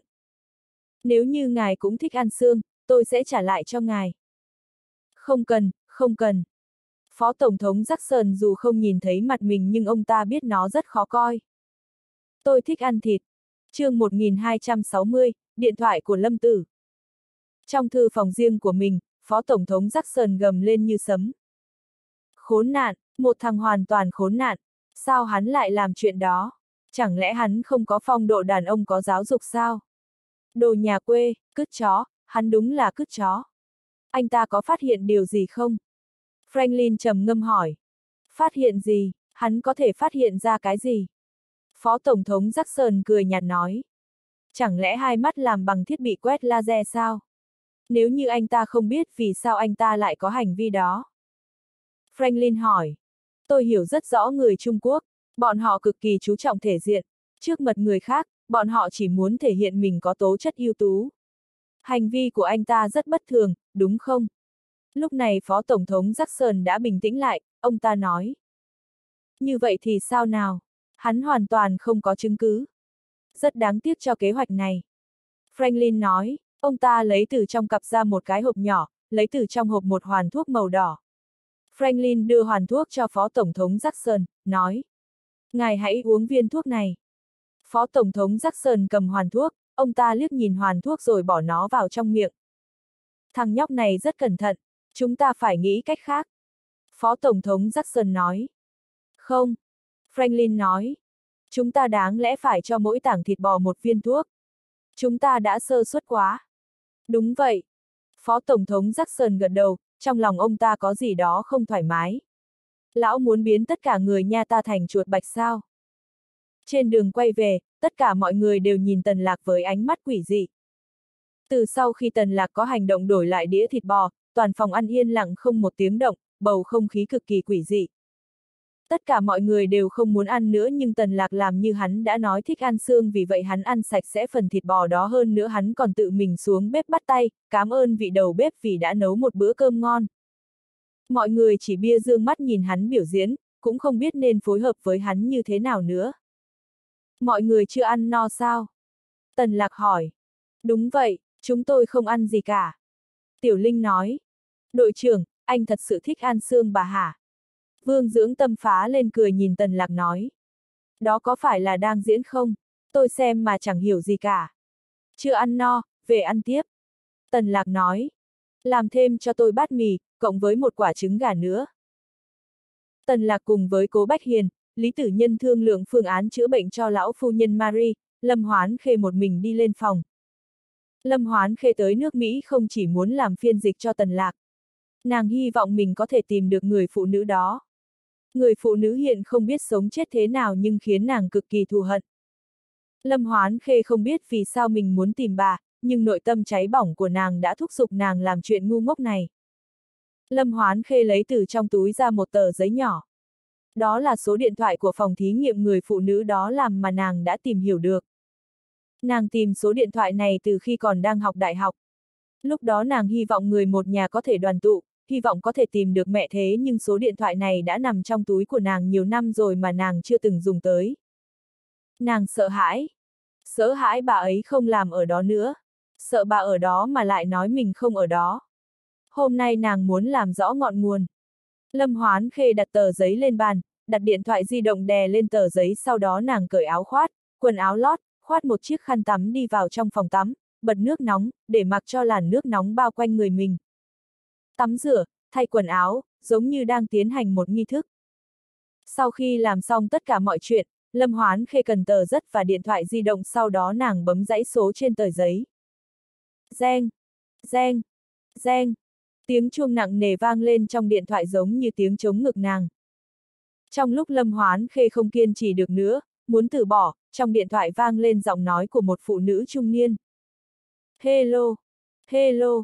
Giọng nói Lâm Hoán Khê khô khốc thế nhưng nàng vẫn còn có thể nói được. Lúc này và cảnh tượng trong suy nghĩ của nàng hoàn toàn khác nhau. Nàng có thể nói chuyện, hơn nữa còn bình tĩnh. Nàng làm rất tốt, tốt hơn so với tưởng tượng của nàng rất nhiều. Xin hỏi cô tìm ai? Người phụ nữ hỏi. Xin hỏi đây có phải là phòng thí nghiệm gen Bell không?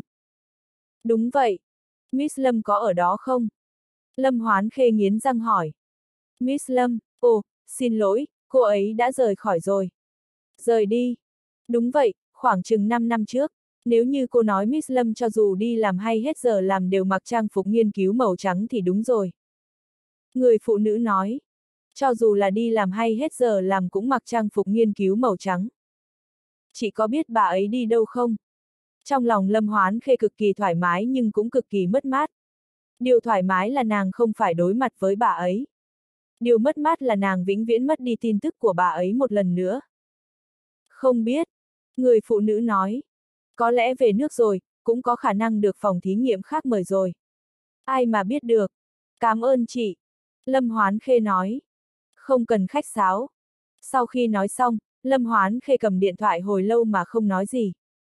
Lần này mất tin tức của bà, Lâm Hoán Khe không rõ đó là may mắn hay bất hạnh. Thế nhưng rốt cuộc ảnh chụp trên Internet là như thế nào? Rất rõ ràng tấm ảnh chụp đó là của bà ấy khi còn trẻ.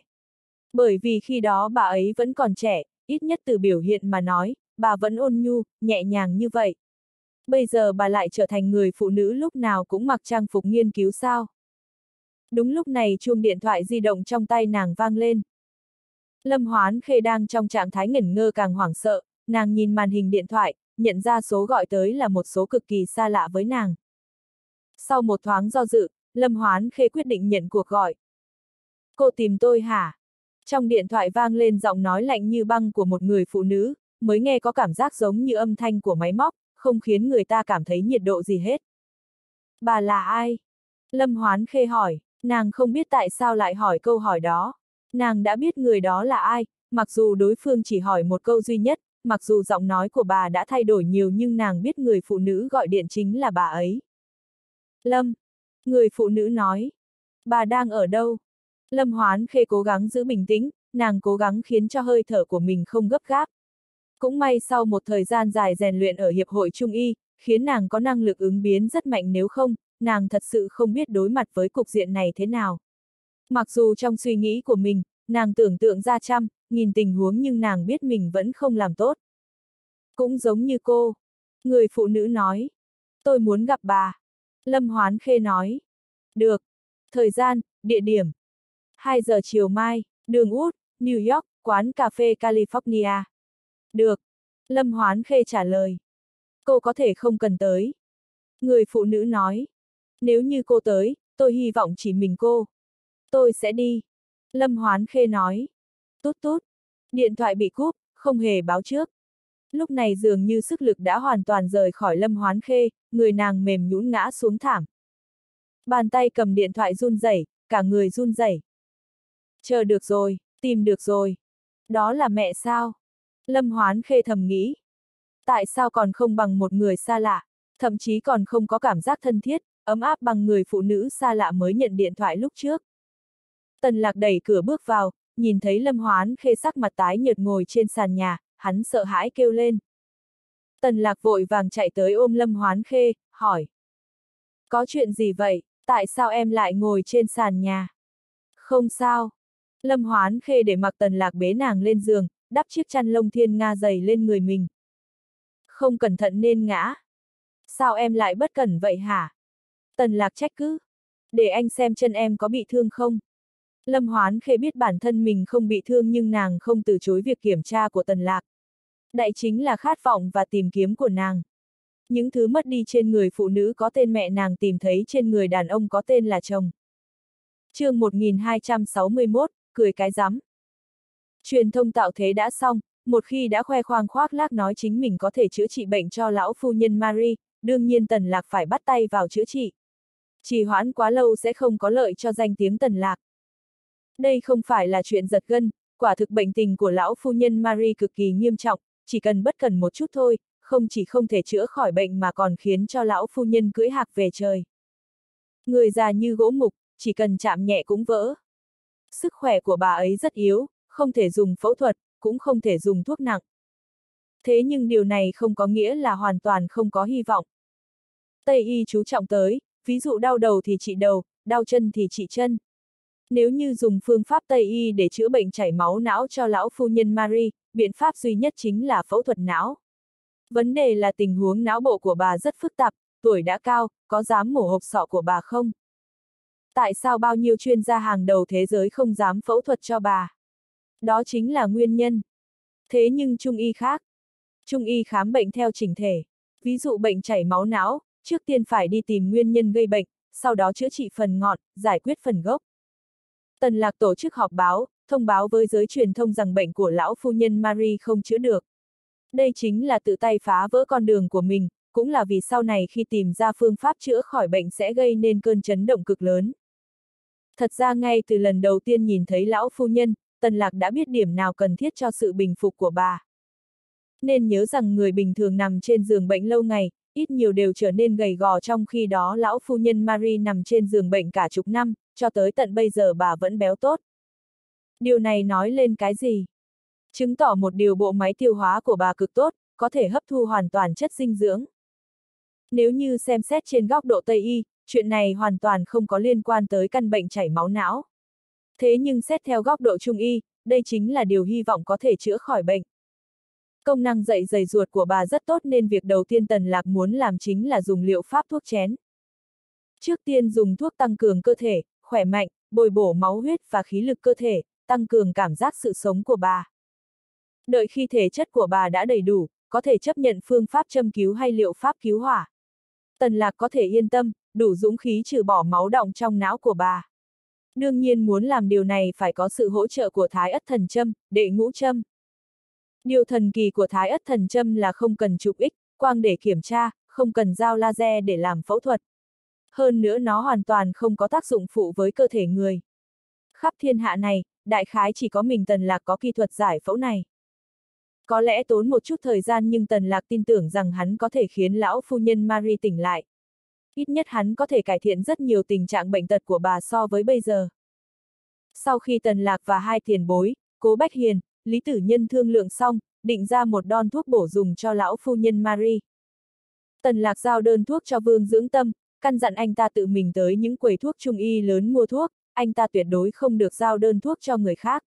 Đây là chuyện vô cùng quan trọng, chỉ có thể tin tưởng người nhà. Nếu như để những người khác đi mua thuốc, người ta bỏ thêm vào đó một vài độc dược thì sao? Sau khi làm xong mọi chuyện, Tần Lạc nói với Phó Tổng thống Jackson ở bên cạnh. Từ hôm nay tôi sẽ cho lão phu nhân Maray uống thuốc trung y. Thuốc này có thể bồi bổ cơ thể cho bà, khiến bà khỏe mạnh, có nhiều sức sống hơn.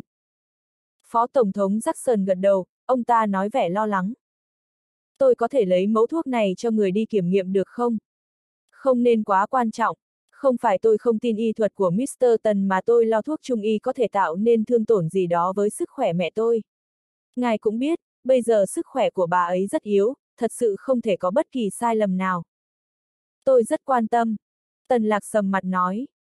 Mr. Jackson, nếu như bác sĩ Bush, Brooklyn hay bác sĩ Aoi kê đơn thuốc cho mẹ ngài, ngài cũng cho người mang thuốc của bọn họ xét nghiệm sao? Sẽ không đâu. Phó Tổng thống Jackson nói. Bọn họ đều kê đơn thuốc Tây. Trên bao bì của thuốc có nói rõ thành phần dược. Tần lạc cực kỳ khó chịu trong người, hắn suýt chút nữa không nhịn được nhào tới, độc ác cắn cho ông ta mấy cái. Đương nhiên nếu như toàn thân ông ta không có lông. Đúng vậy, đây chính là nguyên nhân chính khiến Trung Y không nhận được sự tin tưởng của đa số người dân trên thế giới. Bởi vì trong mắt bọn họ, Trung Y không phải là khoa học, không có dụng cụ phân tích và kiểm nghiệm. Chính vì như vậy bọn họ không thể xác định được chất lỏng đen xì đó khi uống vào bụng sẽ có những phản ứng nào. Thế nhưng Tần Lạc hoàn toàn không có cách nào phản kích khi đối mặt với những nghi ngờ này. Bởi vì hắn không phải là một nhà khoa học, không phải nhà nghiên cứu, hắn không có cách nào giải thích cho người ta biết bên trong củ tam thất có bao nhiêu thành phần vi lượng, khi nó kết hợp với một vài loại cây thuốc khác sẽ sinh ra phản ứng hóa học gì, chưa có ai dạy hắn những điều này. Lý Thời Trân, Trương Trọng Cảnh không, Hoa Đà cũng không, tất cả những bậc tiên hiền Trung Y hoàn toàn không nghĩ tới sau này Trung Y sẽ phải đối mặt với những vấn đề này. Mr. Jackson, thực tế xét thái độ vô lễ của ngài, tôi có thể chấm dứt hợp đồng ngay lập tức. Tần lạc buồn bực nói. Thế nhưng tôi không làm như vậy. Làm vậy chỉ chứng minh tôi không tự tin với y thuật của mình, không tự tin với trung y dược. Đợi sau khi tôi sắc xong thuốc, ngài có thể lấy đi xét nghiệm. Thế nhưng tôi nhắc nhở ngài hãy mang đi xét nghiệm trong lúc nó còn nóng bởi vì với thuốc trung y mà nói, uống thuốc khi nóng và uống thuốc khi lạnh hoàn toàn khác nhau. Không phải các người muốn nghiên cứu trung y sao? Vậy các người cứ nghiên cứu cho tốt. Thế nhưng thuốc trung y thần kỳ ở chỗ, số lượng nhiều một chút hay ít một chút cũng hoàn toàn khác nhau, nhiệt độ cao hơn hay lạnh hơn cũng có sự khác biệt rất lớn về hiệu quả của thuốc. Nếu như dùng phương pháp nghiên cứu của Tây Y để nghiên cứu thuốc Trung Y, sẽ hoàn toàn không thể làm được. Hãy cứ tìm ra sai lầm của chúng tôi đi. Cảm ơn Mr. Tần đã hiểu cho tôi. Rốt cuộc Phó Tổng thống Jackson cũng khiến Tần Lạc lần đầu tiên chịu thua, trong lòng ông ta sảng khoái như uống thuốc kích thích vậy. Thế nhưng niềm vui sướng này của ông ta sớm tan thành mây khói vì ông ta nghĩ bản thân mình đường đường là phó tổng thống của nước lớn nhất thế mà luôn bị ăn quả đắng trước mặt gã thanh niên này, bị gã đùa bỡn như trong lòng bàn tay. Thắng lợi nhỏ này thật sự có quan trọng không? Thắng lợi cuối cùng nhất định thuộc về mình phó tổng thống Jackson thầm nghĩ. Khi đó ông ta có thể thu được sự ủng hộ tài chính khổng lồ từ các đầu sỏ Tây y dược. Điều này cực kỳ quan trọng, trợ giúp rất lớn cho ông ta trong cuộc bầu cử sang năm. Tôi hoàn toàn không hiểu. Tần lạc thẳng thắn nói ra suy nghĩ thật sự của mình. Dù sao mọi người cũng không phải bè bạn, tuyệt đối cũng không thể trở thành bè bạn. Không phải mi chết thì ta mất mạng, sao lại có thể giữ mối quan hệ thân mật như này. Hơn nữa mình chỉ là một người bình thường, nếu như mình tức giận, bộc phát một chút cũng không có nghiêm trọng, ai ai cũng có thể hiểu. Nếu như một phó tổng thống tức giận, hình tượng của ông ta trong lòng người dân Mỹ sẽ bị ảnh hưởng. Ha ha! Phó Tổng thống Jackson cười vẻ xấu hổ. Cười cái rắm. Tần Lạc nói. Tiểu Linh sừng sốt hỏi. Bác sĩ Tần, câu này cũng dịch sao? Dịch đi. Tần Lạc nói. Tần Lạc trong tâm trạng vui vẻ từ chỗ Phó Tổng thống Jackson quay về. Hắn đi vào thăm Hồng Phu đang nằm dưỡng thương ở tầng 1. Bởi vì Tần Lạc đã bôi một lượt bột phấn kim dũng ở ngoài miệng vết thương nên vết thương tiến triển rất tốt. Vấn đề là trong khoảng thời gian ngắn Hồng Phu không thể vận động nếu không làm ảnh hưởng tới vết thương, khiến rách miệng. Tần lạc tán gẫu với Hồng Phu mấy câu, đồng ý cho người đi mua sữa chua cho nàng sau đó tươi cười đi ra.